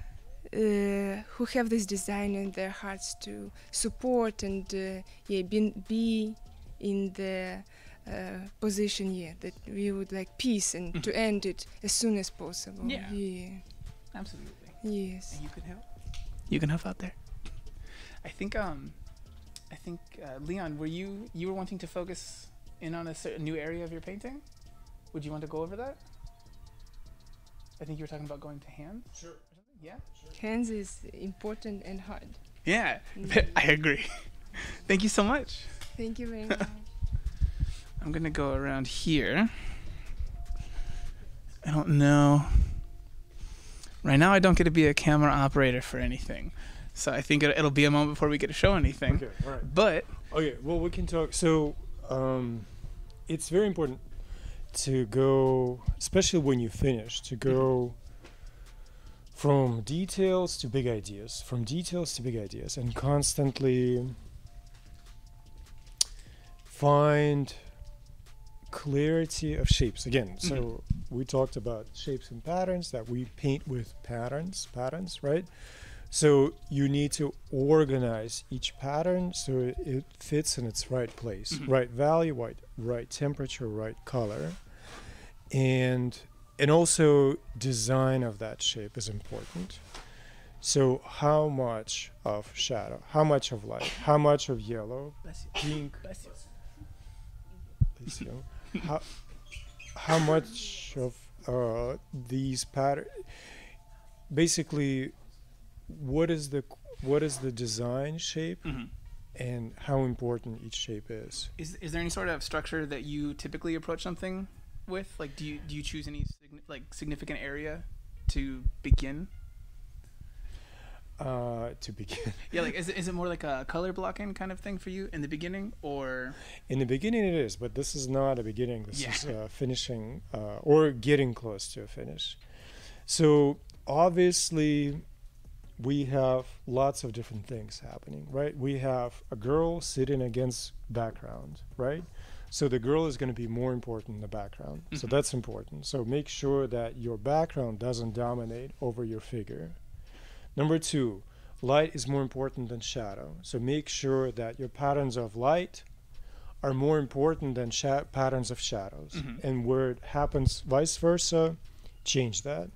Number three, you have skin tones, hair, um, her sh- uh, shirt, her dress. Mhm. So decide which pattern is more important, right? So probably skin tones most important, hair number two, shirt number three, blouse number four. So you look at each pattern and you say to yourself, is this pattern too important or not important Mhm. enough? yeah, you you had chosen it looks like for the details that are in her sleeves on the shirt. You chose to kind of make those less important than the details in the face, the flowers. Absolutely. Yeah, absolutely. Yeah, of course, because we, we said that the face is going to be more important Mhm. than the shirt. So it's a whole system of organization. And nice thing about this is if you think in this very systematical, very kind of academical way, you can be expressive, wild, crazy. You can just like roll and paint safely, and uh, and still uh, have very specific results, right? Because your your your application is spontaneous, Mhm.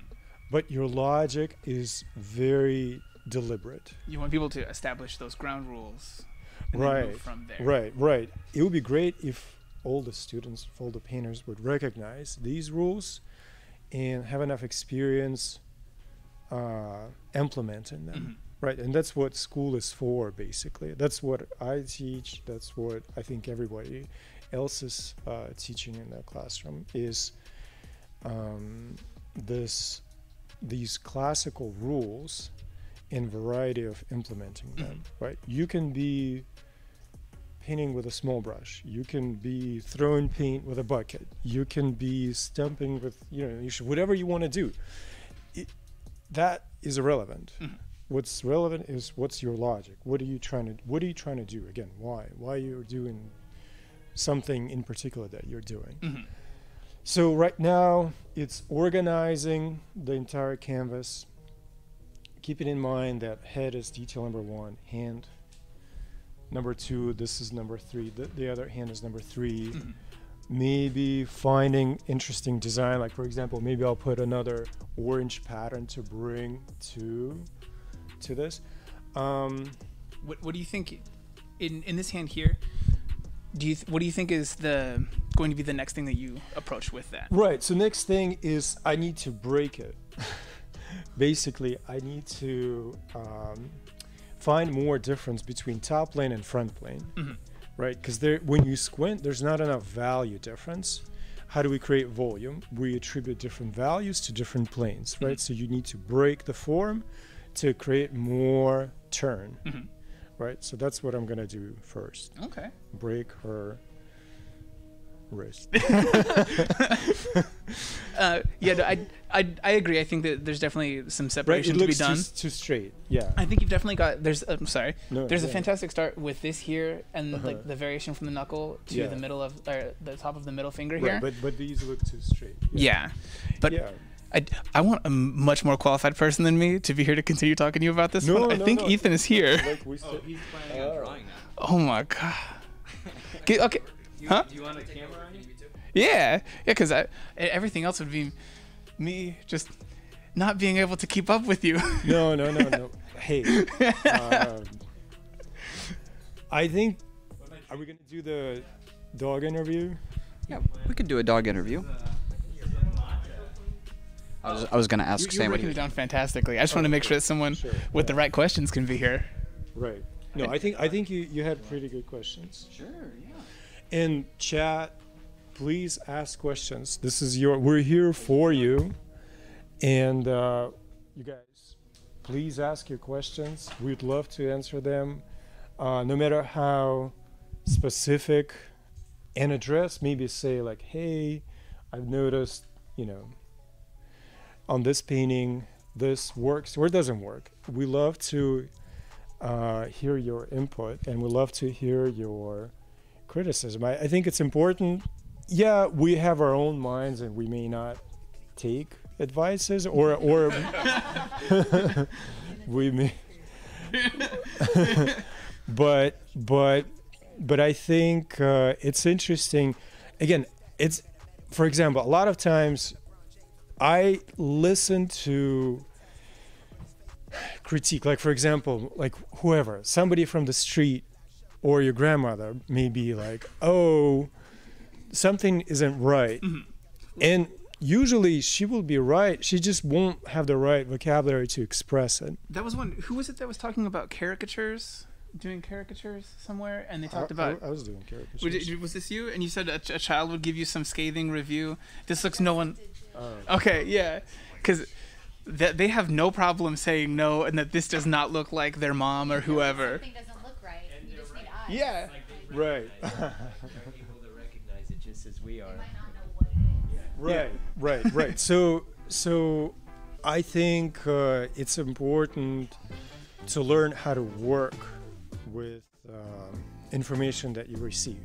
You know how to work with these suggestions like oh maybe this doesn't fit and maybe they don't have the right solution but maybe you can bring it break it apart and find a better solution right and make it feel right because again we're all experts in painting because we're all experts in life Yeah, I think it's very fair. right Yeah. Um. see, I want to see what. star of the show I want to see what the, the angle of this one is.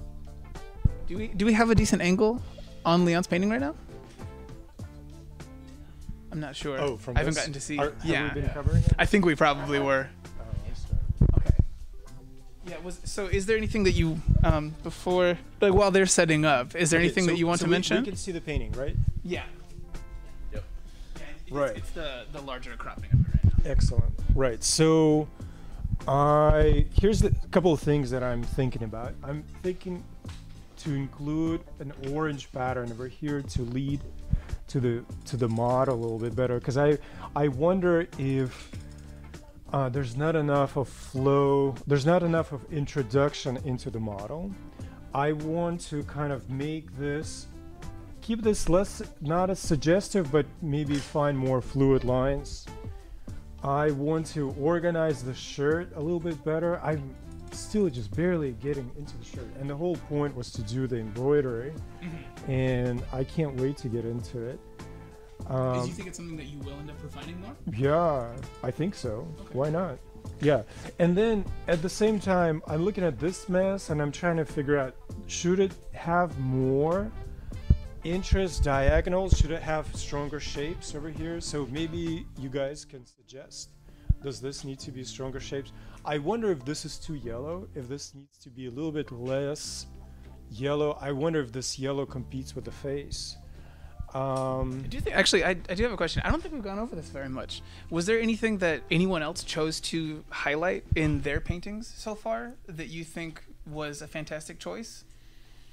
Oh, I think I think sh- um so uh, Natalia Fabia she she has the tassels which I don't think anyone else has done here. Right. no, th- that's uh, that's very interesting.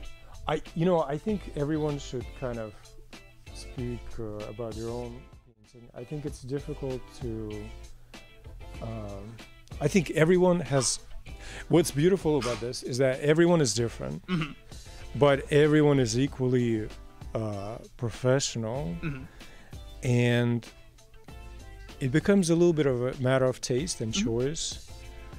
Um, Yeah, for me personally, I it's a little bit difficult for me to uh, answer that question because I'm so involved into my painting and. I'm just like resolving these issues. Mhm. Um, I think it would be a better question for the audience Okay. to uh, discuss, suggest, um, That's fair. contemplate. Yeah. Yeah, get your, get your comments ready for what you like most out of them. But you've got to stick around because we're not going to go around to each of these paintings one by one for you to say good or bad things about them right now.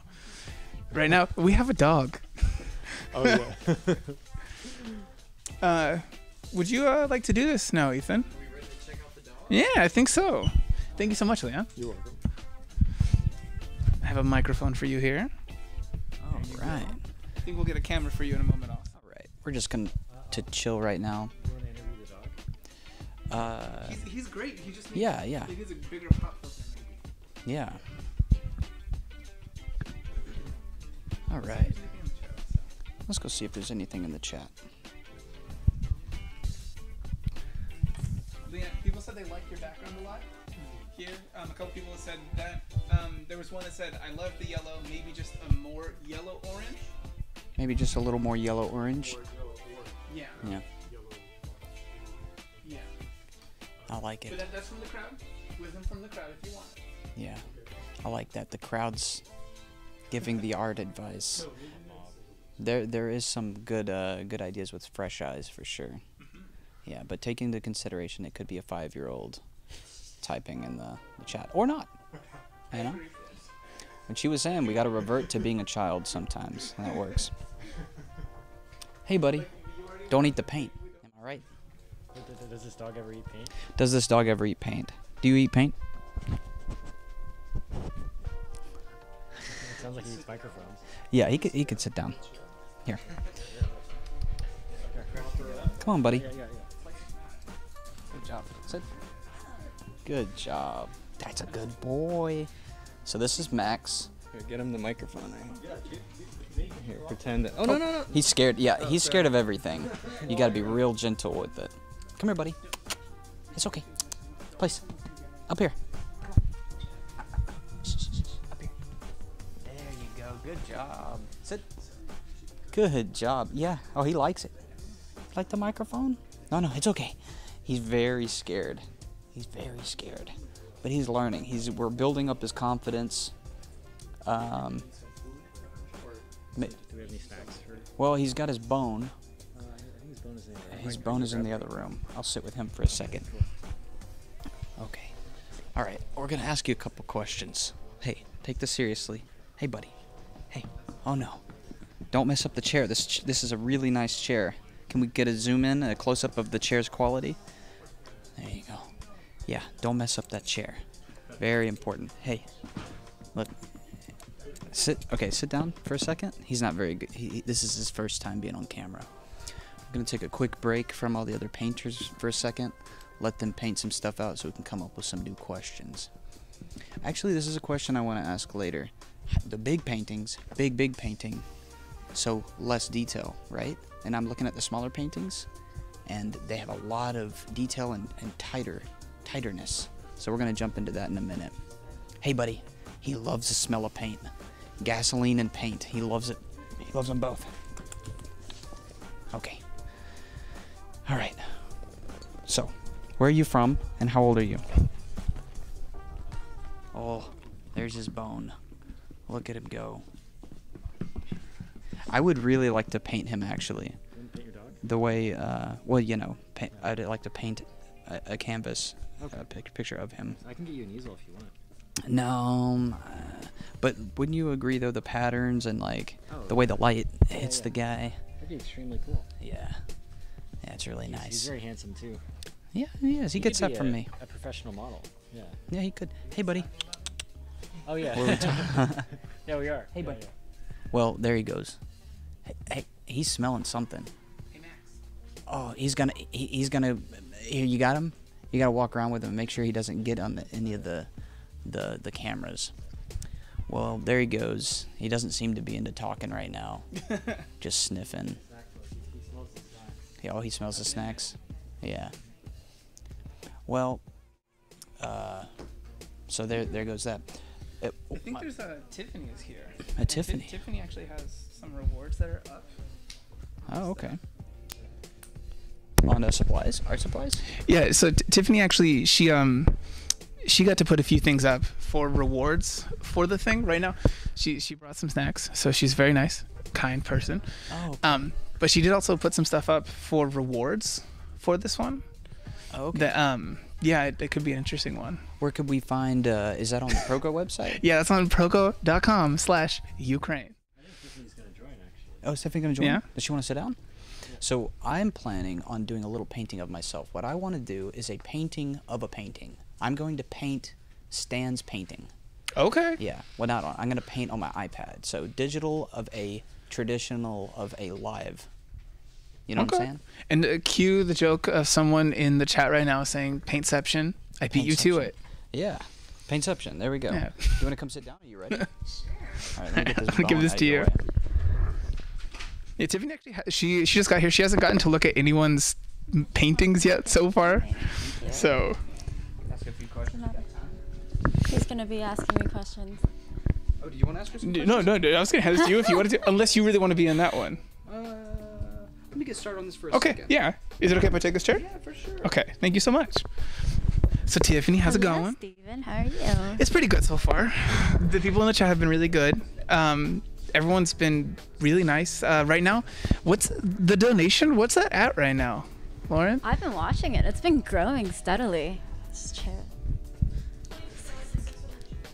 Twenty-two thousand six hundred something and four. She said.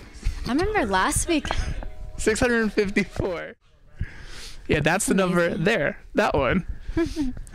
but yeah, I know. Um, everyone's been really good about it. But one of the things that I think was one like one of the most interesting things to see people do was that initially it didn't seem like they were snapping up a lot of the actual rewards. It was more just donations happening. Right. They were all just being really nice and offering to help monetarily. Yeah, which is great. Yeah. Yeah. But there are still things that are rewards that they can There get are, that are in that are yes. in there.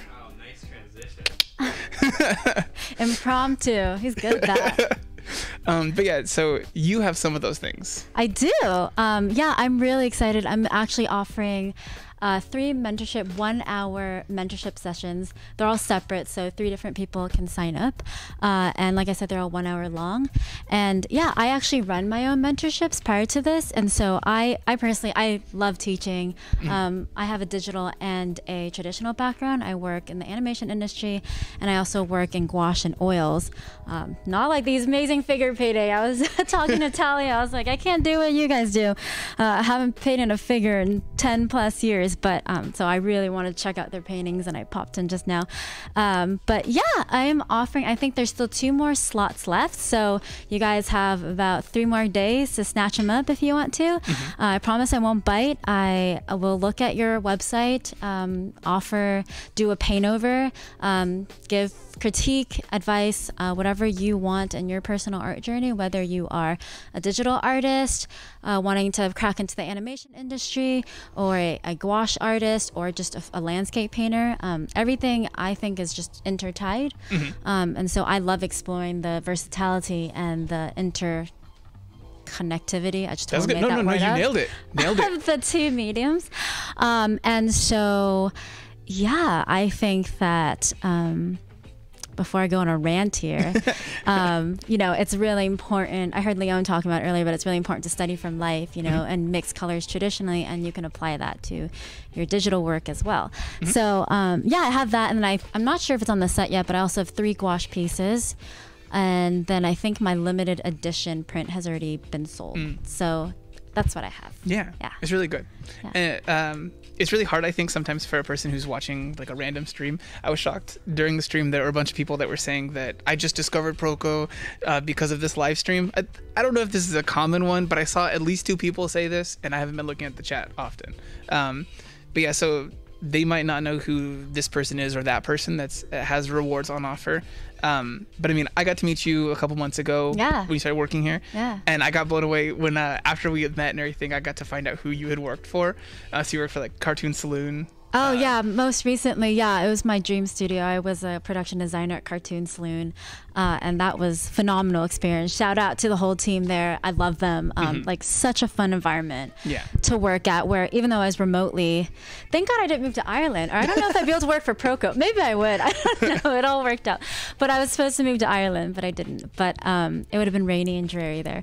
Uh, but I like. I lived in Seattle. Oh, so you would know. yeah. for me coming from California, San Diego, I've been like, hmm, A big rainy change. weather. I don't know if I can Mhm. pay. Um, but yeah, that was an awesome experience. And now I'm also working at Marvel Studios, which is really fun as well. Um, as a So- color key artist. Yeah. Yeah. So so buy the buy the, the critique things. Like yeah, so I mean, I guess I have a pretty diverse background, so I can really, um, I guess, help you out or whatever you need. Um, Mhm. Any questions you have, I'm pretty much an open book. Um, so yeah, Okay. ask away. Yeah. Entertainment, like Yeah. So what do? Oh, yeah. Can you talk about?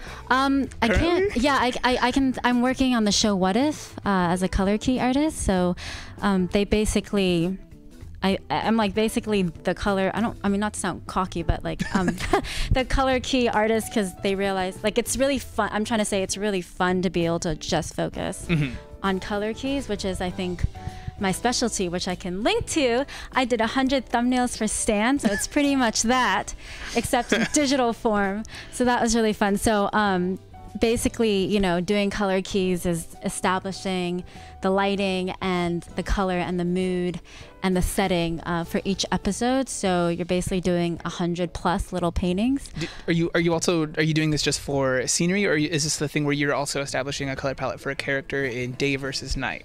Um, so the characters are already pretty much established. So I would get a character lineup, and then um, I would pull off of that. But basically, you're painting over animatics. Uh, so you get like a black and white, um, beautiful chicken scratch drawing. You know, very loose. Um, Ethan, you're working on this show. No, I'm just kidding. Can you please take that part out? Oh my god, I'm gonna get fired now. Um, no, I'm saying because I can't do what storyboarders do at all. But um, it's it's very loose, and now I'm sweating. It's, it's very loose, and it's it's it's it, it captures the gesture, and then I translate that into. Um, into the light and, and establish and figure out the lighting. And I work with the art director and the production designer, and it's another amazing team as well. And I'm really, really enjoying this job. It's been I'm really, sure. really fun. Yeah. Yeah, Yeah. It, it's a crazy one. Yeah, right. I had to pull, pull it back. It's not chicken scratch. It's fantastic. It's experience. fantastic. No, I said it was fantastic, James. oh God. Yeah. Um. So, is there anyone here whose work that you've seen in the past that you were a big fan of or anything? Uh, Besides, besides obviously, Ethan Becker. Yeah, I actually know of all of them from the past. Um, besides Ethan, but yeah, Yeah. Um, actually Joseph Todorovitch. Hi. Uh, he was my teacher. Oh. Back in um, God, I can't remember. I was in college. Yeah, it was a long time ago. I think it was 2000. Three kicks. Yeah. So it was three kicks, but I can't remember if it's before or after I studied from Italy, which Is- would have been 2013. Oh, thank you so much. Uh, so we have a question for Tiffany. I can't read that. Uh, do you have any tips on working with color temperatures in a painting to improve my color temps uh, and experiment? Um, but I find I stick to the reference a lot. So, do, is there anything that you think? Um, is are there any tips to try to like experiment with things to pull away from the reference? Um, yeah, I think I, I, well, the one thing I will say is I like how they asked about color temperatures because that is actually a really great ingredient or a secret, I would say, after you've established you know the value structure um, and you know a lot of times people play with saturation all that stuff but subtle temperature shifts is what i love to play with so kudos on that for um, bringing that up um, i would say i have some digital tricks i don't know if they're looking for digital tricks Yeah. but some digital tricks i will do is i like to use masks a lot Uh-huh. so um, some Actually, well, real quick, what what is your digital um, digital painting software of choice? Uh, Adobe Photoshop. Okay. Yeah, so I work on Adobe Photoshop, and um, basically, I personally like to paint all in one layer because coming from a traditional background, I hate dealing with you know little things. So after I paint certain, like I'll separate the character on one layer, and then maybe the background. I should guess a background on another layer. But then after I have solidified more or less the value structure, I'll just screw all, merge it, and then I will just lasso and then cut again when I need to. We do have a. There's an example of this uh, on the Proko channel. There where You did this one. There's a, You there's are a. so good at this, Steven. just just plugging in. I love it. Look, yes. I edited this one, so I know it exists. That's true.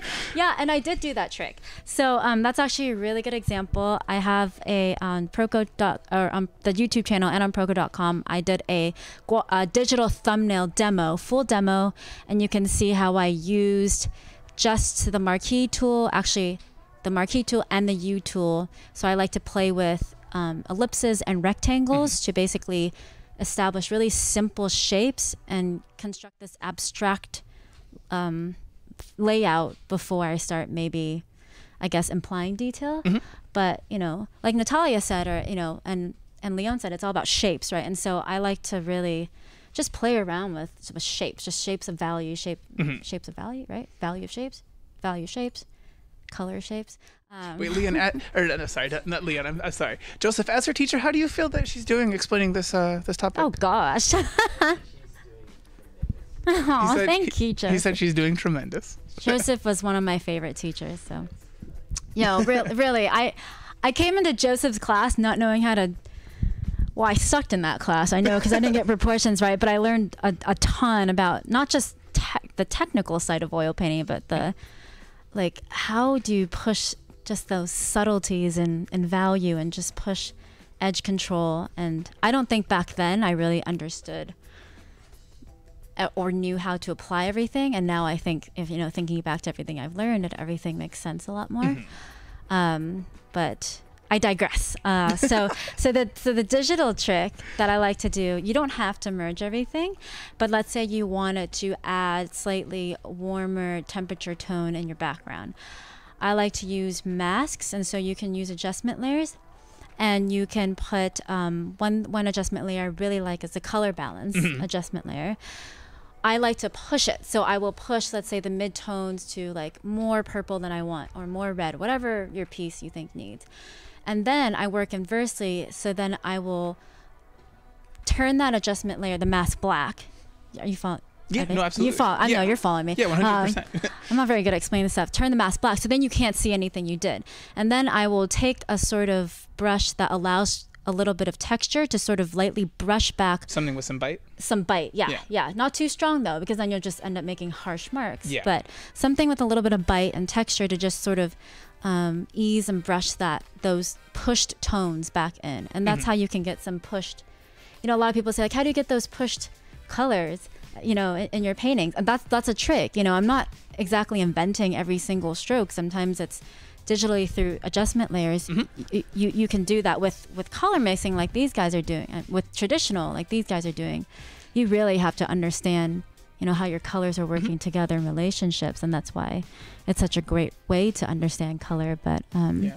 And I, I don't want to harp, harp on it or anything, but No. there, there's actually a really uh, a lot to be learned uh, in how you can do both the traditional and digital things approaching with the same techniques. Right. Because you did two videos for this one. I did. Where one was traditional, doing the same small thumbnail size thing, and then digital came out after this one. Mhm. So you get to see those two techniques get applied to it, and you get to see the strengths and weaknesses of both yeah, of those. Yeah, yeah, Yeah. And I think it was funny because I think Charlie was saying I was a lot more, or no, you told me that I was a lot more tense or something in the gouache one.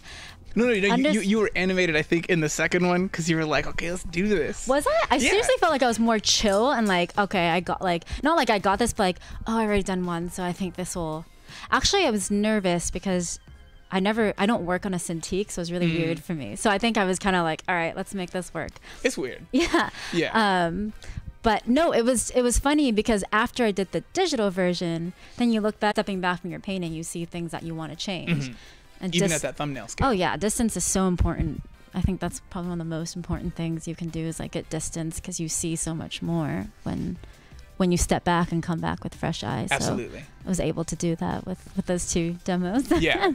I agree. Yeah. Wait, I, just, I want to check in. How, how do you think Ethan's doing on his piece right now? I can't see his painting. Oh no, that's why. No, we're, we're theorizing right now. So e, uh, Ethan is actually doing a version of Stan's painting as a drawing in Procreate. Ethan, are you a Procreate person? Yeah. yeah. See, How- I'm not a? Procreate. Yeah, all, all the gestures and stuff throw me off so Yeah. hard. I can't. I think his painting's gonna turn out great. How do you feel it is, Ethan? First of all, we have to consider. Yeah, let me get you here. Well, first of all, we have to consider uh, whom I'm painting from, Mm-hmm. and I'm painting from Stan, so it might not turn out the best. Are you blaming your He's bla- mistakes on me?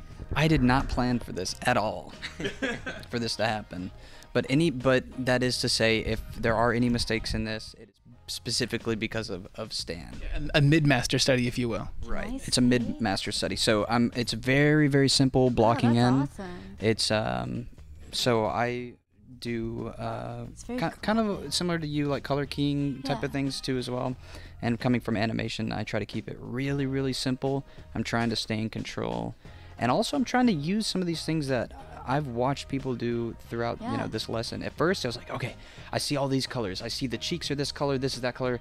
No, I have to chill out. I have to see what's the underlying colors and uh, and just try to keep it as simple as possible. I'm not trying to make a pretty painting right now. What I'm trying to do is understand the the colors and um, just try to take in what everybody did. There's so many different ways you can do sessions, painting sessions, right? Oh, I'm gonna make the prettiest thing. It's gonna be so sexy. Right now, I already know it's not gonna be because no, no, I'm just joking. Hi- His stuff is actually extremely controlled, and that's why I wanted Stan because I resonate a lot with Stan's style of structure. The way that he blocked it out too is very similar to the way that I would block it out. Go watch. Uh, I'm sure we can watch the other stream, right? We can uh, the yesterday's stream. We can Oh, watch that. Yeah, yeah. The, Well- it- all, all the streams are going. They're, they're all there. all the as streams okay all the streams are still up okay well uh, if if you go back and watch the the way that he blocked it in. I was trying to learn from that as well. So i would encourage people to try to paint along and try to take a little bit from everybody's uh, uh, like everybody said here that's the main thing we've learned so far is the beginning phases are the most important. Mhm. so i'm just trying to do that right now. I do have a question for you of how entertainment uh, like this versus entertainment how people can potentially move from traditional painting right into entertainment. So like what you were talking about can you talk a little bit more about what you do as and, and how that relates to maybe traditional art or fine art? yeah how people i actually kind of did the opposite. I i moved i studied animation Mhm. in college and then i um, i had been i mean i took art classes as a kid since six years old but then i i more seriously pursued like the whole fine art route. Do i stand here? No, you can come closer this way. oh okay.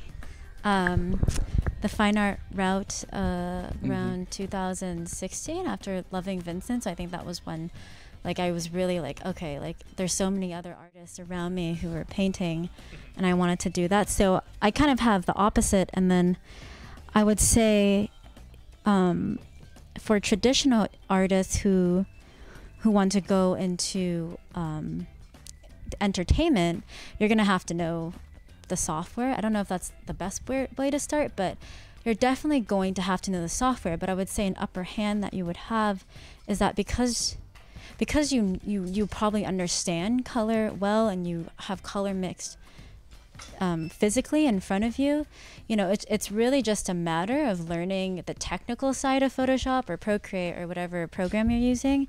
And once you master that like i feel like you're gonna skyrocket. I've taught mentorship students one student I, I taught she was an oil painter really great oil painter, and she wanted to exactly do what um, Ethan suggested. You know, like switch over to digital, not switch over, but use digital painting as a means to help her with the oil paintings, but also be able to go out and do plein air digitally because it is ultimately faster. You don't have to get out your oil paintings or get out your gouaches, and you know, you could just whip out your iPad and do a three minute sketch.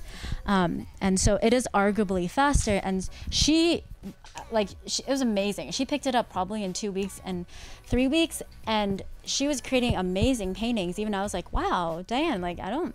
This is crazy. Like you're going out and doing these paintings. I didn't have to coach her much. What I was coaching her more on was just the technical side of it, and she picked it up really fast. So I would almost say you know, if you're going from that route, you have an upper hand. Just take the time, the patience to learn a software because it can be really frustrating. I know I I taught myself. I started painting with a mouse when I first started learning Adobe Photoshop, and then when I switched to a tablet, it's like, what the heck is a tablet? I don't need a tablet. And then now, of course, you know, I can't live without a tablet. But I haven't, um, I don't have a Cintiq or anything, and I'm fine with my Wacom tablet. Um, and then the other route, route is it route or route? It's- it's up to you. Okay, I, Depends. I say a lot of words wrong, by the way. Just correct me. Like, pick either um, uh, the other, the other way, you know, if you're going from digital to traditional, um, I have I have a lot of friends as well. You know, like, oh, I want to do traditional plein air, but I'm scared, and that's always the way. Like, I don't, I'm I just I'm scared. I don't have the patience to take out my pains, and I urge them. I just it's like once you catch that plein air love bug, where you go out and you're actually mixing, I almost guarantee, unless you really don't like the setup or the messiness, which you know it can be a reason, you will fall in love with it, and and you will just start painting. Um, you know, incorporating traditional painting, right, Christian? Because we're supposed to go painting, um, and uh, you know, into your workflow. And I think once you start doing that, you will find that everything you're learning in traditional plein air painting, or doesn't have to air painting, just still life studies, whatever it is, as long as you're mixing traditionally, that will feed back into your digital workflow, and you'll be able to find uh, all these uh, connections between like oh so because I mix complementary colors this way if I shift the color picker in the color cube this way that's why it's giving me this. And it's really really cool. I'm actually teaching a co- uh, I'm doing a workshop at Vision X Live for that uh, through Proko. So um, that's actually going to be my topic you know how how to get a deeper understanding of color through both mediums. Um, so yeah that would be my not short answer to both. That's what we like. We like the the not short answers. We like that. Um, so I am wondering though. Um, that was a very almost like a technical side of you know you're mentioning programs and all that, but now I'm thinking like. Uh, so I see I, I meet a lot of students in film and animation and they they go straight digital and they almost don't even look at this type of stuff and the, the things Yeah. that uh, that traditional artists do. Yeah. I'm talking about like, you know, plein air painting or even this type of painting. You know, Dice Tsutsumi, Robert Mhm. Kondo, those type of painters. Yeah. Very traditional. Yeah. Um, was this study they- from life? Right there, you go. Yeah. Can you talk a little bit about that? Um, and yeah, just like how you how this can translate into that because what you're doing essentially is using real life and real lighting, all the traditional forms of that, and then you're using that and creating a whole new world. Yeah. That you're you're capable of creating a whole new, you know, cinematically a whole new world. Uh, Yeah, yeah, I did talk about the t- um, the technical side. Am, am I talking? Okay, um, but no, you're certainly right. I mean, um, you're talking about like studying from life, right? Like what Dice and like they did the still life studies. Um, it's a huge deal. I, I think one of the things that I will see, like Ethan said, digital artists will do is they'll go kind of straight from copying from photo reference. Um, in my opinion, photo references take out about like 80% of your color. Unless you're a pro and you can start, you know, creating colors and creating color relationships in your head, it's really hard. And I would not suggest studying from photo references and trying to do a really, really detailed digital painting. Um, you're to cut yourself short from seeing the big picture, seeing you know the, the relationships and value and color when you go straight to detail. And you know that and studying from life helps with that because when you're out in the field painting in plein air you don't have all the time in the world to create a beautiful painting. So you're forced to really just capture the big shapes. And that's what a huge benefit of it is. It's It's it's it's going out there, capturing those color notes, maybe trying to refine it later. Um, but it's not about creating a beautiful painting. It's about going out there and and and just capturing something with your soul. That sounds too poetic. Um, Oh, that's uh, yeah, it's a big difference. I think, um, yeah, like you know, when you're painting from a photo, it's you you can take your time, but you're you're, you're you you will be uh, robbing yourself of obser- of being able to really observe color truly with your eyes. So, like Ethan said, I really highly recommend if you're beginning beginner digital painter, um, try to do a digital still life from life. You know, don't do it from a photo. Set up a simple still life in front of you. Uh, I did that on Infinite Painter a ton. So when I was first, you know, learning that app, uh, I was setting up a teacup or something, or you know, fruit, and I was doing still lifes of fruits and all this stuff. And even that, you know, practicing to paint it from different kinds of lighting, whether it be through window lighting or going outside and setting up in a sunny lighting scenario uh, with direct sunlight. You know, observe how the shadows change observe how the bounce light changes observe how you know um, uh, you know the cast shadows change and all that stuff and once you do enough of that uh, the reason why for example i can do my color keys fast for my job uh, or I hope I'm fast. I don't know. I think I'm okay. Um, it's because I've done so much plein air, and I could probably still do more. That I've sort of am I think I've built up like a mental library of all these lighting scenarios so I can sort of pull from my bank. I don't necessarily need to pull a lot from reference. And when I do, it'll be kind of film references because film references they push the lighting a lot, and you know it's it's really cool to like how how is this director you know, I don't know, it's it's I just I film as another. You should also do film studies. There's so many things you could do. You should do film studies and still life studies. Um, yeah, yeah, yeah. Yeah, of course. Um, yeah, I mean, with film studies, so plein air studies is great. I think it's really important to do plein air studies when you're, um, you know, beginner, intermediate. Actually, it's really important to do plein air studies throughout the rest of your life, I think. But, um, but because you're constantly sharpening your skills, it's kind of that thing where you can go out and sharpen your skills. And then, uh, what was the next thing? Uh, plein studies. No, there's one more thing film studies yeah okay we'll just go to film studies. And then with film studies it's wait what was the other thing? Okay i forgot. It with like lost my train of thought. With film studies it's great because your study oh master studies. Master studies are also really important. Um, i think master studies you master studies are great because you essentially don't have to stress your brain out sometimes by figuring out the composition, but you're studying the composition of another master and how they've used color, you know, and everything to to create their masterpiece. And you know, one thing I like to tell students is when they're doing master studies, don't be so focused again on copying every single stroke. I used to do that. When I first started off with master studies, it took me like 10 hours because I'd, I'd be anal about like, oh my God, like that stroke wasn't the same. Or like that brush digital brush texture didn't match the oil painting texture. That that stuff becomes irrelevant after a certain point. Focus more on if you've captured the shape language, the value structure, all the relationships of of that, you know, over those things like brush detail. Um, I think I personally think that is mo- more important. And then film studies is also wonderful because you're studying how a director has pushed lighting, you know, to to to to to tell a story. And in the end when you're doing a painting you're telling a story right? Whether it be a figure or a landscape. You know you're trying to tell us uh, your story a story with emotion with color and, and with light.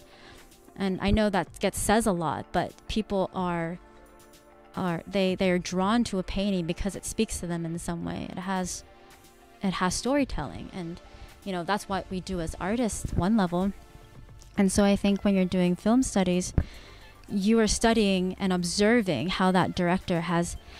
Oh gosh, Ethan, did you? Um, I don't. Did you watch Dune, the latest one? Yeah, I don't know. There's this YouTube video on how they're they're talking about how the director. Because I listened to this podcast uh, called Go Creative, and the guy interviews cinematographers. Do you know that one? Okay, yeah, he specifically uh, interviews production designers and and um, and and and cinematographers, and hearing the cinematographer, the guy, he also did um, Lion, which is one of my favorite films, amazing film, um, and yeah, he did a lot of great films. And for Dune, it was just figuring out how to get that natural, like that naturalistic lighting, how it looks versus how they actually set it up. You know, it's the lighting in that film is so beautiful. Like I took so many screenshots. And then when you, you know, when you study the the the film studies, you know, one level could be like, okay, it's you know, to study value structure, atmosphere, but then you could push yourself and color. You know, how is it supporting the story? Like everything, how is it supporting the narrative? And because you know the narrative and hopefully you've watched the movie, you know, you can do those film studies with even more integrity, uh, and and and then you're also adding into your mental brain, right? Your mental brain. you're also adding into your mental library, yeah, your repertoire of, oh, I can draw from, oh, that cu- like graphic, you know, how they cut that and how it made you feel. Like for example, you're watching a movie, like, oh, I remember how that that face was lit, it just this the bottom part was lit in light and the rest was in shadow. How did that make you feel? Then you can apply that to your your paintings. Yeah. Yeah. Let's go take a seat real quick. Yeah, you, my mental brain is my favorite type of brain. What are oh, okay. Uh, Rocktober says, "Can Tiffanie be my art mom? I love her." OMG. Um, yeah, take um yeah, I mean I'm I'm pretty active on not really, but I haven't been active on Instagram. But I mean, email me if you have questions. I usually I really try to respond to people. I I really care about it really makes me happy when people tag me in Instagram stories and say they've watched a YouTube video either on Proko or my personal channel and they're like, "Oh, I tried this technique." Huh? What's, your- what's your personal channel? Oh, it's just it's just Tiffanie Mang art. Yeah. So? Tiffanie Mang, and then my yeah, and then my Instagram is Tiffanie Mang art. So it's pretty simple. Oh, but it's T I F F A N I E. So that will probably where Mhm. it gets most people. Um, but yeah, I, I I really it really makes me happy. I think. Um, like I said, I love teaching, and when I see like someone figure something out, it, I think that's one of the best things, like the best feeling. So, um, yeah, I mean, yeah, reach out to me. I can be anyone's online. Well, I don't want to like overextend myself, but I yeah, just just ask questions. we're, we're slowly figuring this out. okay, I'll just slide it. fancy, fancy.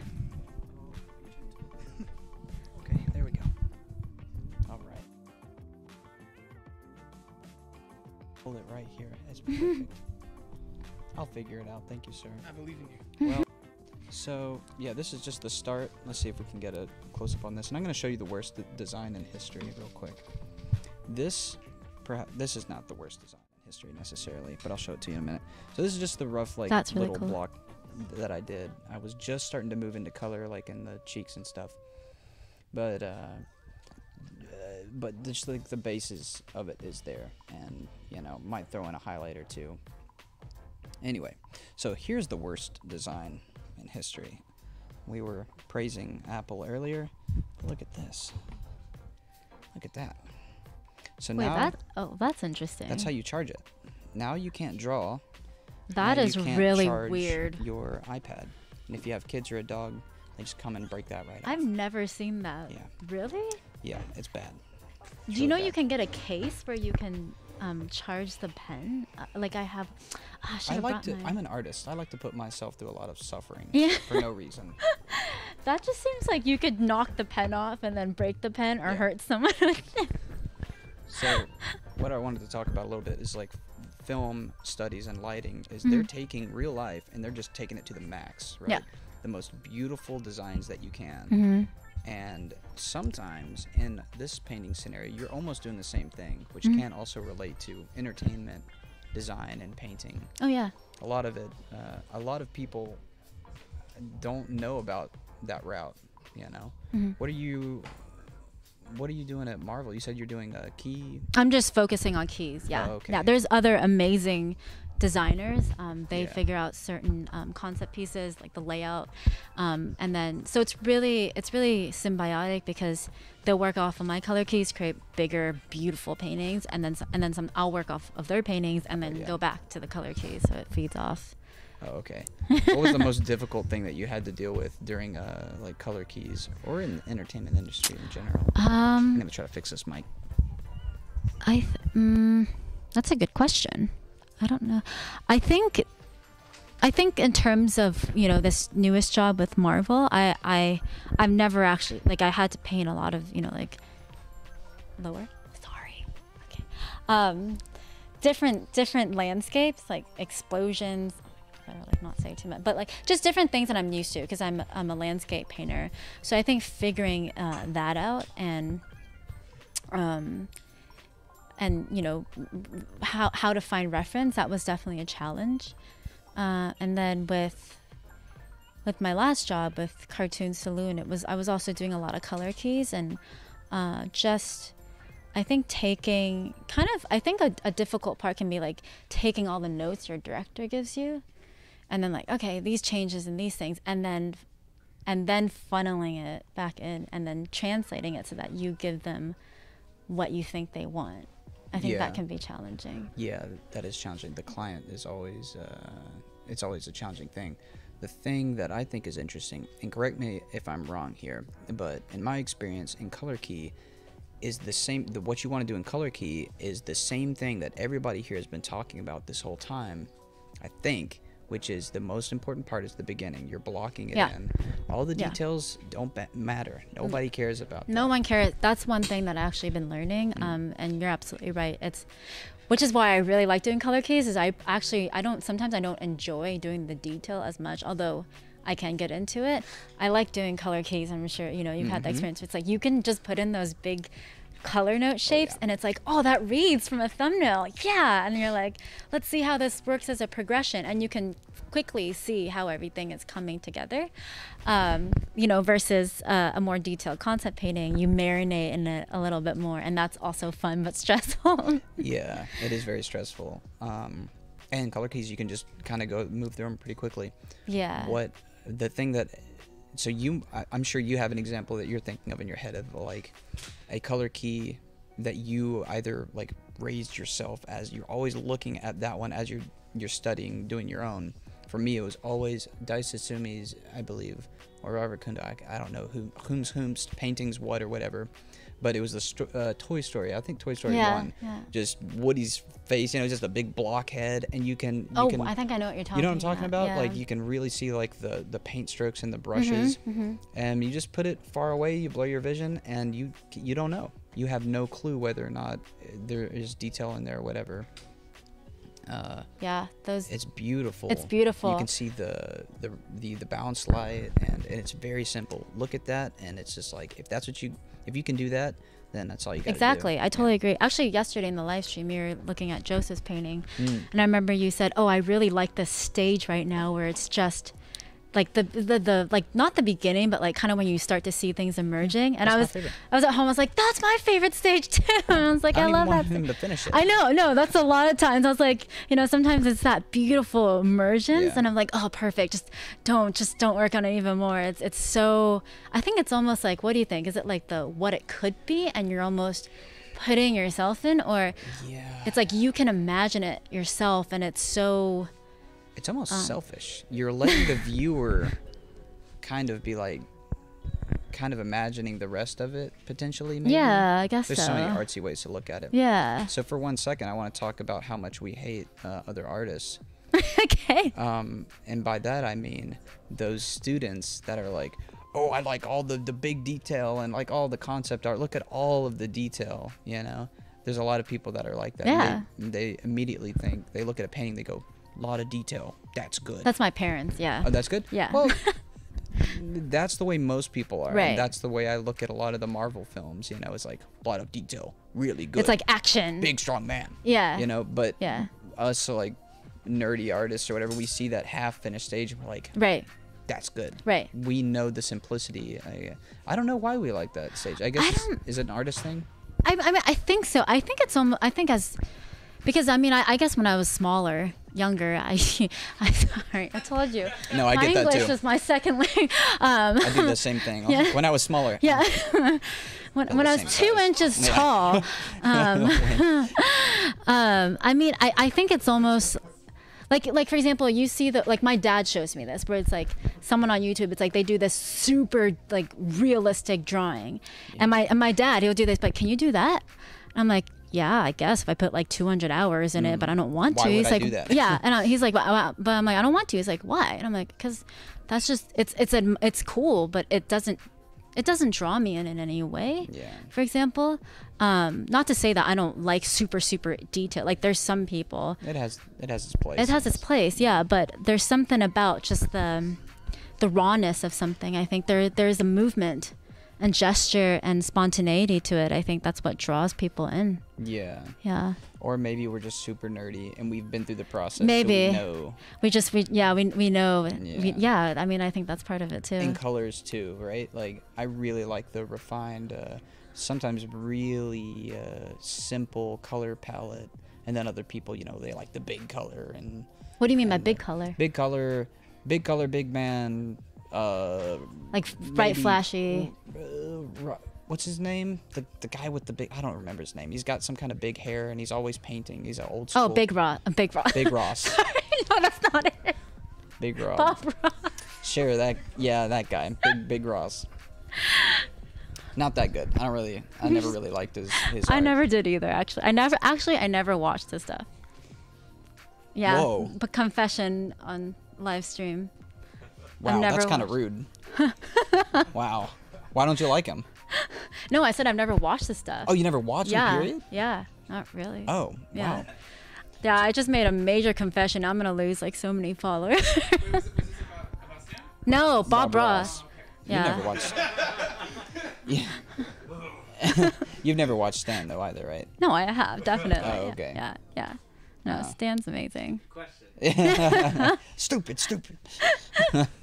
Well, uh, yeah. So that's like I think we went over the film industry pretty much. There's a lot of things that I could go into about film and setting up composition. I would love to hear more about that. I mean, I think it has a lot to. Well, it, I have. There's so many things that I could talk about, but one of the main things that I like, and I try to point out to my students as well, is just look at all the lights and the the backgrounds of the film studies. There's always whether or not it's a it's called, there's like practical lighting and then there's prop lighting. Mm-hmm. And one of the one of the things that I always try to show my students is go watch Game of Thrones Ah, and yeah. look because they don't have electricity, you know. Oh, that's I don't true. think, right? They don't Oh, have back electricity. then, yeah. back Yeah. way back then. Back in the day, they didn't have electricity back in back in the Game of Thrones times. Um, but so that was so was so dark. We're not going to talk about that last season. The but if you look at the the lighting, they don't have electricity, so how are they going to light those scenes? And we like sparkly things, you know. So Mhm. and it's a nice way to silhouette people. So if you uh, Mm. even in some of these scenarios, I could see that being really nice. Typically, you have lights going down, hitting a uh, the, the, the, the the subject, Mhm. but I would really like to see like a, a light right behind the subject. Like a rim lighter back. yeah, because yeah. it's it's very cinematic, and they do Mhm. that. It's just like all of the professional shots in Hollywood or whatever. Most of the time, they've got a light like this. There'd be a light behind us, and like I was saying, in Game of Thrones, keep an eye out. You Yeah. got candles. You've always got a little something, something, and it's uh, typically in threes. I do Mm. want to talk about threes in a minute because three, I, I love the I love three. Three's my favorite, but I do want to ask everybody about their opinion on three, and big, medium, and small, and design wise. Are you talking about the rule of thirds? Rule of thirds and also three in everything. Three's in everything. Three's a very big deal. Uh, That's and lighting too. Yeah. You got your you got your three little lights in the background. Anyway, check out the lights in Game of Thrones. Okay. What do you th- what do you feel about the number three? I think three is a good number because it's not too much and it's also an odd number, so you can Mm. have more instead of splitting things like two two. You know, you can you can group things and have one alone. Yeah. Well, Leon was talking earlier about um, you have three forms of shadow, three forms of light, Mm. right? You got like highlight, and then I don't know the other names, and I don't Ha- care to know um, the names. Core shadow. Big light, medium light, smaller light, something like that. yeah. But can you explain, yeah, what those the three terminologies are in those three darks and three lights. Me? Yeah, or shadows, three shadow, three light. I've never heard light and, and split in three, but I guess it would be the highlight, the core shadow, and the bounce light, um, and maybe the cast shadow. I mean, I think cast shadow is important because then it grounds the thi- thing to the floor. Yeah, or whatever. yeah. Um, contact shadow, or was it contact? Yeah. something? Yeah. But I will say, a, a lot of people will forget, like they will forget one of those things, and then Mhm. it just it breaks the believability of form. Yeah. You know, so like for example, like, well, in animation we like to push bounce light a lot, right? Mhm. And so bounce light will be really push that warmish, happy tone, um, and you know sometimes maybe too much, but you know that subtlety is also really important in my opinion. And then um, you know what kind of shadow, hard, softer, Yeah. hard cast shadow. The penumbra, I think that's the technical term. I, I just learned that recently. Penumbra. Yeah, penumbra. I might be wrong. Penumbra. That sounds some kind of like some kind of bone. Yeah. pen, pen, something like that. Pen, penum something. Yeah. Um, But it's typically in threes, right? Yeah. The way that you do those things. right. Or uh, light shadow and core shadow, perhaps. And you definitely know. big, medium, and small shapes. Yeah, like you said. big, medium, and small. Yeah. I would like to. Uh, oh, yeah. What is that? That's the penumbra. Yes, yes. Oh wait. Exactly. The What? softness of the shadow. So Stan has a pretty soft. Oh, nice. A penumbra. Oh, so you have.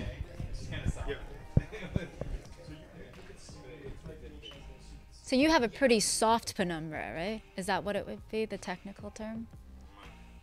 Is, or, or does penumbra already mean soft? I don't even know. Okay, okay. Joseph has enlightened us all. that just sounded really interesting.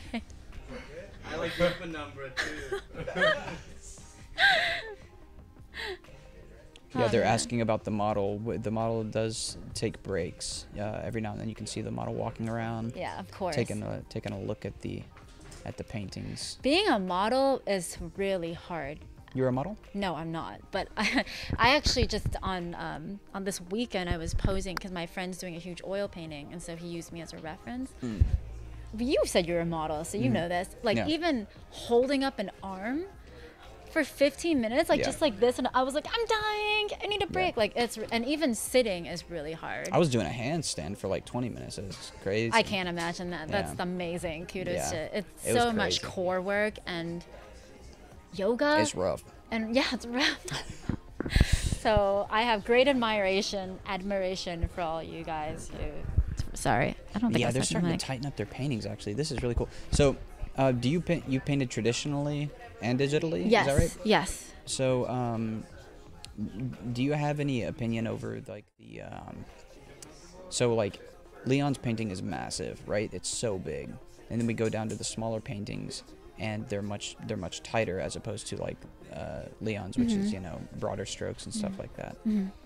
Um, have you had to deal with that? Do you paint like really big versus really small? And uh, like, can he go more detailed, or is it just like a matter of time? That's a great question. Um, I uh, to answer the first part, I I don't do big big as much. Although I think I just it might not be as big as his, but my latest oil painting is about that size. That was hell. Uh, it was it was it was such an incredible learning experience. Partially because of the size, it was mind blowing to me. Like, um, and I went through hell and back with that painting. I almost actually t- wanted to take a razor and cut up that painting. Uh, have you ever done that before? no, but I really was. And then what happened was, um, so it's it's going to be in a, a gallery show coming up in July. Um, so I'm really happy it got accepted. But basically, similar to probably what they have done, I started off with the block in, like we talked about. Yeah. And then I started going into detail, I guess pretty early in the beginning because I got excited. And then I woke up one morning, fresh eye. Mm-hmm. I looked at the painting. I thought, this is complete shit. So, much time went into it. So much time. And I literally took a palette knife and I scraped off everything. I kid you not. I, I scraped off everything. Were you crying? No, I was really happy. Oh. Yeah, and I was like, this is the answer because I was like, nothing was. I realized nothing was working in my painting. Then right after I scraped off, I just am trying to make sure. Was it strategic scraping, or were you just No. like in a frenzy? it was kind of a frenzy. Like I didn't have any really any order to it, and so I was like, I just need to get this all this stuff off. And then I thought I was doing the right thing. Then about two hours later, I looked at it again. And I thought, that looks terrible. Now I really don't know what to do. So now I probably should just take a razor and just, you know, slash it up. And so what I did was I took the painting outside and I put it in the backyard and I didn't look at it. For two weeks, I didn't look at it. And then, long story short, I had a friend come over and he critiqued it, and that helped boost me back out of my rut. And then I figured compositional things. There was a lot of compositional problems and value problems. That was the crux of it. So that part was the, a really big learning experience because it wasn't about color. It was a little bit about color temperature. Everything was too warm, but the crux of it was that I showed a few friends and they're like, "Tiffanie, where's your big sense of shape that you're good at? You know, like mm. you're known for, you know, big shapes like there's so many strokes right now that are disrupting the overall big shapes. Because it was such a big painting? But yes, because it, that was partly I didn't know how to translate something smaller because I do um, so I paint smaller in gouache. I usually do like six by six gouache studies. So to transfer it to a thirty by forty inch painting was a big, much bigger feat than I thought it Oh, would that's be. a really um, so I have almost something similar in digital. Sometimes Yeah. when I was first starting out, I didn't know what was a big canvas, 3K by Right. 3K, 5K, 6K Right. versus you know like a couple of pixels wide. Yeah. I didn't know the difference, and sometimes I would just make random canvas sizes, and I just wouldn't have the same flow as before Mhm. because the brushes were naturally so much more detailed. Right. I had to realize like, oh, I can start in a really small, like 500 by 500, really pixely small, little crappy little canvas, as Yeah. small as almost super small. And that helped me gain that confidence of blocking out Mhm. the smallest, simplest way possible, as opposed to 20k pixels wide, just like extremely huge, or 50k or whatever. Um, and But you can also shrink it in Photoshop and paint small. yeah, yeah, you can, yeah. But you can't really do in traditional painting. Right. Yeah. So, I almost I, I can kind of understand that a little bit where you get too into the details. So Right, Take, right. take in consideration your canvas size. Exactly. Yeah, and I'm I'm curious with you if you've ever, you know, on, on Photoshop, you've done, you know, a small small painting color study and then you're like, okay, now it's time to do the more refined paint, kind of like what they did with smaller studies Yeah. and then blow it up.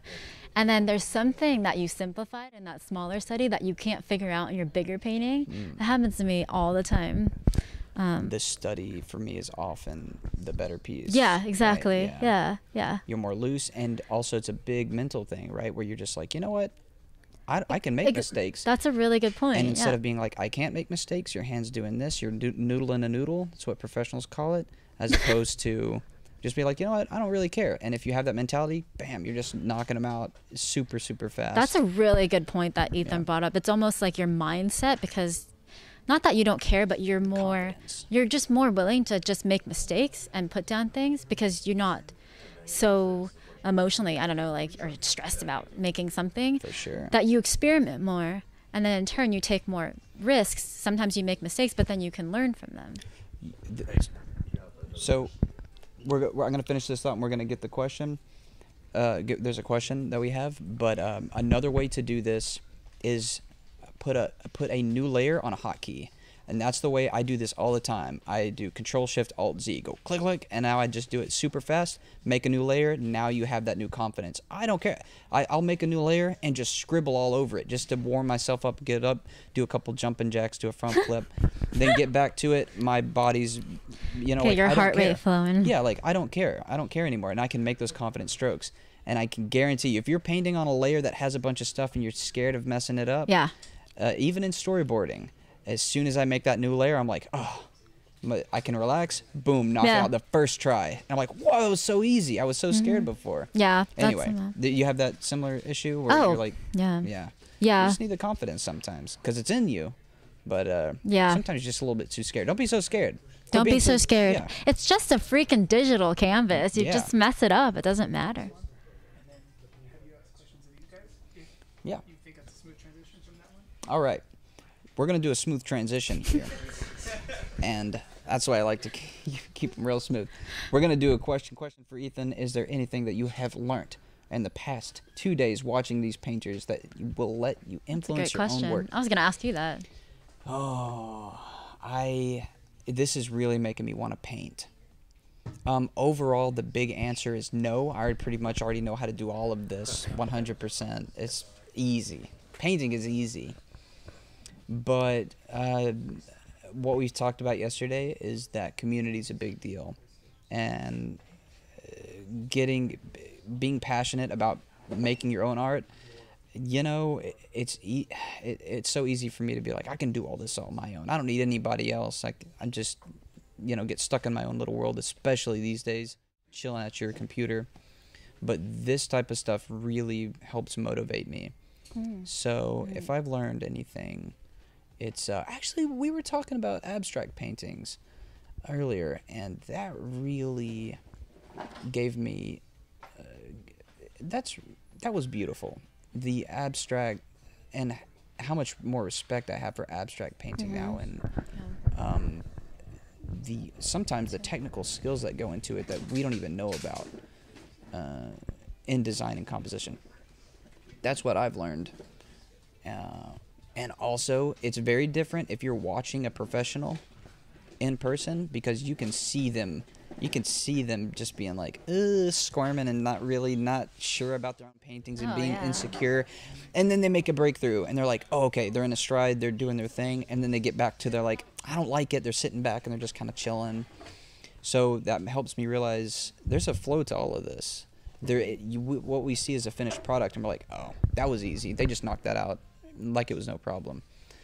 As an artist, you're always in pain.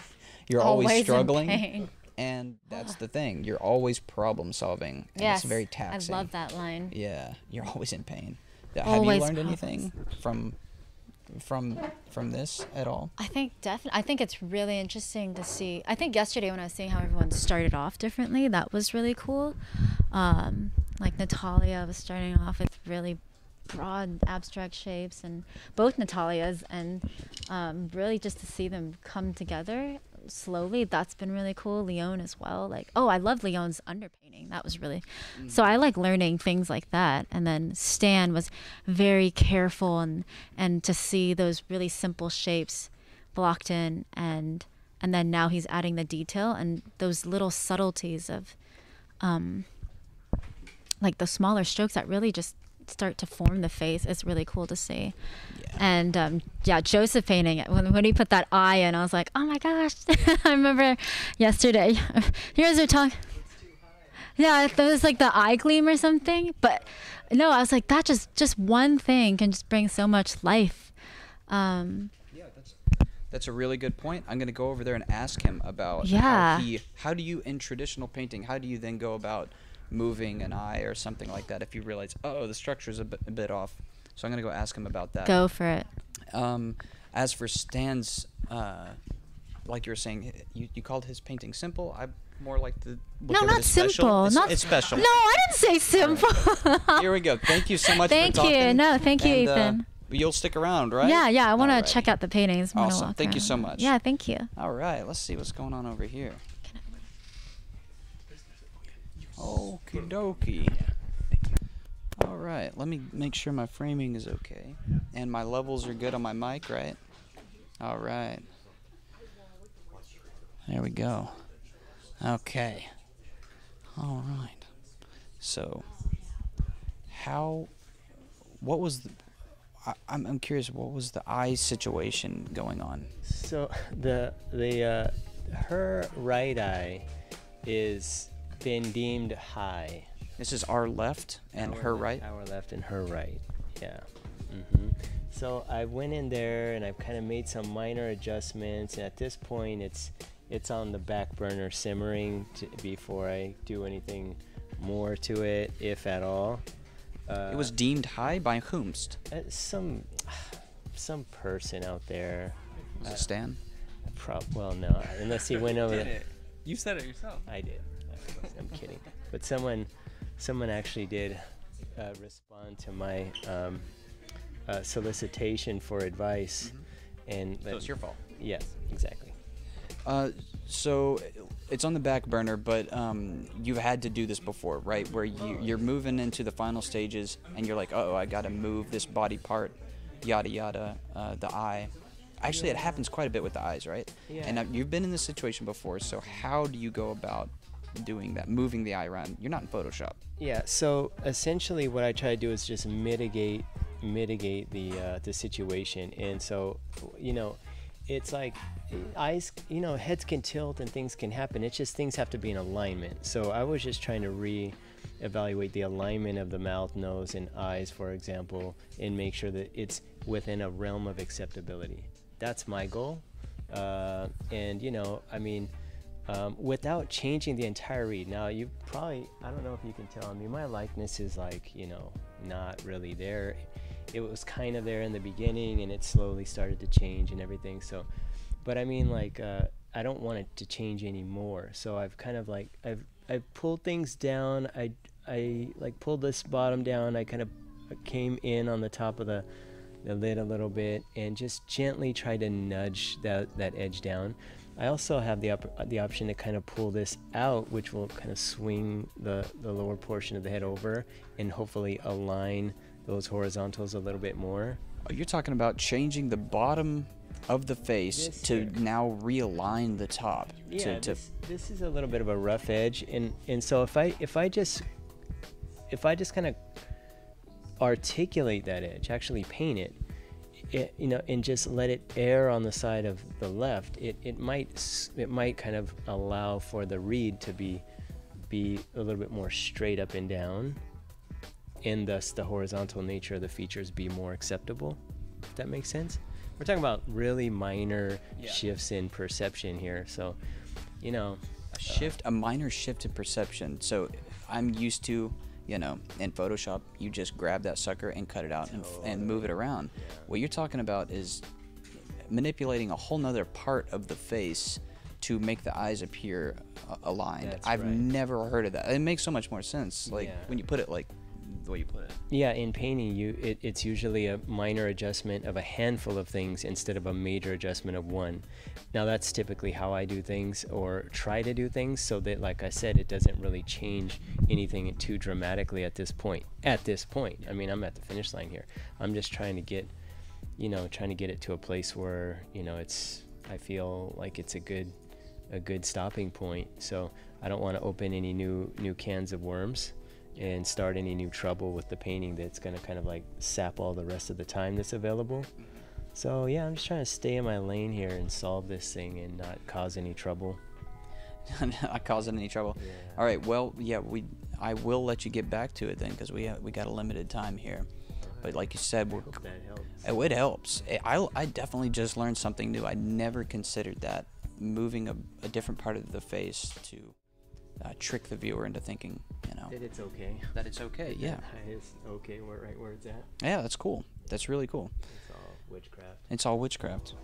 It's all manipulation. That's all we do as artists is just force people to like us. All right. Wow. All right, we are moving to the finish line. We're gonna see everybody, the finished product here, coming soon. I'm excited to see all like the highlights coming out. That's gonna be, oh, that's a little sprinkle on the top. You know, are you gonna add any highlights? Uh, I think all my highlights are in there already. Oh, uh, are they? Yeah. Okay. Where would you add a highlight? I, everywhere, man. I put a little Where- d- like- white dot like all over, on the cheek, on the nose, on the eye, and the hair. I'd put a bunch of them in the hair. Yeah. Yeah, just a bunch of highlights, because that's what that's what people do these days, right? You just put highlights everywhere. It looks looks like candy. Uh, yeah. I mean, like, I, I put in a few, like, you know, like in here. I put some around the head recently. Like, there's this really, or are we seeing right? Yeah. Like, I put some of these real bright lights around her. Um, and then obviously all of the all of this is like a highlight around her head. Um, but you, you're talking about like on the face. Oh yeah. Just You know what I'm noticing too? That pattern, the white pattern going through there. That's almost what I was talking about with the windows and the background lighting in in cinematography, right? The way they add these bright lights. It's mainly for contrast and for silhouette. Yeah. Just to create that contrast. yeah, the whole reason I I I mean, I put it there because it's back there, but I shifted it to the right to, to be able to add some more lights right next to her instead of just above her. Oh. Right? Like, from my point of view, I don't see any of this. Like, this is all shifted right into the middle of her face. And you've seen students do that where they will just Yeah, we'll make just bad design. there, yeah. Mm. Yeah, yeah, they'll, they'll, they'll copy it. I mean, I might have even. Oh no, in my study, I I also moved it a little bit. See, I even just put like, okay, I remember to put that light right there. Oh, can they see that? Oh yeah, we can see it. Um, It's nice. but I'll maybe I'll put a little highlight in the eye. Could maybe use it. We'll see. If I ruined it, if I ruin it, it's your fault. All right, I'll take the blame. Okay, good. No, I don't know anything about painting. Just don't. Just ignore me. Okay. I will put a highlight. All right. Okay.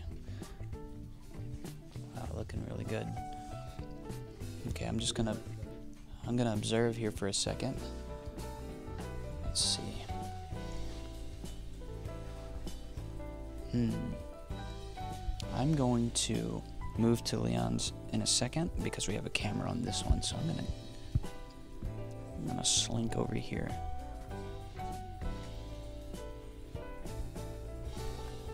Wow, this is beautiful. All right. What is? Uh, do you have a game plan for finishing this? Uh, Um, hmm. Just fix any like major drawing issues, glare. glare. Yeah, go back and simplify. Yeah, sometimes if you make a lot of, depending on which direction your brush stroke is in, the light will, you know, catch on it and it'll have more glare than usual. So you, you can kind of knock it down with some vertical brush strokes. Oh, that's kind of terrifying. Like if you have the perfect stroke that you that you love, you have to really be careful to, to if you're trying to fix that glare. Yeah, or just leave it. yeah, you don't if it's if it's a stroke you're in love with. 'cause, yeah. Uh, something I've been wondering this whole time, and that as we're kind of moving to the end of these paintings, I think this is important, um, especially if you're trying to sell these paintings too in galleries, is the framing, right? Framing is a pretty big part of it. The painting is beautiful, but do you ever focus on framing, or do you care about the the frames that they go in?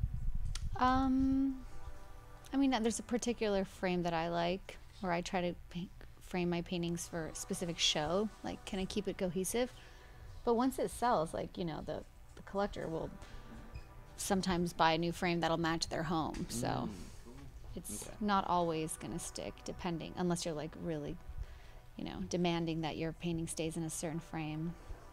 Um, like I know painters like Mar- or like Mark Ryden will have his uh, frames hand carved with his imagery in them, so it's like part of the art. That's really cool. Yeah. Wow, that's amazing. Uh, uh, as you're finishing this up, like, what's the what was the most challenging part of this? Hmm. Um, I think like molding some of the face since there wasn't like, you know, it's kind of looks like really natural light. So you want everything to be kind of soft, but I still wanted to show light, shadow and light. but it's all super subtle. Um, and I see a lot of like cools near her face, but that's I want to be careful with that because it can look like you know a mustache or a five o'clock shadow. So, um, yeah. I do you do your own custom eyelash shapes? eyelash shapes on myself, Well, uh, uh, uh, in your paintings, like as opposed to having somebody else do them for me. in your paintings, do you have a specific shape that you go for uh, for eyelashes?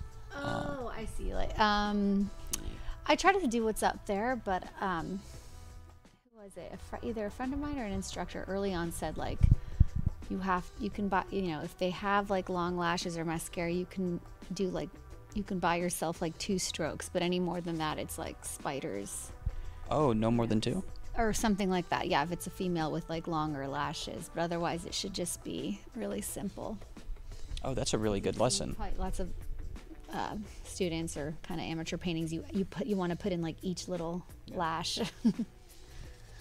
so That's really that's a really good uh, lesson, and for me as a designer as well, especially in animation when you're trying to simplify shapes. you design your own lashes as well. Uh, yeah, I design my own lashes, uh, but I'm actually going to use what you just said is keep it simple to. Why? How Um, many do you put? oh, I do the spider lashes. You do you know, lashes? I do all every single lash there is. That's yeah, I see a lot of uh, students doing that as well. Just less, yeah, maybe simplify. it. Close up, you can buy yourself a few more. Don't go overboard though. Apparently, that's it, it looks really nice. I love the the lashes that you have going in here. The shadow shapes in there. It's beautiful. Yeah. All right. Let's see who else I can stalk. I'm gonna slide around over here.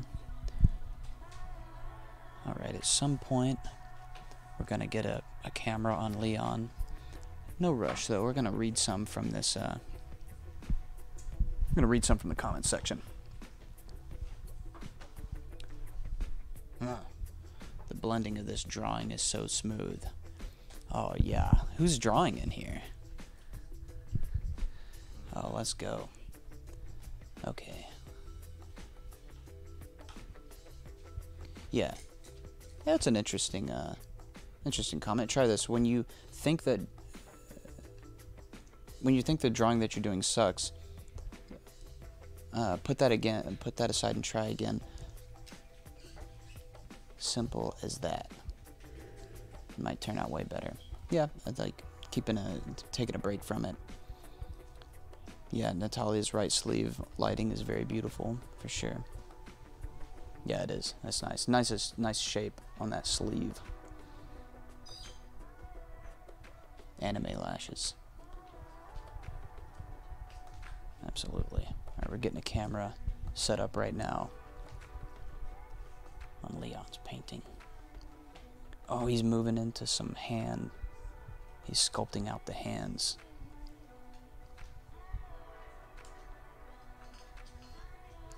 We're gonna have this sucker set up real soon. Uh, Stan, do you have any advice for students who are too critical of their work? That is, uh, that it starts to stall any improvements. Hmm. It's interesting trying to decipher some of these comments. I mean, I understand the problem. Mhm. Like, it, it's clearly like if you're if you're too hard on yourself, it'll you'll lose confidence, and then that loss of confidence will hurt every decision after that.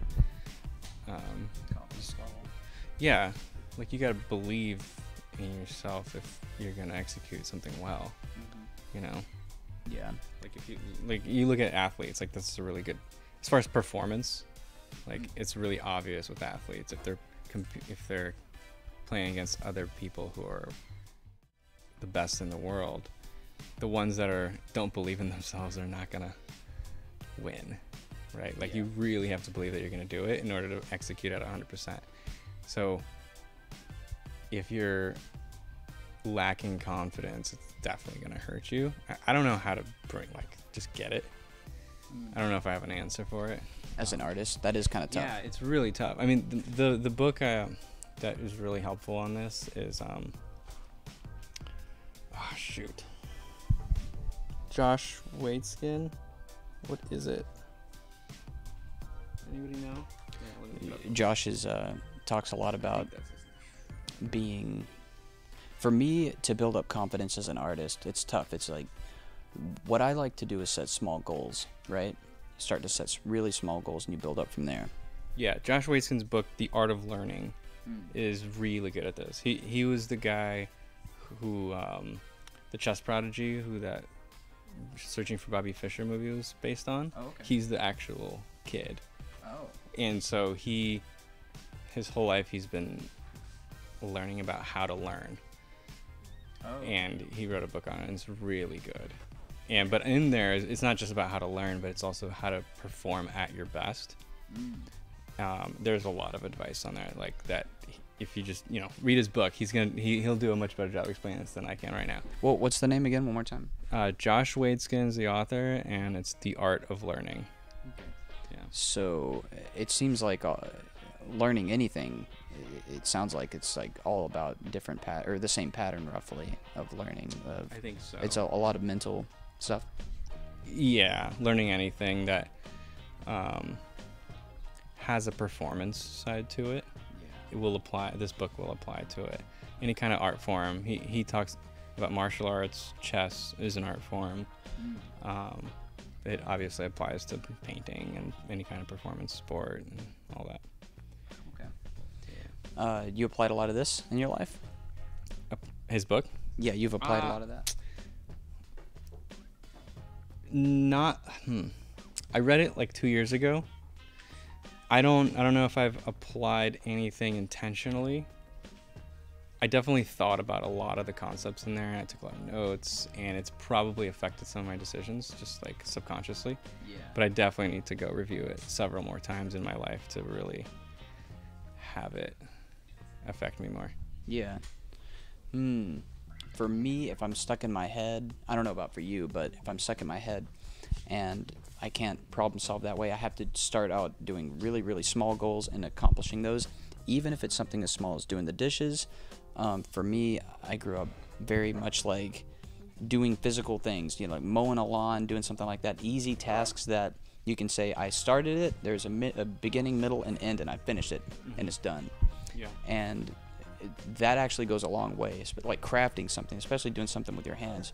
Even something as simple as doing a set of push ups, completing it, you know, or going for a jog, that helps me build a, a lot of confidence, I guess. Physically doing something. I'm not, I'm not even talking about painting, you know, because you can still apply that to painting. Mhm. Do you, uh, you've done anything like that? Small, s- yeah, smaller uh, goals to then build up in painting. Oh, in paint. Um, oh, interesting. Smaller goals. Yeah, like maybe perhaps finishing a certain uh, part of the painting uh, to, to then help you gain that confidence to move into the next part. I do that a lot. I, I actually I did that in this painting. Um, like this morning, or was it yesterday? Mm-hmm. Oh, it was yesterday. So I felt like the whole thing was like wishy-washy. Nothing felt solid. And you didn't feel confident. Yeah, You're feeling like a really confidence. small, like, you felt insecure. Yeah, I was like, oh man, is this gonna? Does The Rock even love me at this Does point? the rock? Yeah. is the rock watching? Not The Rock. I'm, Not the a rock. Rock. Is a rock watching? but no, it. So I had my lay-in right, and it was it was it was like in the right spots. But then I started laying in all the colors all over the place, and it was patchy and like as it's supposed to be at that stage. But it started to lose a lot of the structure, and some of my shapes were drifting a little bit because you know I'm just trying to fill in the whole canvas. And I got to the point where I was like, I need some structure here. So I went back into the face and I just spent a while just like cutting into the jaw, like making sure it's symmetrical, checking the you know the height versus the width, where are the ears, and just like getting all these like loose strokes that I just like laid in quickly, getting them to be like very precise and making sure that the face feels like it's there, it's my foundation, and then that got my confidence up that like okay, this feels good. I could now bring everything up to that level. What I'm hearing is you set a small goal for yourself and you accomplish that, and you're like, now I even have something to reference Yeah. to, and then then you can build off of that. Yeah. that- There you go, baby. Make those small goals for yourself in painting. We're gonna check out your painting again in a minute because I love the movement, especially right here. And I, I haven't, you don't see this too much in in my line of work, but we'll, we'll we'll bring a camera over here in a minute. But the way that you have all of these strokes kind of pulling down this way, you know what I'm saying? Oh, there's a camera. Oh my goodness, a camera popped up out of nowhere.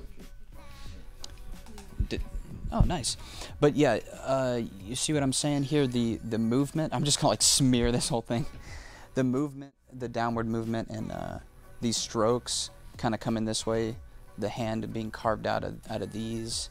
The it's just like the movement and the energy in that is really really nice.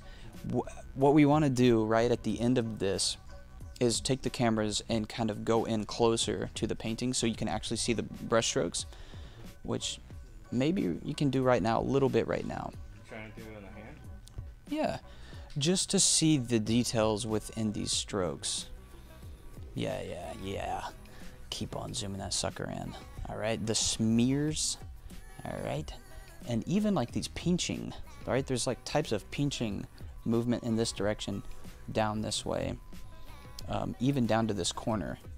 Uh, I don't know. I love that movement because, again, if you're doing this, you don't you don't always have to make every single stroke go down in there. You have these counterbalancing strokes, maybe horizontal, that are chilling, chilling out a little bit more.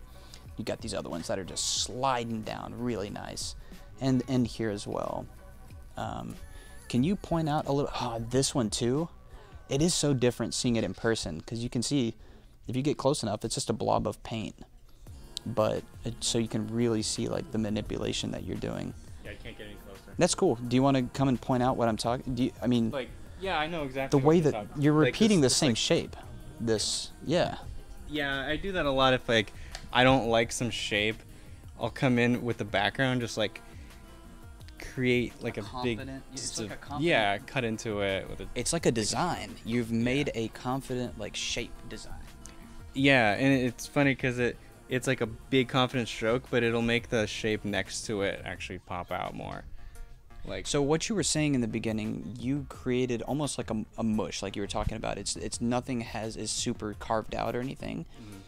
And then at that point after that, can you go in and do this? Eh, Like maybe the hand was kind of mushy or blobby, and then you go in and just start making these big shapes. Yeah, like it's that. still mushy and blobby. It's just that I, I, I don't I know that I'm not gonna finish it to a like really high level of detail like the face, and so instead the approach is just get a nice design in there of like some shapes that look okay. Yeah. Can we switch over to the hand cam, and let's see if we can see the detail in the face. Uh, The what? this this little handheld cam right here. Oh, there's a lot of glare. Okay. Look at Stan's beautiful painting. Yeah, it's okay. We can also do it at the end whenever we go and look at everybody's finished paintings. It's, it's, it's the last hour. Yes. All We don't right. need to be picky about this. All right. Let's check it out. We can see all the. We can see all the details in here. Stan's looking at the image on the monitor. It looks it's bigger on the monitor so I can see stuff. Yeah. Anything you want to point out that you're seeing in there? No. I put those highlights in that you. I put the highlights in that you made me do in the eyes. Oh, in the eyes? Oh, yeah, that is making it pop, huh? Yeah, Man, I'm a genius, huh? You're you're a genius. Wow, that's crazy. highlights. Yeah. I like that. And I'm most you're proud of this ear. that is actually really nice. I'm I'm serious though. I- I it. it's like it's really rare that I could paint an ear with one stroke, and when it happens, it's like, oh, awesome. That's all you need. Yeah. Honestly, looking at this one, I think the thing that that gets me the most is that there's the petal that's the closest to her hair in the top right corner that's catching light the brightest. hmm And the that's flower. my favorite part of this whole damn painting. This one right here. Yep. That that's the brightest. Wait, was that brushstroke in the was that painting. my Yeah, yellow? That's my favorite thing in the whole painting. Was that my yellow that I put down earlier? Uh, no, it's not yours. Oh. Yours has been covered up. Oh, okay. Yeah, but the yellow in there with that hard uh, cut of that red next to it, and the little bit, the baby blue next to that, the little baby baby blue. Oh yeah, nice. I put in a lot of really bright blues around this to pop the yellow. Like none of this is It's is vibrating there. in the in the uh, kind of. Yeah, even if- a blue in there. It feels like subsurface scattering on the Mm. on the flower. Yeah, that's nice. That's really nice. And that other uh, image there is not. That's not a painting. That's the that's actual person. Yes. Yeah. Wait, Red, can you smile for us? Oh, There yeah. See. Yeah, she moves. All right. Yeah. Well, that's awesome, Stan. Um, I'll let you get back to it for the last hour or so.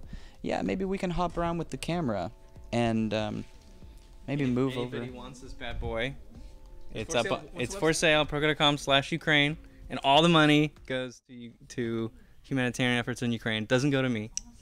This is for charity. It's a beautiful painting, especially when you get to see it in person. The the energy and movement in there. Even at the base of the, the skirt there or the, the dress here, you just yeah, I love yeah, that piece you can't there. overdo it in these areas. Oh yeah, towards the bottom of the painting, you just gotta. unless you have time unless you have time to really finish it but it's like i don't even have time to like get into detail on the hands so if i put any kind of detail down here i'm screwed Yeah. I love that. Do you want to move the camera to Leon's painting, or do we? I have is here. Oh, okay, okay. Do you want to move over here so we can we can we can go here and get a little close up of this one? You want to go to, to uh, Joseph's? Yeah, or there's already a camera there. There, there's the camera here. Oh, okay. All right, let's ask a question. Oh, a, a Joseph question? All right.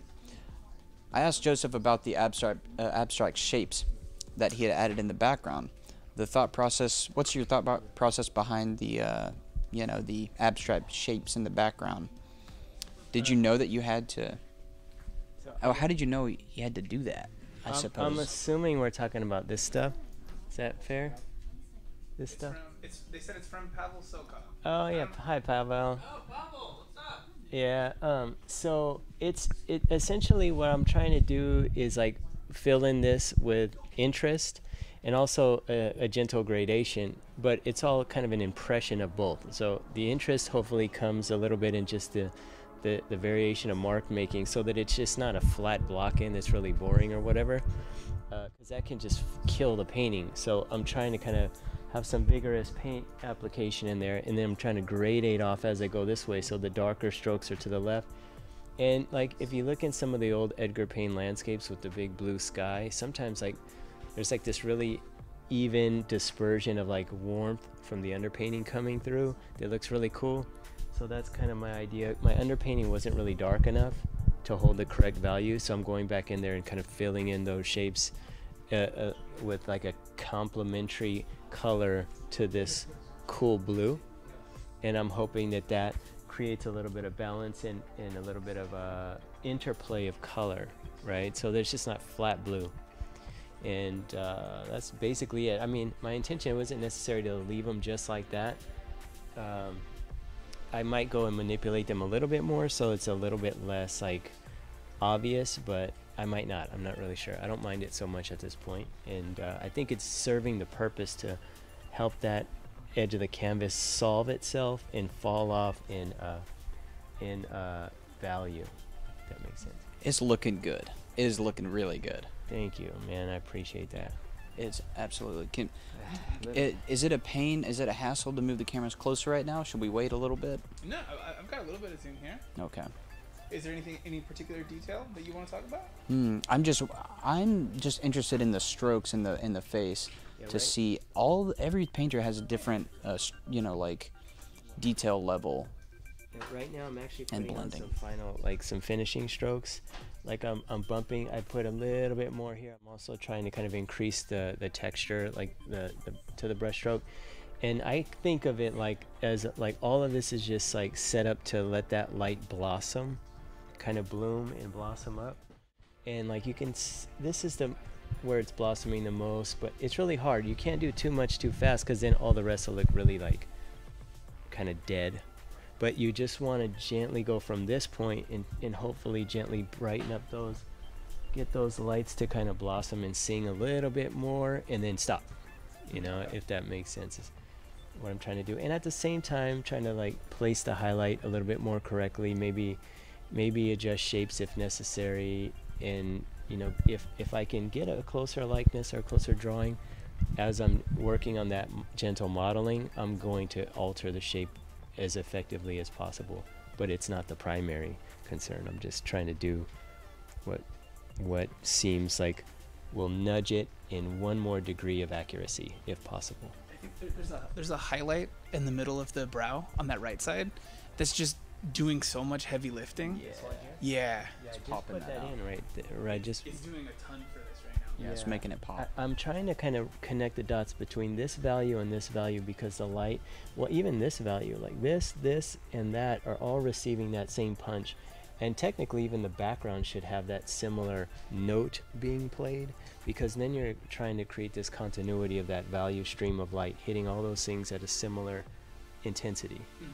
And so the connection of all, and in fact, maybe even on the hair right here, I should bump that up. You can see if you take those little things into consideration, start bumping up the hair, you can see how you're playing all these planes that are facing the light at that angle of incidence just right and at the same intensity. Then you're creating this, hopefully, this continuity, this truth about the light source and how it's illuminating this scene. So You could add, it adds so much to the believability and immediate readability of it. Awesome. That's that's the goal.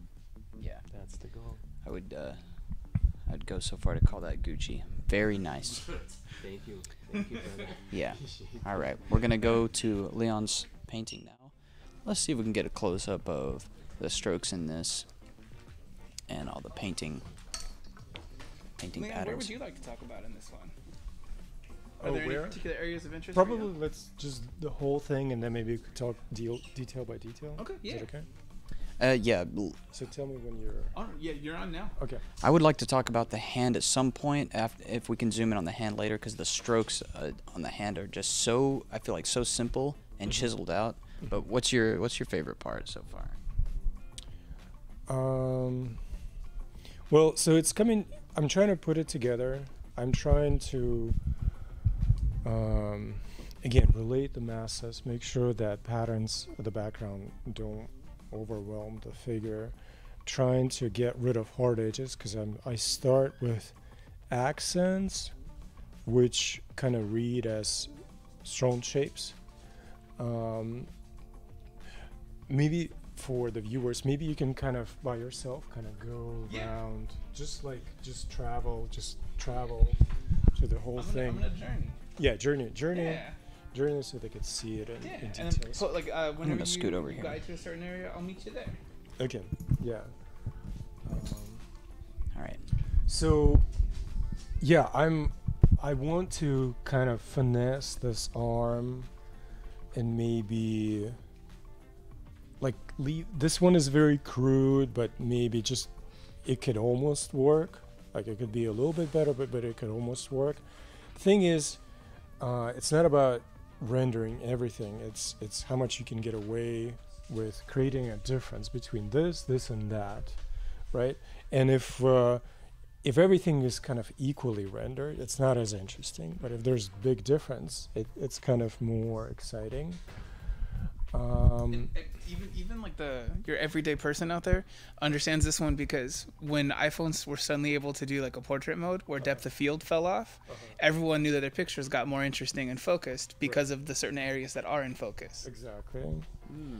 Yeah. So that and and it, it, it was interesting. Somebody said in a comment like a couple hours ago, like, "Oh, put some orange in the yellow drapery," and I felt like, well, maybe not in yellow drapery, but I needed to put some orange in the blues, and it actually was such a good suggestion because my there wasn't enough interplay between the blue patterns and the ochres. So the blue patterns needed some browns and oranges and yellows to not be so blue. They were a little bit too stale. And I put these yellow notes uh, in the blues down here, down here, down here, and that made it feel more harmonious and more um, kind of made it feel belong to the same lighting situation. Um, so now, now probably like I when I look at this hand, light comes from the right, shadows from the left. So I'm going to soften shadow side so that the um, light side is a little bit more chiseled, shadow side is a little bit more soft. I'm going to kind of wipe off some hard edges and probably I won't get to the shirt, but I really want to. I took I took some nice photographs, and I probably will have to just finish the beautiful blouse on a different date, uh, and just concentrate on the blouse. Because I really I think the the whole point was just to do this um, historic blouse, and I wanted to give it a little bit more time. When, when you say wipe off some of the edges, exactly how would you approach this one? Soften. Well, you have a fan brush, you have a finger, you have a rag, and you just kind of uh, make turn hard edge into soft edge. Because of the medium that you're working with? Well, because it's everything is still wet because it's only been, you know, two days, so you can um, everything could be softened. Um, yeah, and um, yeah, and again, you guys uh, out there in the world, please uh, let us know what you think about this work and if you have any suggestions. Yeah, let us know what part of the painting you want, uh, like a close-up shot of. If you want a personal like note someplace, I, I for what's the price? Did yours sell, did yours sell yet? Sorry, Did yours sell? I don't think so. Okay. I Oh, don't know. yet. I think Can- we do put it. it too much. Can can we zoom in on the the hand down here? Uh, can you talk a little bit about the the paint strokes and like because you, yeah you've chiseled it out uh, in a very simple way, a very beautiful way, Mm-hmm. uh, and very little strokes. It feels like. Uh, let me take a look at the monitor so we can see. Yeah. Uh, in the end, we're towards the end of the stream. I think I want to do some extreme close-ups so we can actually see really close the uh, the actual just how simple some of these strokes are because a lot of students think you know you need to get in there and you know do a bunch of little strokes but you knock these out in some pretty big strokes right Yeah, well, simplification is, is not necessarily dumbing down the information. In fact, it's harder to simplify than to like render something. Um, and we've talked about this that it has to feel finessed, but it has to feel less important than the face. So reaching this kind of place where it will feel finished, it will feel soft, feminine, graceful, colorful, graphic, volumetric, but it won't be more important than the head. Right. So that's that's the balance that I'm reaching for here. And I would soften, I would take a fan brush and I would soften kind of these edges. I would soften all the shadows. Um, I would kind of maybe soften um, the planes within the hand a little bit so that just it feels colorful. In the beginning, you need to be a little bit more bold and decisive. This is still kind of laid in, not not taken to a full finish. Y- I, I start with bold color decisions and then soften them rather than kind of do volume with the same color and then try to put color in. so if we look at the volume in this hand and these big confident strokes there like you're talking about and then we if we can pan up to the face feels like you're using the same thing but a, a bit more blended in Yeah, yeah, yeah. So much more refined in the face. Uh, but I you almost can't see the difference. Uh, like in the hand is very blocky, and you can see the difference of the different colors that you're picking. But in the Mhm. face, some of it is uh, like we saw in other paintings, blossoming and Mhm. very, uh, very blended. For Mhm. softness, is that just to be soft? Yeah, I I think uh, when you don't blend planes, like when when you keep them as separate shapes, I think it's it's uh, good for painting because there's more volume, there's more color, there's more choices. I don't like over blending. You know, there's this term of licking the surface. I don't like my painting to be uh, kind of uh, over rendered. Um, but I want it to be soft and feminine and, you know, um, and represent the form that I'm painting, you know, which is beautiful. Um, We have a question from Chad. Is just how do you even begin to learn to simplify? Because you said it's a little bit more complex than just dumbing down. It's not dumbing down like you said. It's um, there's a lot of training that goes into simplifying. Um, well, you think about composition and how important each shape has to be. Again, head is detail number one, so there's going to be a lot of smaller shapes. Uh, shirt is much less important, right? So you can group together the shapes and you can make them um, bigger and uh, looser so that the viewer kind of slides on that surface. It doesn't get stuck on details, right? If if if you just kind of look at everything and you have difficulty getting to the face, that's um, I mean, there are different styles. There's there's Leonardo da Vinci who rendered. Actually, this this has a lot to do with the question we have right now. How did you find your personal voice in this? Because we know we take inspiration from so many other artists, right? How did you go about finding your own voice in painting? It's a good question. I don't know. You're kind of born with it, and and it's up to you to discover it. Mm. And you can only discover by doing. You know, the more you do, the more you gravitate towards certain things, and you don't know where it comes from, and you don't know what it is until you start doing it. Or not start until you do a lot of it.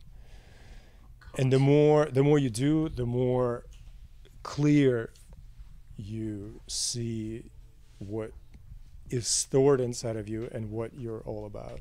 Does that mean always always doing master studies and studying from other professional artists or life or just like a mixed match of both? I paint life as much as possible. I paint from life, even com- even um, uh, com- well commercial work, e- even even commissioned portraits. I have my sitters pose for me at least for a color study. So painting from life is a big deal for me, and and you can see how much variety there is from life. How much more you have to play with. With photograph, it's just an image, and you're copying a photograph. With this, it's different every time. The angles are different every time. The tilts are different and the complexity of light. And we have we're working with artificial light. If we would be working with natural light it would be even prettier. It would be even more exciting. So it's just this endless complexity that you experience uh, looking at your subject from life.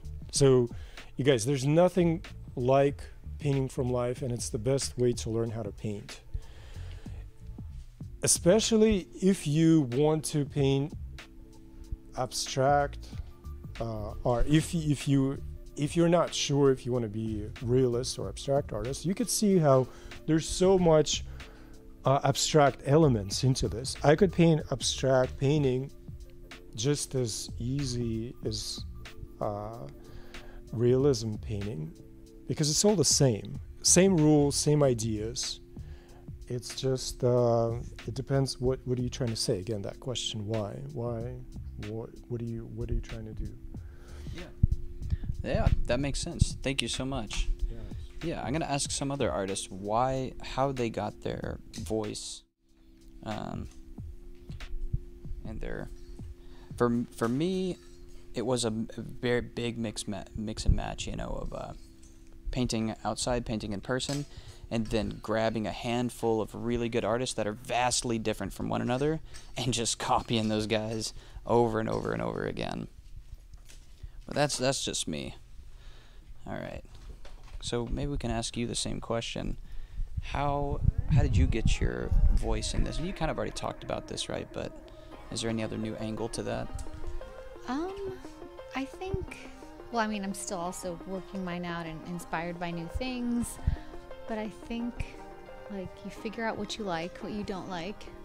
You try to mimic or incorporate that into your work, and then it's just doing it. And then you, it should just, you know, you a, a cer- some sort of a style usually just happens. You can't really plan it. I mean, you can start trying to incorporate something into your work a lot, but I think I mean, unless you, I mean, if you do plan, it looks it looks forced that way. You know what I mean? But there, we do have like a natural style, but it's of course inspired by all the, the people we like and all the work that we like. Um, It, for me, and this might be the same for you. I looked at some of my old. Somebody just recently sent me one of the oldest paintings I ever did as a child, and even today, I can look at it and be like, you know what? I could almost tell that is some of me in there. Really, really old stuff like the composition, the stuff that I liked. Is like I just had small, small flavor, and I feel like a lot of artists, beginning artists, they don't feel like they have a style, you know, but it is in there. Uh, do you do you still do you feel like you went through, through the same thing? yeah, kind of. Um, I think when you're searching for a style, it's not really going to happen because it's not. It's something that has to emerge, and you have to put in the time for for that to happen. Um, you can't force it. Uh, what you just said earlier really resonated with me. finding out what you like is a big deal, but finding out what you don't like, Yes. that's a really big deal. Forget about that one. We forget about that what we don't like is just as important as what we like. And we're always looking at what we like. But if you stare at your painting, that's the other thing. A lot of people I find don't look, at their work enough. Um, look at what you love about it, do it more. what you don't like, and remember to how to fix that, how to adjust that, how to not do that. So. uh, in storytelling and um, for me as well in writing very similar um, eh, i see projects or i see films and i say oh i don't like that and then just shut it off i see a lot of students do that i don't like it i'm not going to see any more of it B- you know i don't want yada yada but and and it's very similar um, to like perspectives in life too. If you don't like somebody else's perspective, that doesn't mean you should just straight up say, I don't like that. And you just walk away and say, I'm not going to pay attention to that anymore. It's a really big deal to try to break down why you don't like it. And maybe, s- Understand it too. Understand it, yeah. Yeah. and then you say, you know what, I do respect this part of it. And maybe I shouldn't ignore that part of it. And this is what I'm going to take, this is what I'm going to leave. Um, do you, does anything come to your mind, come to mind about stuff that you really didn't like that you took into consideration? Or even in my old work, like it would be overly saturated everywhere, you know, and I was loving all these very um, neutral paintings. Well, neutral, but with pops of of harmonious like pastels or something like that, you know. So, what like how do I stop that? Um, yeah, so paying attention to what I liked in other paintings and what I didn't like in mine. Um, Yeah. yeah, which yeah, that's a good example. Like oversaturation, overly rendered everywhere, um, things like that. Yeah. Yeah. And if you love something, like you love about another person's paintings, like and you do the opposite, it's like why try? Maybe you should try to do something similar. So. Yeah. All right. Well, that's a really good lesson. Thank you for that. All right. We got a camera on this art. Uh, the one on this one. Yeah. I'll go to that one real fast, and then I'll come back here. Okay. Let's watch her paint for a second.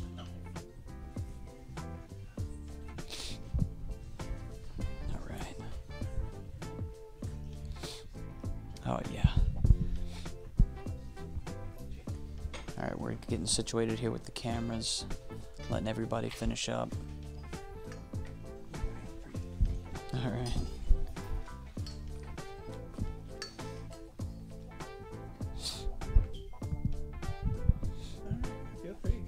Alright, we're gonna take a look at this painting. All right, let me see the monitor, see what we got going on. Can we switch to this one?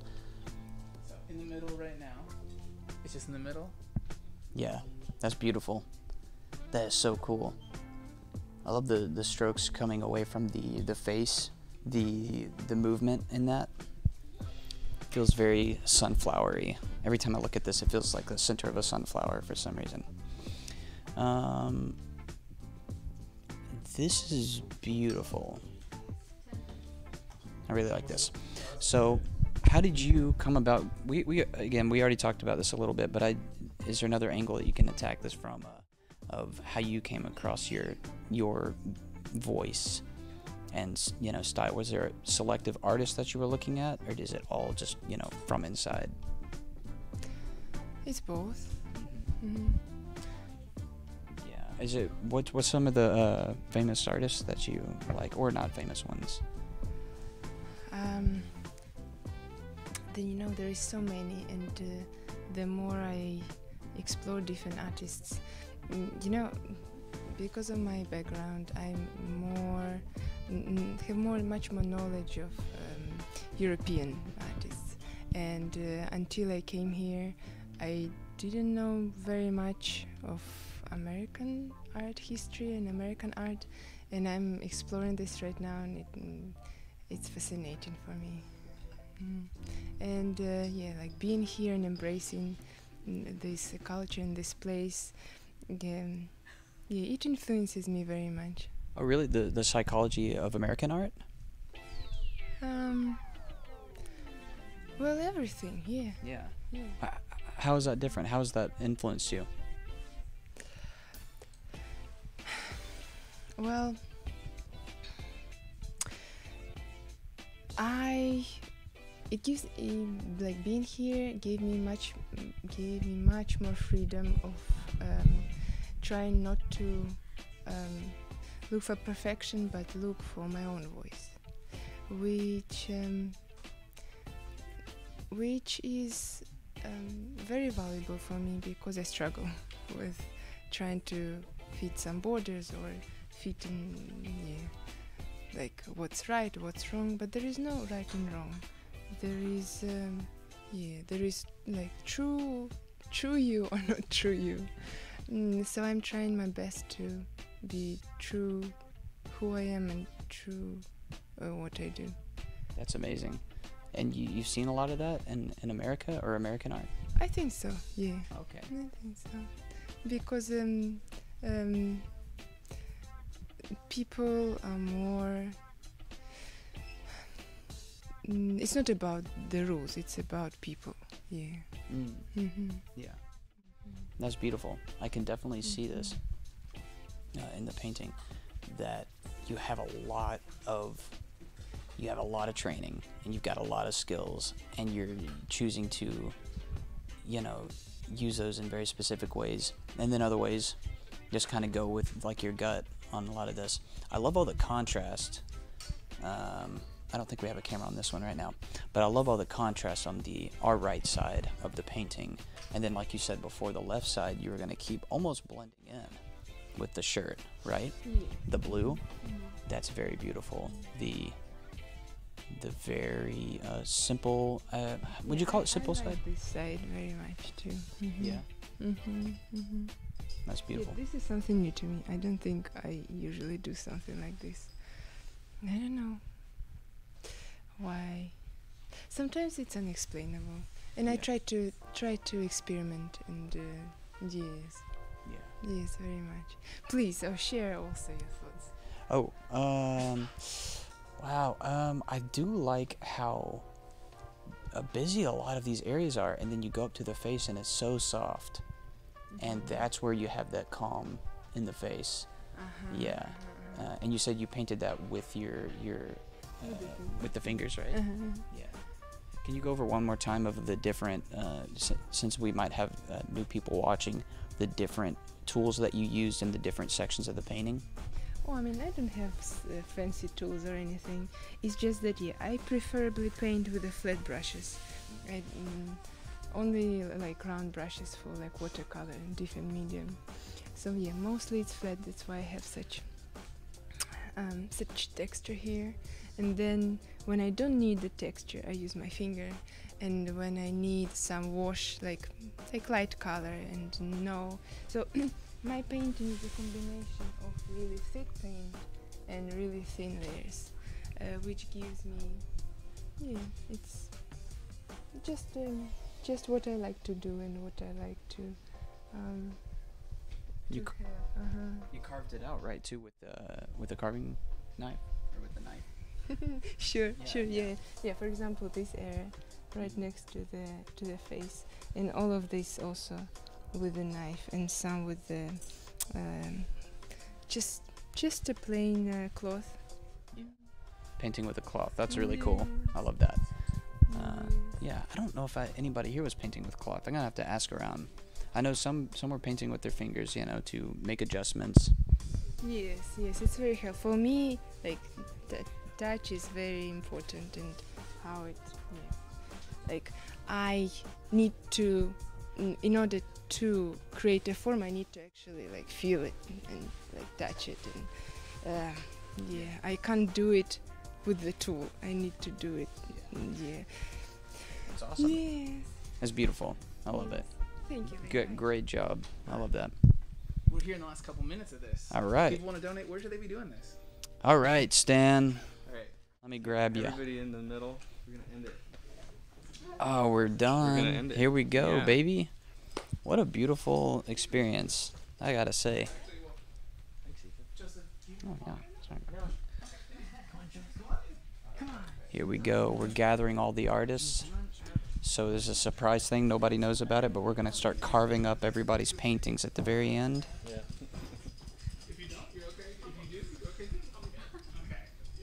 All right. Here you go, Stan. Thank you. Everyone in.